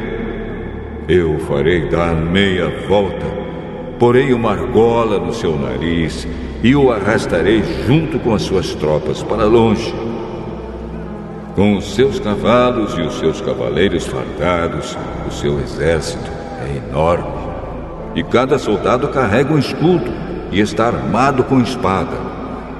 Soldados da Pérsia, Etiópia e Líbia estão com ele, e todos têm escudos e capacetes. Todas as tropas das terras de Gomer e de Bet-Togarma, que ficam no norte, estão com ele, e também soldados de muitas outras nações. Diga que se prepare e que apronte todas as tropas que ele comanda. Depois de muitos anos, eu o mandarei invadir um país onde o povo tem vivido sem medo de guerra, desde quando foram trazidos de volta de muitas nações. Ele invadirá as montanhas de Israel, que tinham estado arrasadas e desertas por tanto tempo, mas onde agora todo o povo vive em segurança. Ele e o seu exército e muitas nações que estão com ele atacarão como uma tempestade e cobrirão a terra como uma nuvem. O que o Senhor Deus diz a Gog é isto: quando chegar aquela hora, você começará a fazer um plano perverso. Você resolverá invadir um país desarmado, onde o povo vive calmo e seguro, em cidades sem muralhas e sem defesa. Você assaltará o povo que vive em cidades já arrasadas e roubará o que há nelas. Os moradores dessas cidades foram tirados do meio das outras nações e reunidos num lugar só, e agora possuem gado e propriedades e vivem no centro do mundo. O povo de Sabá e Dedã e os negociantes e as autoridades da Espanha lhe perguntarão: Você reuniu o seu exército e atacou para assaltar e levar o que o povo tem? Você está pensando em pegar gado, prata e ouro e outras coisas de valor e ir embora com tudo o que roubar? Por isso o Senhor Deus me mandou falar em seu nome a Gog e dizer a ele o seguinte: Naquele tempo, quando o meu povo de Israel estiver vivendo em segurança, você sairá e virá do seu lugar que fica no norte distante. Você virá comandando um grande e poderoso exército de soldados de muitas nações e todos a cavalo. Como uma tempestade que passa pela terra, você atacará o meu povo de Israel. Quando chegar a hora, eu mandarei invadir a minha terra, para que as nações fiquem sabendo quem sou e vejam a minha santidade naquilo que estou fazendo por meio de você. Você é aquele de quem falei há muito tempo quando anunciei por meio dos meus servos, os profetas de Israel, que no futuro eu iria trazer alguém para atacar o povo de Israel. O Senhor Deus está falando.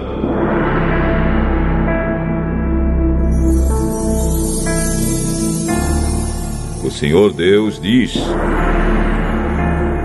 No dia em que Gog invadir Israel, eu ficarei furioso no calor da minha ira, afirmo que naquele dia haverá um forte terremoto na terra de Israel. Todos os peixes e aves, todos os animais grandes e pequenos, e todos os seres humanos do mundo inteiro tremerão de medo de mim. As montanhas serão arrasadas, as grandes pedras ficarão em pedaços, todas as muralhas cairão. Farei cair sobre Gog todo tipo de desgraças que o encherão de medo. Sou eu, o Senhor Deus, quem está falando. Os soldados de Gog ferirão uns aos outros com as suas espadas. Eu os castigarei com doenças e morte.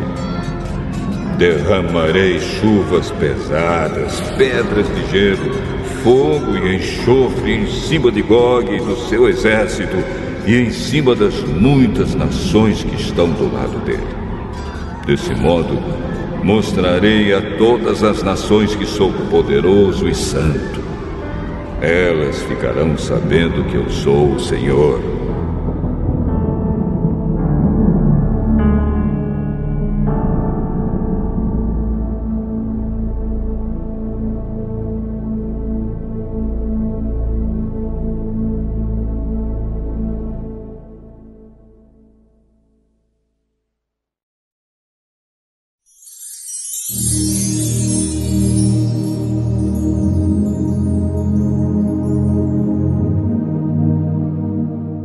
Ezequiel, capítulo 39 O Senhor Deus disse: Homem mortal, profetize contra Gog, o principal governador das nações de Meseque e Tubal, e diga-lhe que estou contra ele. Eu o farei virar para outra direção e o guiarei do norte distante, até que chegue às montanhas de Israel. Aí arrancarei o arco da mão esquerda dele e as flechas da mão direita. Gog e o seu exército e as nações que estão do lado dele cairão mortos nas montanhas de Israel. E eu deixarei que os seus corpos sejam comidos por todas as aves e animais ferozes. Eles cairão mortos em campo aberto. Sou eu, o Senhor Deus, quem está falando. Começarei um incêndio na terra de Magog e no litoral, onde o povo vive seguro, e todos ficarão sabendo que eu sou o Senhor. Farei com que o meu povo de Israel conheça o meu santo nome, e nunca mais deixarei que o meu nome seja profanado. Então as nações ficarão sabendo que eu, o Senhor, sou o Deus Santo de Israel.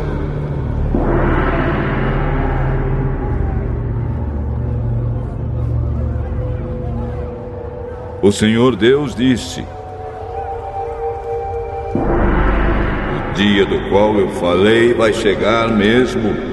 O povo que vive nas cidades de Israel sairá e ajuntará as armas abandonadas para fazer fogo com elas.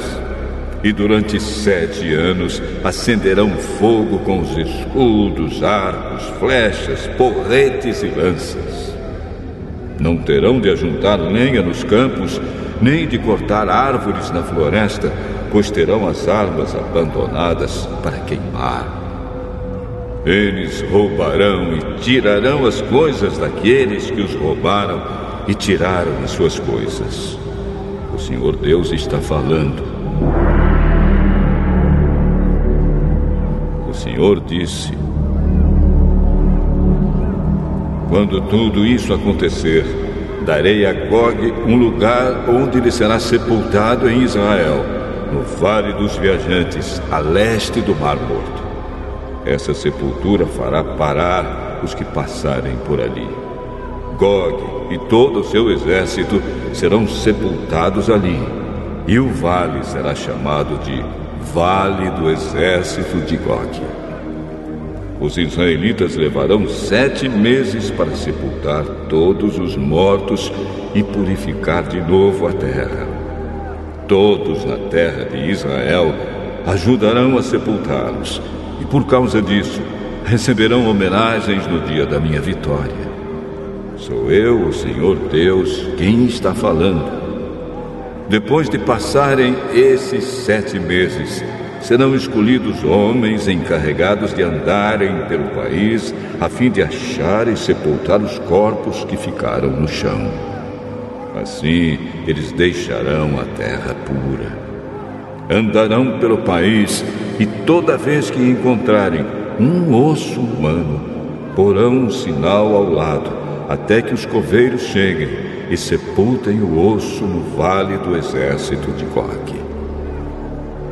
Haverá ali perto uma cidade que terá o nome desse exército, e assim a terra ficará pura de novo.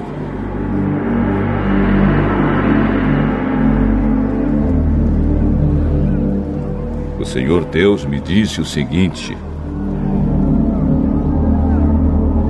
Homem mortal, chame todas as aves e animais para que venham de toda parte e comam o sacrifício que estou preparando para eles.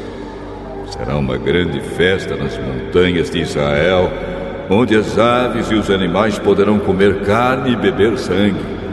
Eles comerão a carne dos soldados e beberão o sangue dos governadores da terra. Todos esses governadores serão mortos como se fossem carneiros, carneirinhos, bodes ou bois gordos. Quando eu matar essa gente, como se fossem sacrifícios, as aves e os animais comerão gordura até não quererem mais e beberão sangue até ficarem bêbados. Sentados à minha mesa, eles comerão à vontade a carne dos cavalos e dos seus cavaleiros, dos soldados e dos guerreiros. Eu, o Senhor Deus, estou falando.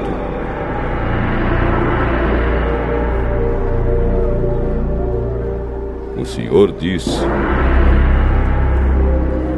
Eu vou deixar que as nações vejam a minha glória e mostrarei como uso o meu poder para realizar os meus atos de justiça. Daquele dia em diante, os israelitas ficarão sabendo que eu sou o Senhor, seu Deus. E as nações ficarão sabendo que os israelitas foram levados presos para fora do seu país por causa dos pecados que cometeram contra mim. Eu me afastei deles e deixei que os seus inimigos os derrotassem e os matassem na guerra. Eu os tratei de acordo com o que as suas ações nojentas e as suas maldades mereciam e me afastei deles. O Senhor Deus disse: Agora terei misericórdia dos descendentes de Jacó, que são o povo de Israel, e farei com que prosperem de novo, e protegerei o meu santo nome. Quando estiverem outra vez vivendo em segurança na sua própria terra, sem ninguém para ameaçá-los, aí serão capazes de esquecer a desgraça em que caíram por terem me traído. Para mostrar a muitas nações que eu sou santo, eu os trarei de volta de todos os países onde os seus inimigos vivem. Então o meu povo ficará sabendo que eu sou o Senhor, seu Deus, pois os levei presos para fora do seu país e agora os ajuntei e trouxe de volta, sem deixar nenhum deles longe da sua própria terra. Derramarei o meu espírito sobre o povo de Israel e nunca mais me afastarei deles. Eu, o Senhor Deus, falei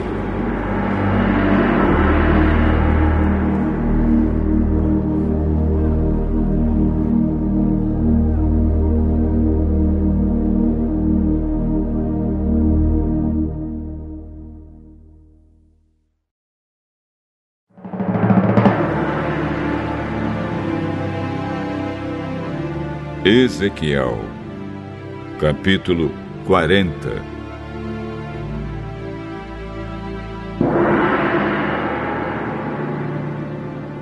O que vou contar aconteceu no dia 10 do ano novo, 25 anos depois de termos sido levados para o cativeiro e 14 anos depois que Jerusalém foi tomada.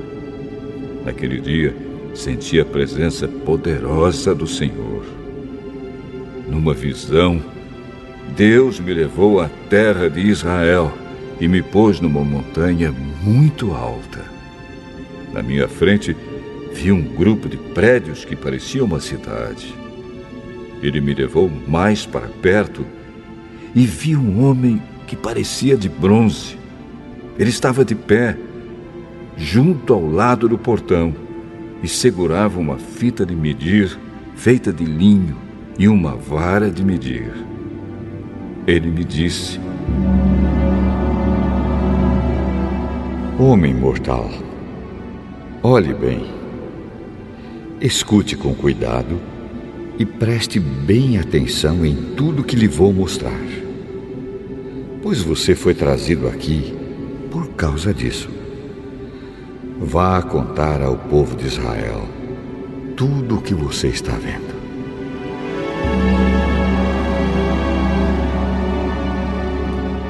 Vi um templo que era cercado por uma muralha. O homem pegou a vara de medir, que tinha três metros de comprimento, e mediu a muralha. A altura era de três metros e a grossura também. Então ele foi até o portão do lado leste e subiu a escadaria. No alto, mediu a entrada. Tinha três metros de extensão. Adiante havia uma passagem com três salas de cada lado. Cada uma das salas era quadrada e media três metros de cada lado, e as paredes entre elas tinham dois metros e meio. Depois das salas havia uma passagem de três metros de comprimento que dava para um salão que ficava em frente do templo. Ele mediu esse salão e notou que tinha quatro metros de extensão. O salão estava ligado com o portão que ficava mais perto do templo, e no seu fim as paredes tinham um metro de grossura. Essas salas de cada lado da passagem eram todas do mesmo tamanho, e as paredes entre elas eram todas da mesma grossura. Em seguida, o homem mediu a largura da passagem no portão e era de seis metros e meio, e o espaço entre os portões, quando abertos, era de cinco metros. Em frente de cada uma das salas havia uma mureta que tinha meio metro de altura e meio metro de grossura. Essas salas tinham três metros de cada lado. Depois, o homem mediu a distância da parede dos fundos de uma sala até a parede dos fundos da sala do outro lado da passagem e deu doze metros e meio. O salão da extremidade dava num pátio. Ele mediu o salão e viu que tinha dez metros de largura. O comprimento total da passagem, de fora da porta até a parede mais distante, na última sala, era de 25 metros. Havia pequenas janelas nas paredes de fora de todas as salas e também nas paredes de dentro. Figuras de palmeiras estavam gravadas nas paredes de dentro, que davam para a passagem. Em seguida, o homem me levou ao pátio de fora.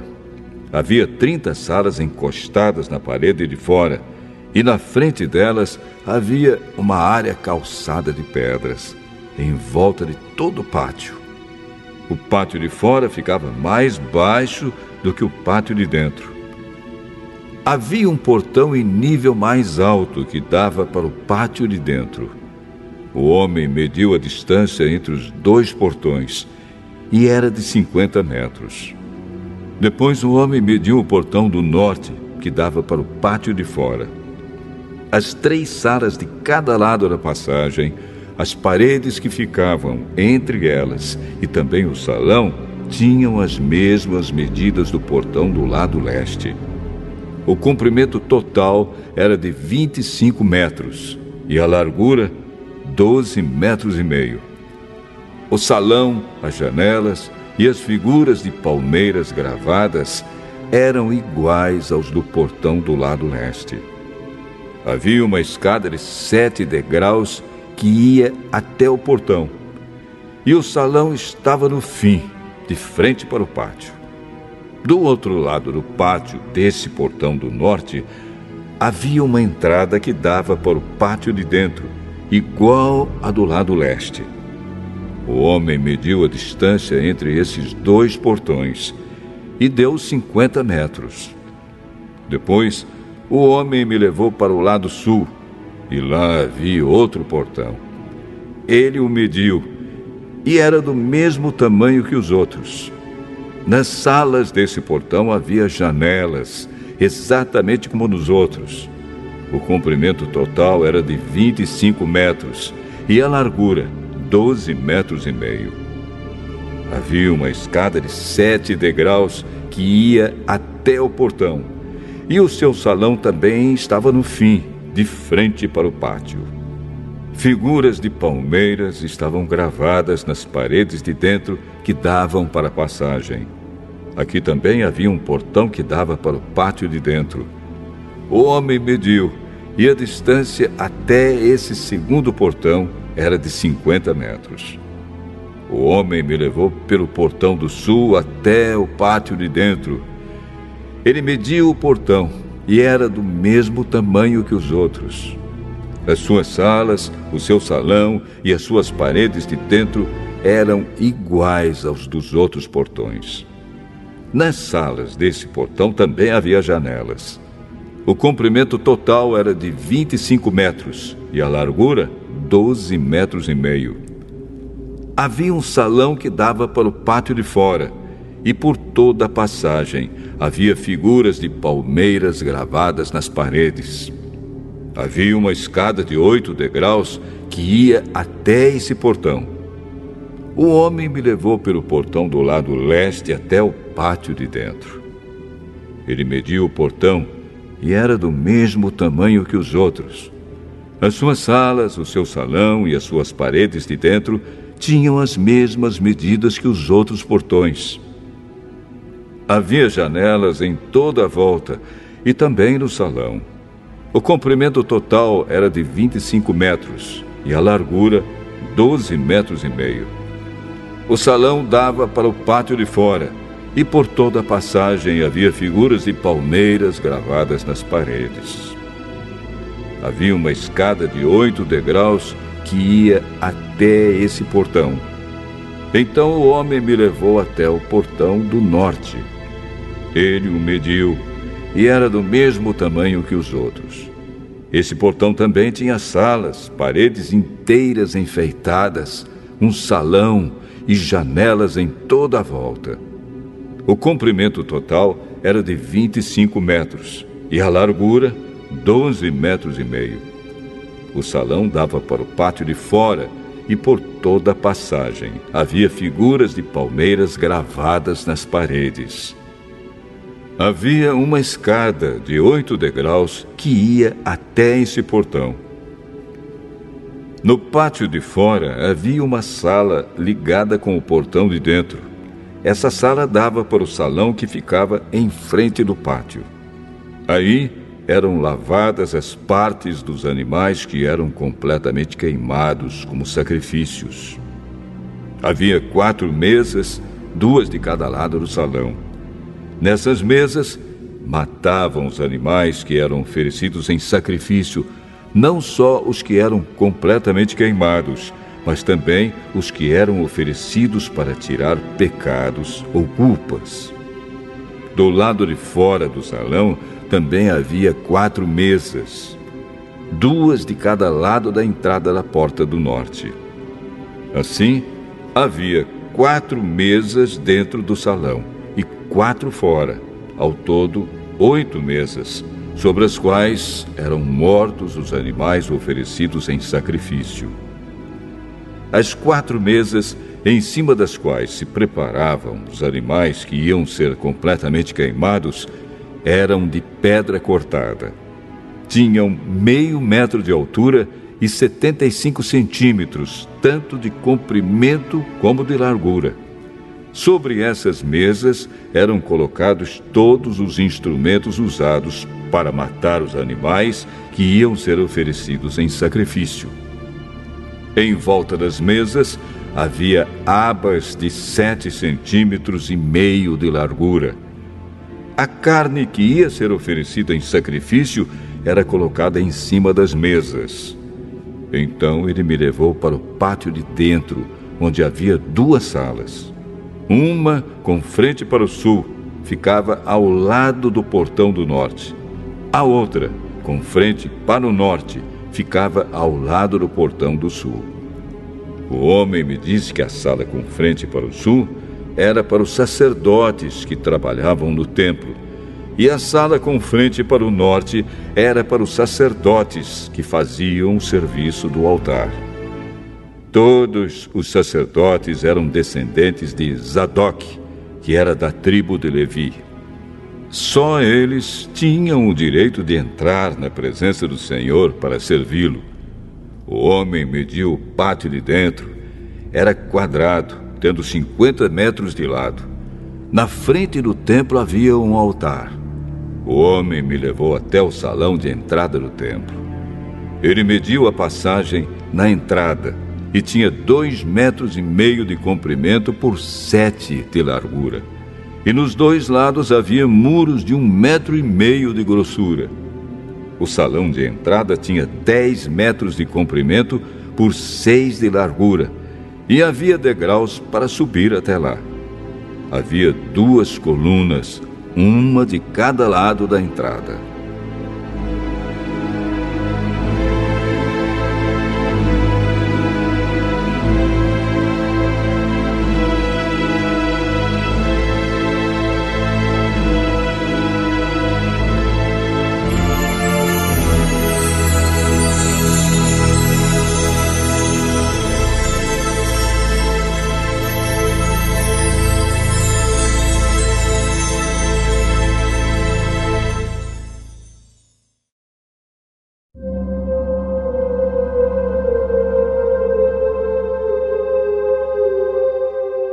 Ezequiel, capítulo 41 Depois o homem me levou ao salão central, o lugar santo. Ele mediu a passagem que dava para esse salão e tinha três metros de comprimento por cinco de largura, com paredes de dois metros e meio de cada lado. E mediu o salão que tinha 20 metros de comprimento por 10 de largura.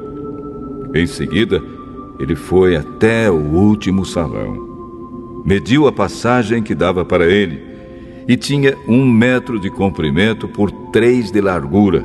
Dos dois lados havia paredes de três metros e meio de grossura. Também mediu o salão. Era quadrado, com dez metros de cada lado, e ficava adiante do salão central. Aí o homem me disse: Este é o lugar santíssimo. O homem mediu a grossura da parede interna do templo e era de três metros. Em toda a volta do templo havia uma porção de pequenos cômodos encostados na parede, medindo dois metros de largura cada um. Esses cômodos estavam em três andares, 30 cômodos em cada andar. A parede de fora do templo ia ficando mais estreita em cada andar. E assim os cômodos estavam encostados na parede, mas não eram presos nela. Portanto, as paredes do templo, vistas de fora, pareciam ter a mesma grossura de cima a baixo.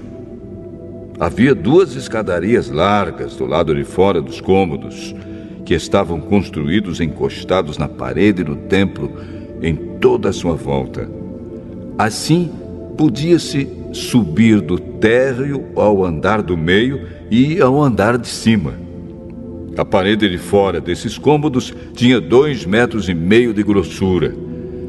Havia uma porta que dava para os cômodos do lado norte do templo e uma que dava para os cômodos no lado sul. Vi que em volta do templo havia um terraço que media dois metros e meio de largura.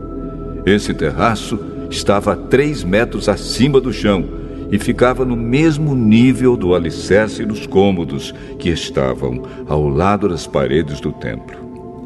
Em volta do templo, entre o terraço e os edifícios usados pelos sacerdotes, havia um espaço livre de 10 metros de largura. Do lado oeste, no fim do espaço livre, havia um edifício que dava para o templo. Tinha 35 metros de um lado e 45 do outro. As suas paredes eram de dois metros e meio de grossura em toda a volta. O homem mediu o lado de fora do templo. Tinha 50 metros de comprimento.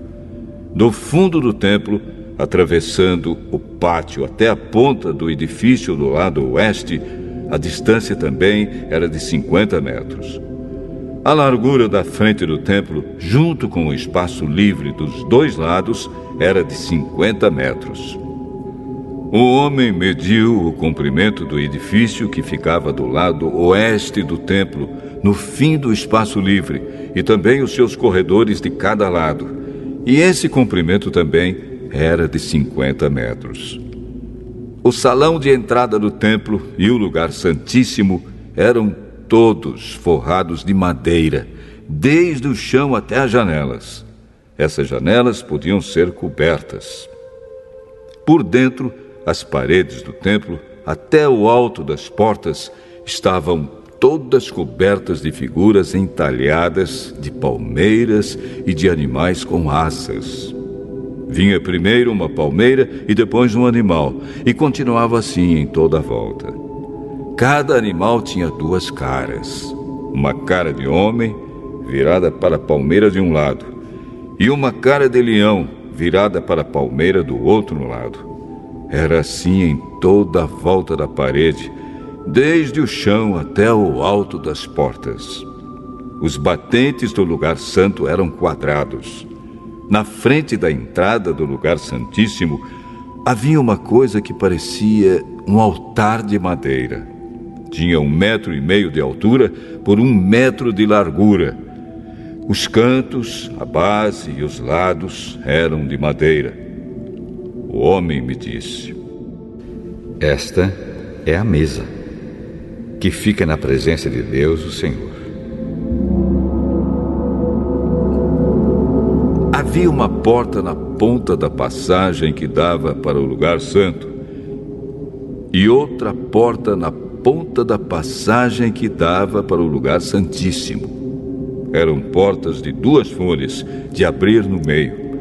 Havia figuras de palmeiras e de animais com asas entalhadas nas portas do lugar santo como havia nas paredes. Nos lados do lugar santo havia janelas, e as paredes eram decoradas com figuras de palmeiras.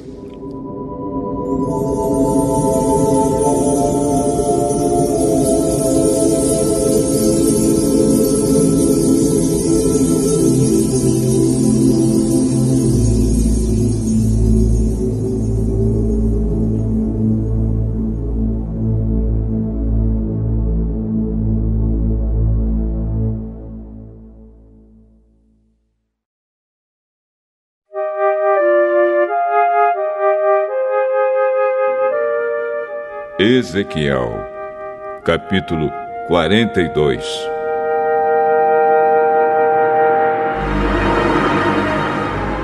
Então o homem me fez sair para o pátio de fora e me levou para o lado norte do templo, a um edifício que não ficava longe do edifício construído na ponta oeste do templo. Esse edifício do lado norte media 50 metros de comprimento por 25 de largura. De um lado, dava frente para o espaço de 10 metros ao longo do templo, e do outro lado, dava frente para a calçada do pátio de fora. Tinha três andares, e cada um deles ficava mais para dentro do que o de baixo. Do lado norte desse edifício havia uma passagem de 5 metros de largura por 50 de comprimento, com entradas desse lado. Os cômodos do andar de cima eram mais estreitos do que os do andar do meio e do térreo, porque ficavam mais para dentro. Nos três andares, os cômodos ficavam em terraços e não eram sustentados por colunas como os outros edifícios do pátio. No andar térreo, a parede de fora do edifício media 50 metros. Numa metade dessa parede havia cômodos, na outra metade não havia. Todo o andar de cima era dividido em cômodos. Na ponta leste do edifício, onde começava a parede, havia, debaixo dos cômodos, uma entrada que dava para o pátio de fora. No lado sul do templo, havia um edifício igual ao anterior, perto do prédio que ficava na ponta oeste do templo. Na frente dos cômodos havia uma passagem igual à do lado norte. Tinha as mesmas medidas, o mesmo desenho e o mesmo tipo de entradas. Havia debaixo dos cômodos uma porta no lado sul do edifício, na ponta leste onde começava a parede. O homem me disse: Estes dois edifícios são sagrados. Neles, os sacerdotes que entram na presença do Senhor comem as coisas santíssimas. E porque os cômodos são santos, os sacerdotes colocarão neles as ofertas santíssimas, isto é, as ofertas de cereais e as ofertas feitas para tirar pecados e culpas.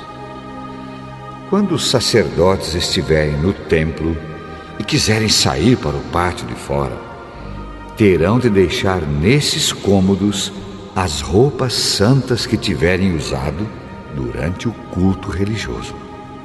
Eles terão de vestir outras roupas antes de saírem para o lugar onde o povo se reúne. Quando acabou de medir por dentro a área do templo, o homem me fez sair pelo portão do lado leste e então mediu a área por fora. Com a vara de medir, ele mediu o lado leste, tinha 250 metros. Aí, ele mediu os lados norte, sul e oeste, e cada lado tinha a mesma largura, isto é, 250 metros. Assim, o muro cercava uma área quadrada que tinha 250 metros de cada lado. O muro servia para separar o que era santo do que não era.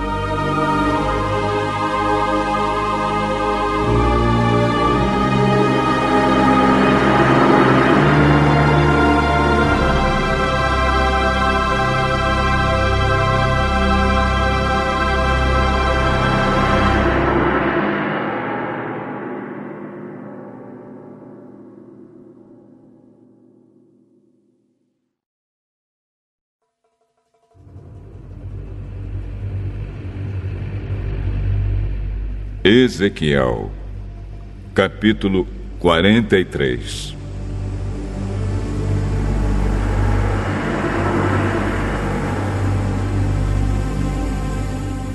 O homem me levou até o portão do lado leste, e eu vi que daquele lado vinha vindo a glória do Deus de Israel. A voz de Deus parecia o rugido do mar, e a terra ficou iluminada com a sua glória. Essa visão foi parecida com aquela que eu tive quando Deus veio para destruir Jerusalém.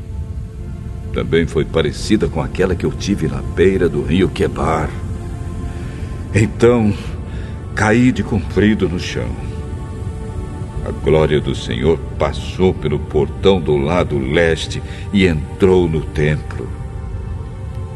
Então, o Espírito de Deus me levantou e me levou até o pátio de dentro.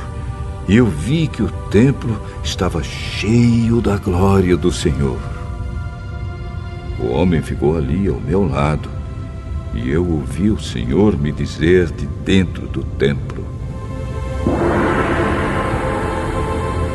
Homem mortal, o meu trono está neste lugar. Vou morar aqui, no meio do povo de Israel e vou governá-lo para sempre. O povo de Israel e os seus reis nunca mais tornarão impuro o meu santo nome, adorando outros deuses, nem sepultando perto do templo os corpos dos seus reis. Os reis construíram a entrada e os pilares do seu palácio encostados na entrada e nos pilares do meu templo. E assim entre nós ficou apenas uma parede.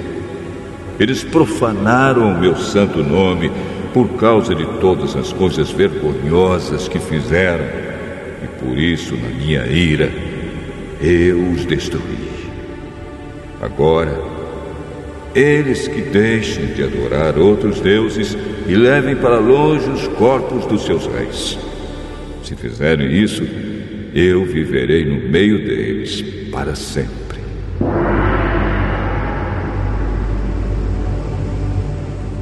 E o Senhor continuou: Homem mortal, fale com o povo de Israel a respeito do templo, para que eles estudem a sua planta. Faça com que fiquem envergonhados por causa dos seus pecados.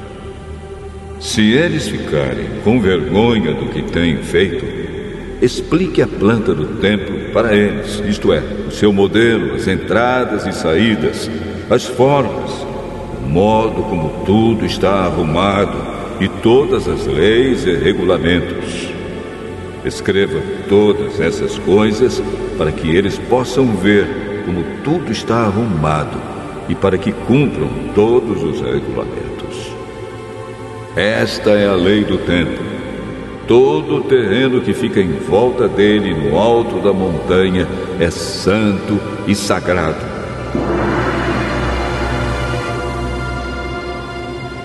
Seguem as medidas do altar, usando-se as mesmas que foram usadas para medir o tempo. Na base do altar, em toda a volta, havia uma valeta de meio metro de fundura por meio metro de largura do lado de fora havia uma beirada de 25 centímetros de altura. A parte mais baixa do altar tinha um metro de altura. A parte do meio media dois metros de altura e estava afastada meio metro da beirada, em toda a volta. A parte de cima também estava afastada meio metro da beirada, em toda a volta. Essa parte de cima também tinha dois metros de altura e sobre ela eram queimados os sacrifícios. Os quatro cantos dessa parte eram salientes e virados para cima. A parte de cima do altar era quadrada, medindo seis metros de cada lado. A parte do meio também era quadrada, medindo sete metros de cada lado. Em volta dela havia uma beirada de 25 centímetros de altura. A valeta media meio metro de largura. Os degraus do altar ficavam no lado leste. O Senhor Deus me disse: Homem mortal, escute o que estou lhe dizendo. Quando o altar estiver construído, você vai consagrá-lo queimando sacrifícios em cima dele e borrifando nele o sangue dos animais que forem sacrificados. Só os sacerdotes da tribo de Levi, que são descendentes de Zadok, poderão vir até a minha presença para me servir. Eu, Senhor Deus, ordeno isso. Você lhes dará um touro novo para oferecerem como sacrifício para tirar pecados. Você pegará um pouco do sangue desse touro e porá nas pontas da parte de cima do altar e nas pontas da parte do meio do altar e em toda a volta das suas beiradas. Dessa maneira, você purificará o altar e o consagrará. Você pegará o touro que for oferecido como sacrifício para tirar pecados e o queimará no lugar marcado, fora da área do templo. No dia seguinte, você pegará um bode sem defeito e oferecerá como sacrifício para tirar pecados.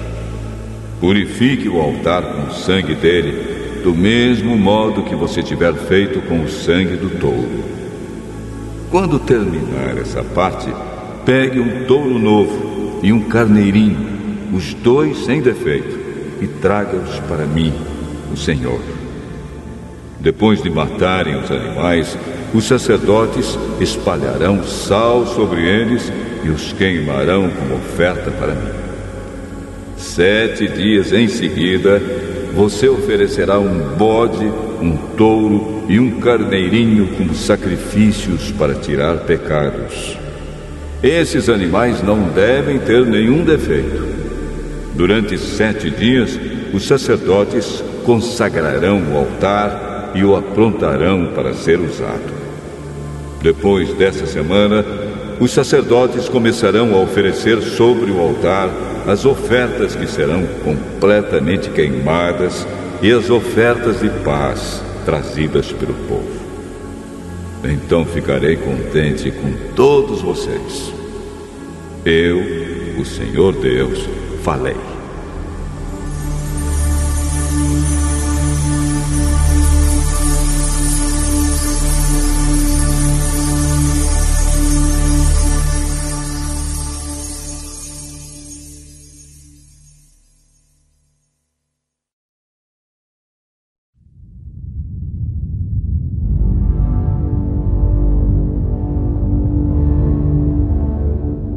Ezequiel, capítulo 44 O homem me levou até o portão de fora, no lado leste da área do templo. O portão estava fechado. Então o Senhor me disse: Este portão ficará fechado, nunca será aberto. Ninguém poderá usá-lo, porque eu, o Senhor, o Deus de Israel, entrei por ele. Deve ficar sempre fechado.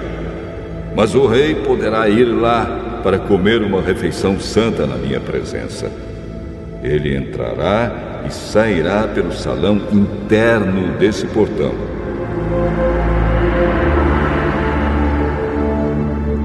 Então o homem me fez passar pelo portão do norte e me levou para a frente do templo. Olhei e vi que o templo estava cheio da glória do Senhor. Eu me atirei de comprido no chão. Então o Senhor me disse: Homem mortal, preste atenção em tudo o que você vir e ouvir. Eu vou lhe dar as leis e regulamentos do templo. Note bem quais as pessoas que têm permissão para entrar no templo e as que não têm. Diga a esses israelitas rebeldes que eu, Senhor Deus, não vou tolerar mais as coisas vergonhosas que eles estão fazendo. Eles têm profanado o meu templo, deixando estrangeiros que não foram circuncidados, gente que não me conhece, entrar no pátio do templo quando a gordura e o sangue dos sacrifícios estão sendo oferecidos a mim. Assim, fazendo todas essas coisas vergonhosas, o meu povo tem quebrado a minha aliança.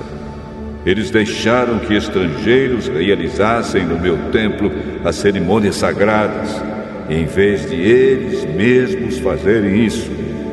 Eu, o Senhor Deus, afirmo que nenhum estrangeiro que não foi circuncidado, que não me obedece, entrará no pátio do meu templo, nem mesmo o estrangeiro que esteja vivendo no meio do povo de Israel. Os levitas me abandonaram juntamente com o resto do povo de Israel e adoraram ídolos, e por isso estão sendo castigados. Eles podem me servir tomando conta dos portões e fazendo os serviços do templo. Podem matar os animais que o povo traz como ofertas para serem completamente queimadas e como sacrifícios. E ficarão no meio do povo, prontos para servir. Eles se encarregaram do culto de ídolos para o povo de Israel e assim fizeram os israelitas pecarem. Por isso eu, o Senhor Deus, juro solenemente que serão castigados. Eles não me servirão como sacerdotes, nem chegarão perto de nada que seja santo para mim, nem entrarão no lugar santíssimo. O castigo pelas coisas vergonhosas que eles fizeram é este.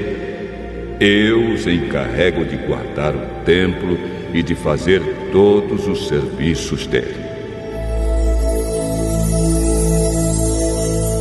Senhor Deus disse: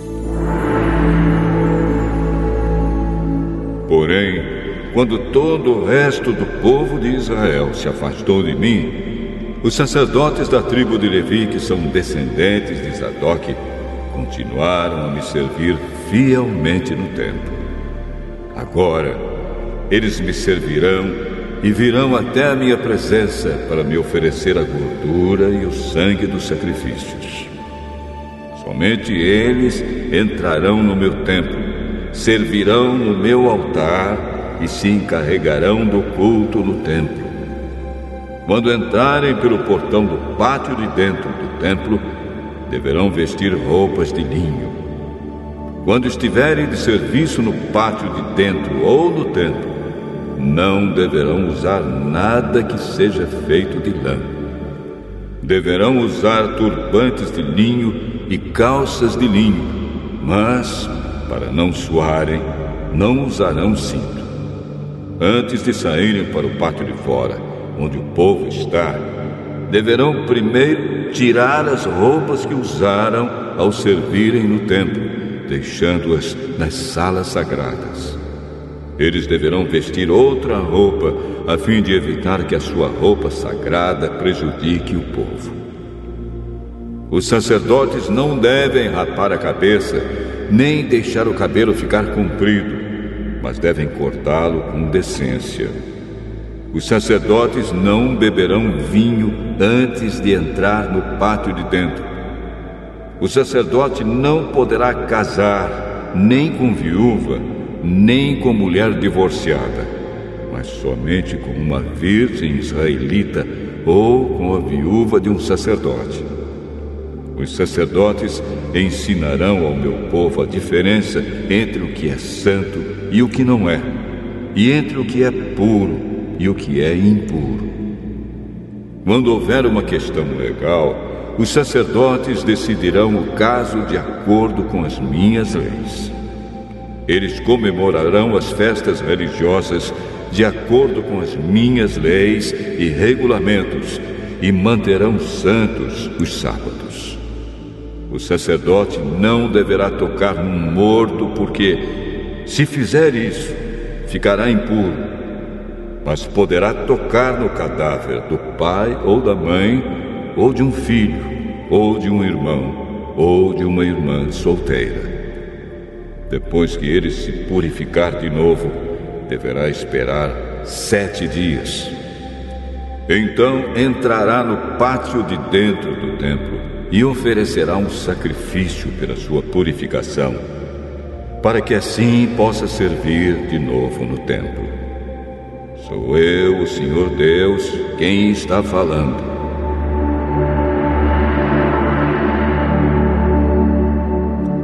Os sacerdotes terão uma herança. Eu sou a sua herança. Eles não terão propriedades em Israel eu sou a sua propriedade. As ofertas de cereais e as ofertas feitas para tirar pecados ou culpas serão o alimento dos sacerdotes, e tudo que for separado para mim em Israel será deles. Os sacerdotes receberão o melhor de todas as primeiras colheitas e de tudo mais que for oferecido a mim.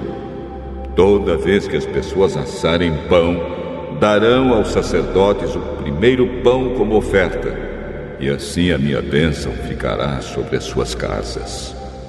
Os sacerdotes não deverão comer nenhum pássaro ou animal que tenha tido morte natural ou que tenha sido morto por outro animal.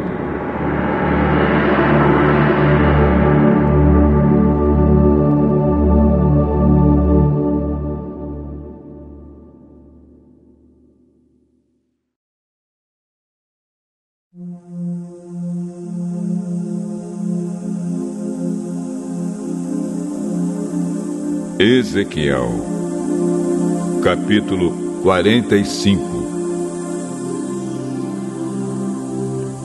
Quando a terra for dividida entre as tribos, uma parte deverá ser separada para Deus o Senhor. Essa parte medirá doze quilômetros e meio por dez quilômetros e será santa. Nessa área será reservado para o templo um terreno quadrado de 250 metros de cada lado. Em volta desse terreno haverá um espaço livre de 25 metros de largura. Da área total será separado um terreno de 12 quilômetros e meio de comprimento por 5 de largura. Ali ficará o templo, que é o lugar mais sagrado de todos. Esta será a parte santa da terra de Israel, separada para os sacerdotes que servem o Senhor no seu templo. Ali eles terão as suas casas, e ali ficará a área sagrada do templo. Além disso, haverá outro terreno de 12 quilômetros e meio de comprimento por 5 de largura, separado para ser propriedade dos levitas que fazem o serviço no templo. Ali haverá cidades para eles morarem. Ao lado da área santa haverá outra área de 12 quilômetros e meio por dois e meio, separada para ser uma cidade em que qualquer israelita poderá morar. Uma parte da terra de Israel será do rei. Partindo da área santa e dos terrenos da cidade, a parte do rei irá na direção oeste até o mar Mediterrâneo e a leste até a divisa oriental. De leste a oeste terá o mesmo comprimento de uma das áreas das tribos de Israel. Esta será a parte que o rei terá na terra de Israel. Assim ele nunca mais explorará o povo, porém deixará que o resto do país pertença às tribos de Israel.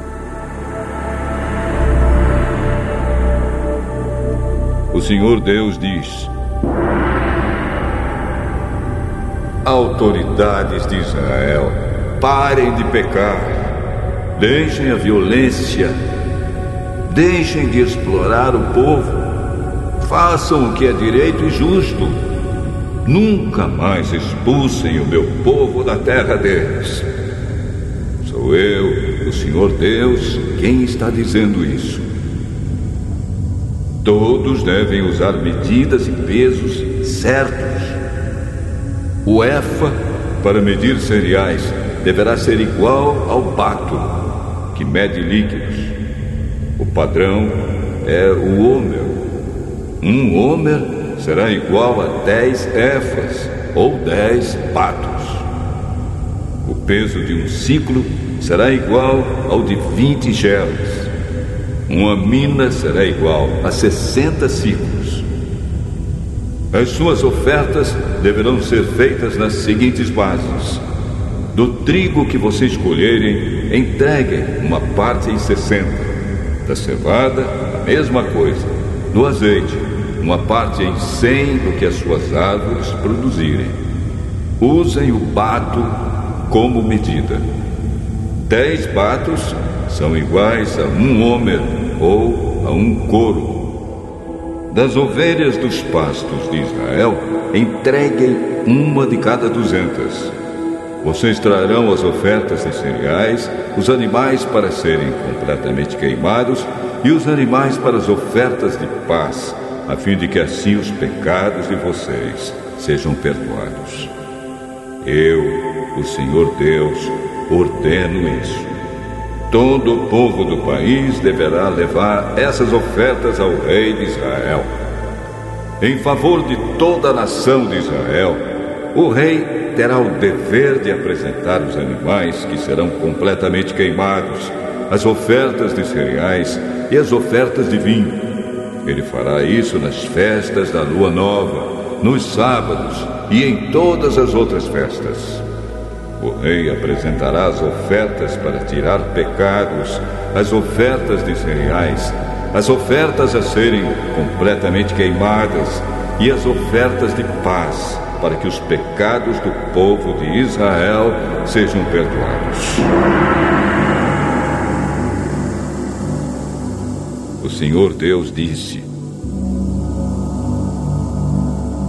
No primeiro dia do primeiro mês, vocês oferecerão como sacrifício um touro sem nenhum defeito e purificarão o templo. O sacerdote pegará uma parte do sangue do animal apresentado como oferta para tirar pecados e porá esse sangue nos batentes da porta do templo, nas quatro pontas do altar e nos batentes dos portões do pátio de dentro. No sétimo dia do mês, ele fará a mesma coisa em favor de qualquer pessoa que tenha cometido algum pecado sem intenção ou por ignorância. Assim vocês conservarão santo o templo. No dia 14 do primeiro mês, vocês começarão a comemorar a festa da Páscoa. Durante sete dias, todos comerão pão sem fermento. No primeiro dia da festa, o rei oferecerá um touro como sacrifício para tirar os seus pecados e os pecados do povo. Em cada um dos sete dias da festa, ele oferecerá como sacrifício ao Senhor Deus sete touros e sete carneiros sem defeito, e os queimará completamente. E todos os dias também oferecerá como sacrifício um bode como oferta para tirar pecados. Para cada touro e cada carneiro que for oferecido em sacrifício, haverá uma oferta de 17 litros e meio de cereais e 3 litros de azeite. Na festa das barracas, que começa no dia 15 do sétimo mês, o rei oferecerá em cada um dos sete dias o mesmo sacrifício para tirar pecados, as mesmas ofertas que serão completamente queimadas e as mesmas ofertas de cereais e de azeite.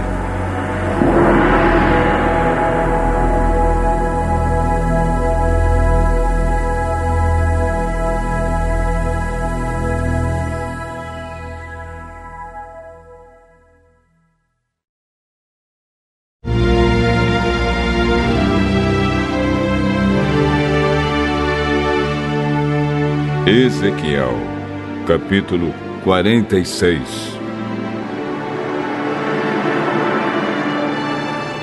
O Senhor Deus diz: O portão do leste que dá para o pátio de dentro deverá ficar fechado nos seis dias úteis, mas será aberto no sábado e na festa da lua nova o rei irá do pátio de fora para o salão do portão e ficará ao lado do portão. Enquanto isso, os sacerdotes oferecerão os sacrifícios que serão completamente queimados e também as ofertas de paz. Ali o rei deverá prestar culto e depois sair. O portão deverá ficar aberto até a tarde. No sábado e na festa da lua nova, todo o povo também se curvará e adorará o Senhor na frente do portão. No sábado, o rei deverá apresentar ao Senhor, como sacrifícios que deverão ser completamente queimados, um carneiro e seis carneirinhos, todos sem defeito.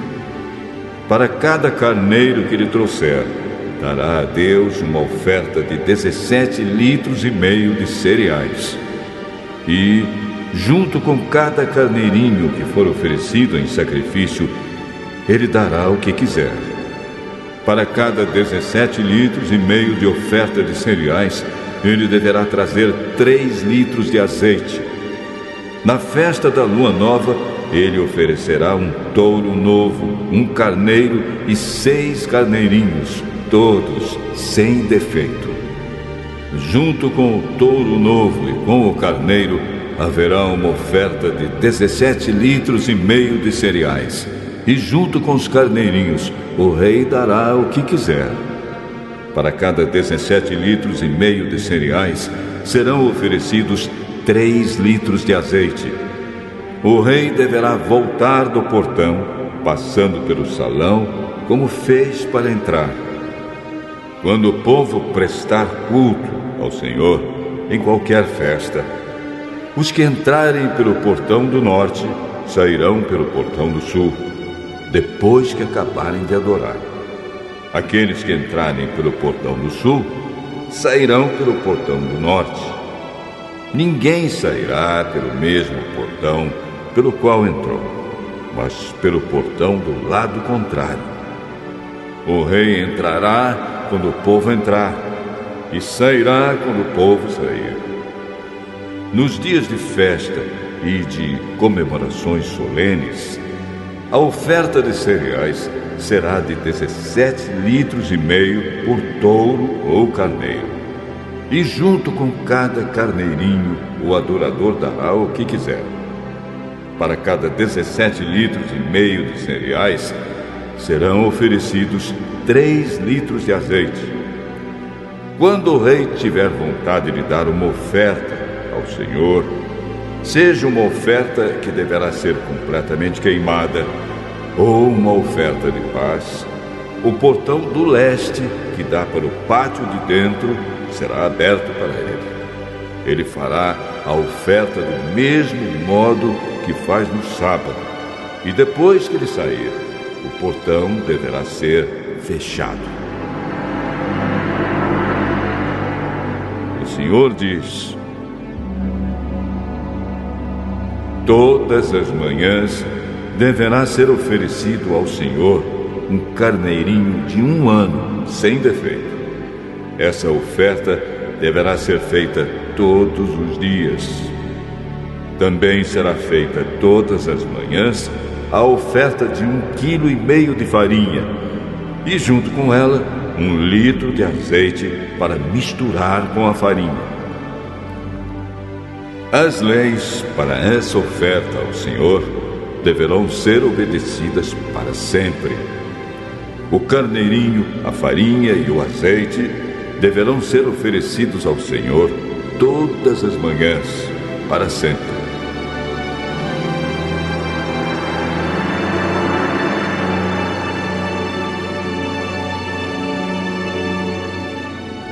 Senhor Deus diz o seguinte: Se o rei der de presente uma parte das suas terras a um dos seus filhos, essa terra será do filho como parte da propriedade da sua família. Mas, se o rei der de presente uma parte das suas terras a um dos seus servidores, essa terra voltará a ser do rei quando chegar o ano da libertação. A terra será dele e depois será dos seus filhos. O rei não deverá tomar nenhuma propriedade do povo.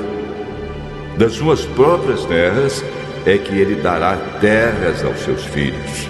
Assim ele não explorará ninguém do meu povo, tomando a sua terra. Depois disso, o homem me levou para a entrada dos cômodos de perto do portão, que ficavam de frente para o norte. São esses os cômodos santos dos sacerdotes.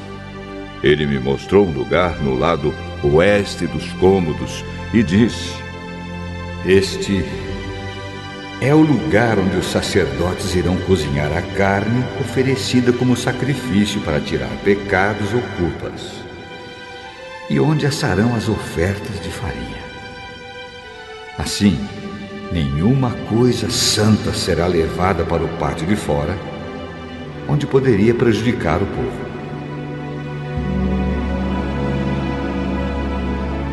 Então ele me levou para o pátio de fora e me mostrou que em cada uma das áreas dos quatro cantos havia um pátio menor, com 20 metros de comprimento por 15 de largura. Cada pátio era cercado por um muro de pedra, e encostados nesses muros havia fogões.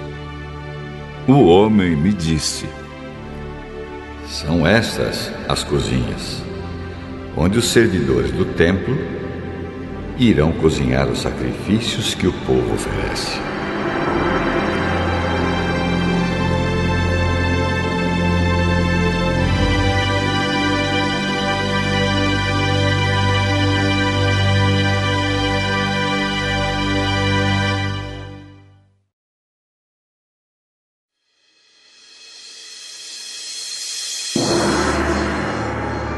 Ezequiel, capítulo 47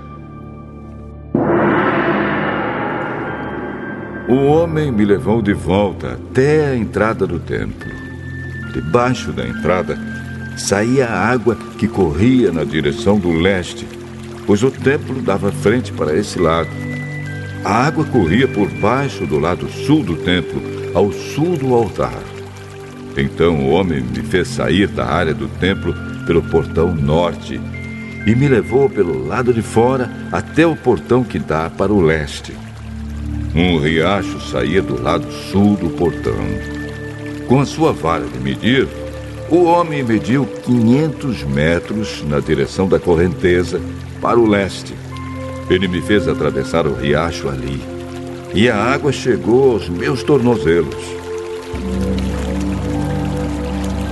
Em seguida, ele mediu mais 500 metros e a água subiu até os meus joelhos. Mais 500 metros e a água chegou até a minha cintura. Finalmente mediu mais 500 metros e o rio era tão fundo. Eu não podia atravessar. Era fundo demais para ser atravessado, a não ser a nado. Aí ele me disse: Homem mortal, preste muita atenção em tudo isso. Então o homem me levou de novo para a margem. Quando cheguei lá, vi que havia muitas árvores nos dois lados. Então ele me disse: Esta água corre para o leste e desce até o Rio Jordão e até o Mar Morto. Quando entra nesse mar, ela faz com que a água salgada do mar vire água doce. Em todo lugar por onde esse rio passar, haverá todo tipo de animais e de peixes. O rio fará com que as águas do Mar Morto fiquem boas e ele trará vida por onde passar. Desde a fonte de Gede até a de Eglaim, haverá pescadores na praia do mar. E ali eles estenderão as suas redes para secarem. Haverá ali muito peixe e muitas espécies de peixes, como no mar Mediterrâneo. Mas nos brejos e nos charcos, a água não ficará boa. Essa água servirá para a produção de sal. Nas duas margens do rio crescerão árvores frutíferas de todo tipo. As suas folhas nunca murcharão e as árvores nunca deixarão de dar frutas. Darão frutas novas todos os meses, pois são regadas pelo rio que vem do templo. As frutas servirão de alimento e as folhas de remédio.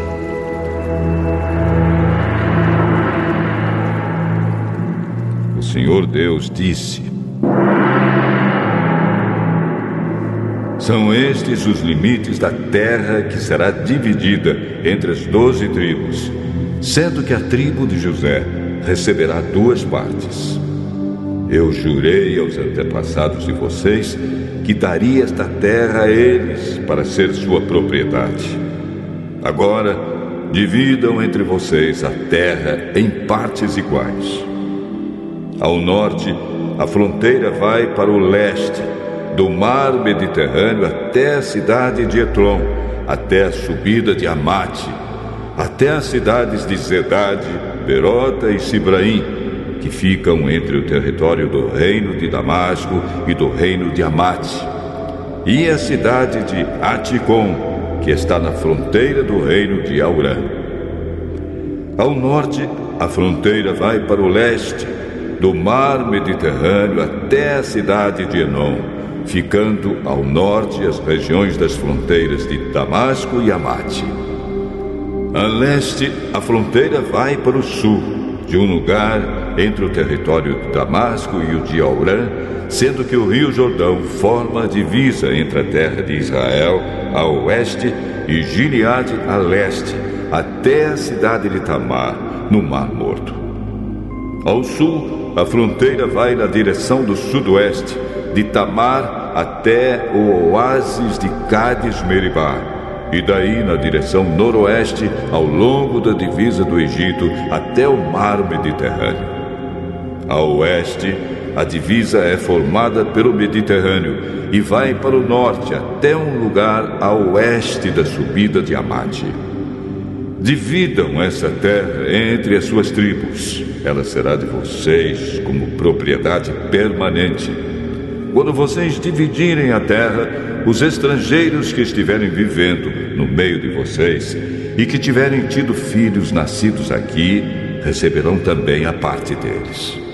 Eles serão tratados como cidadãos israelitas e tirarão sorte para receber a sua parte junto com as tribos de Israel.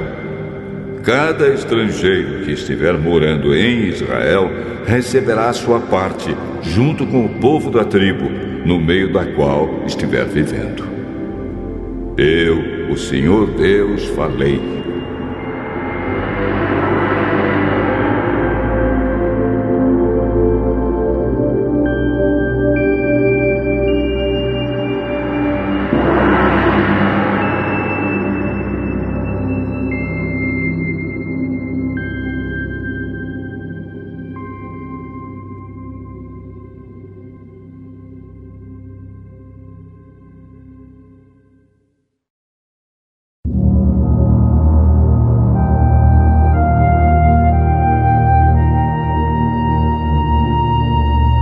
Ezequiel, capítulo 48.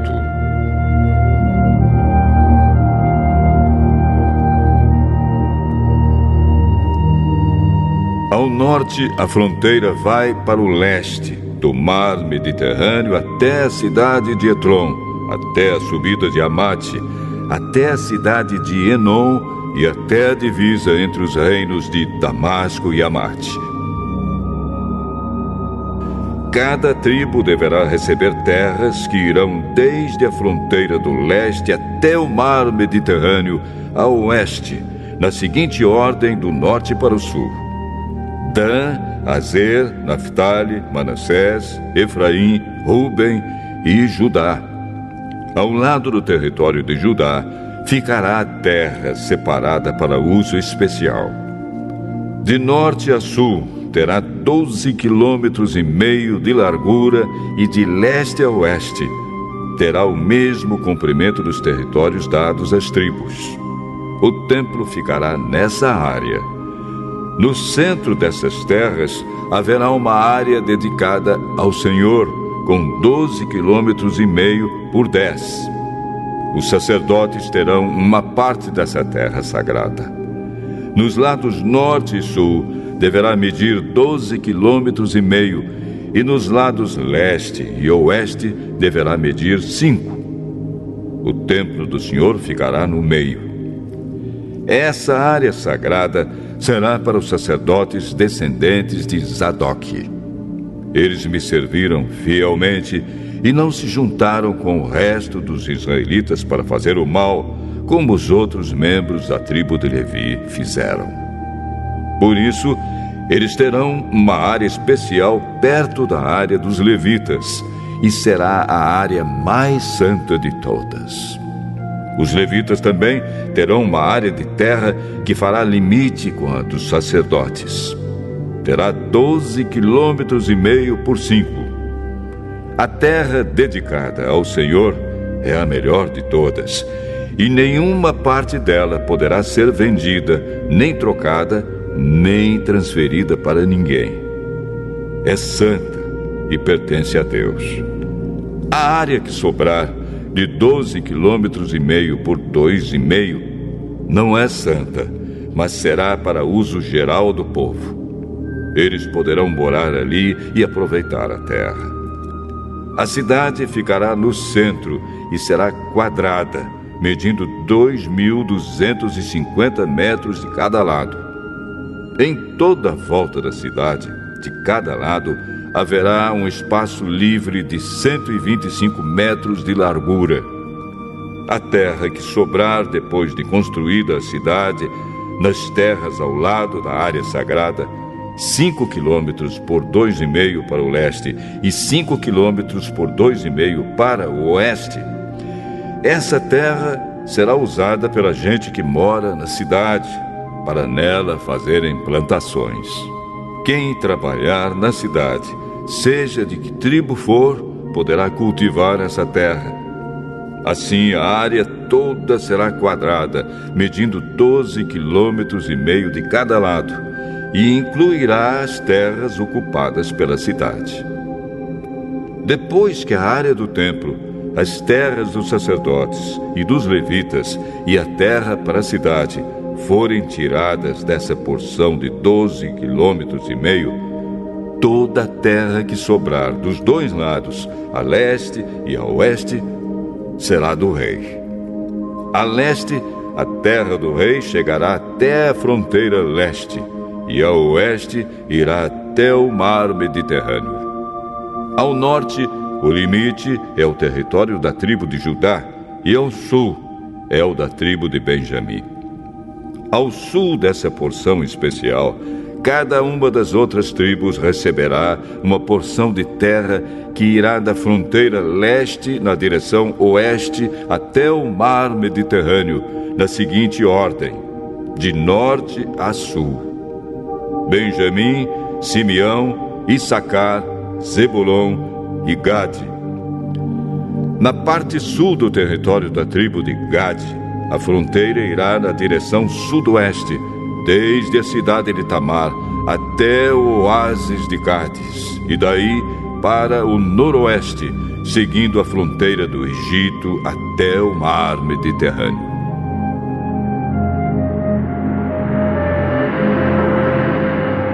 O Senhor Deus disse: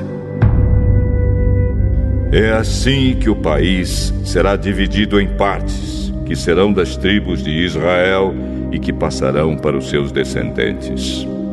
Haverá doze entradas na cidade de Jerusalém.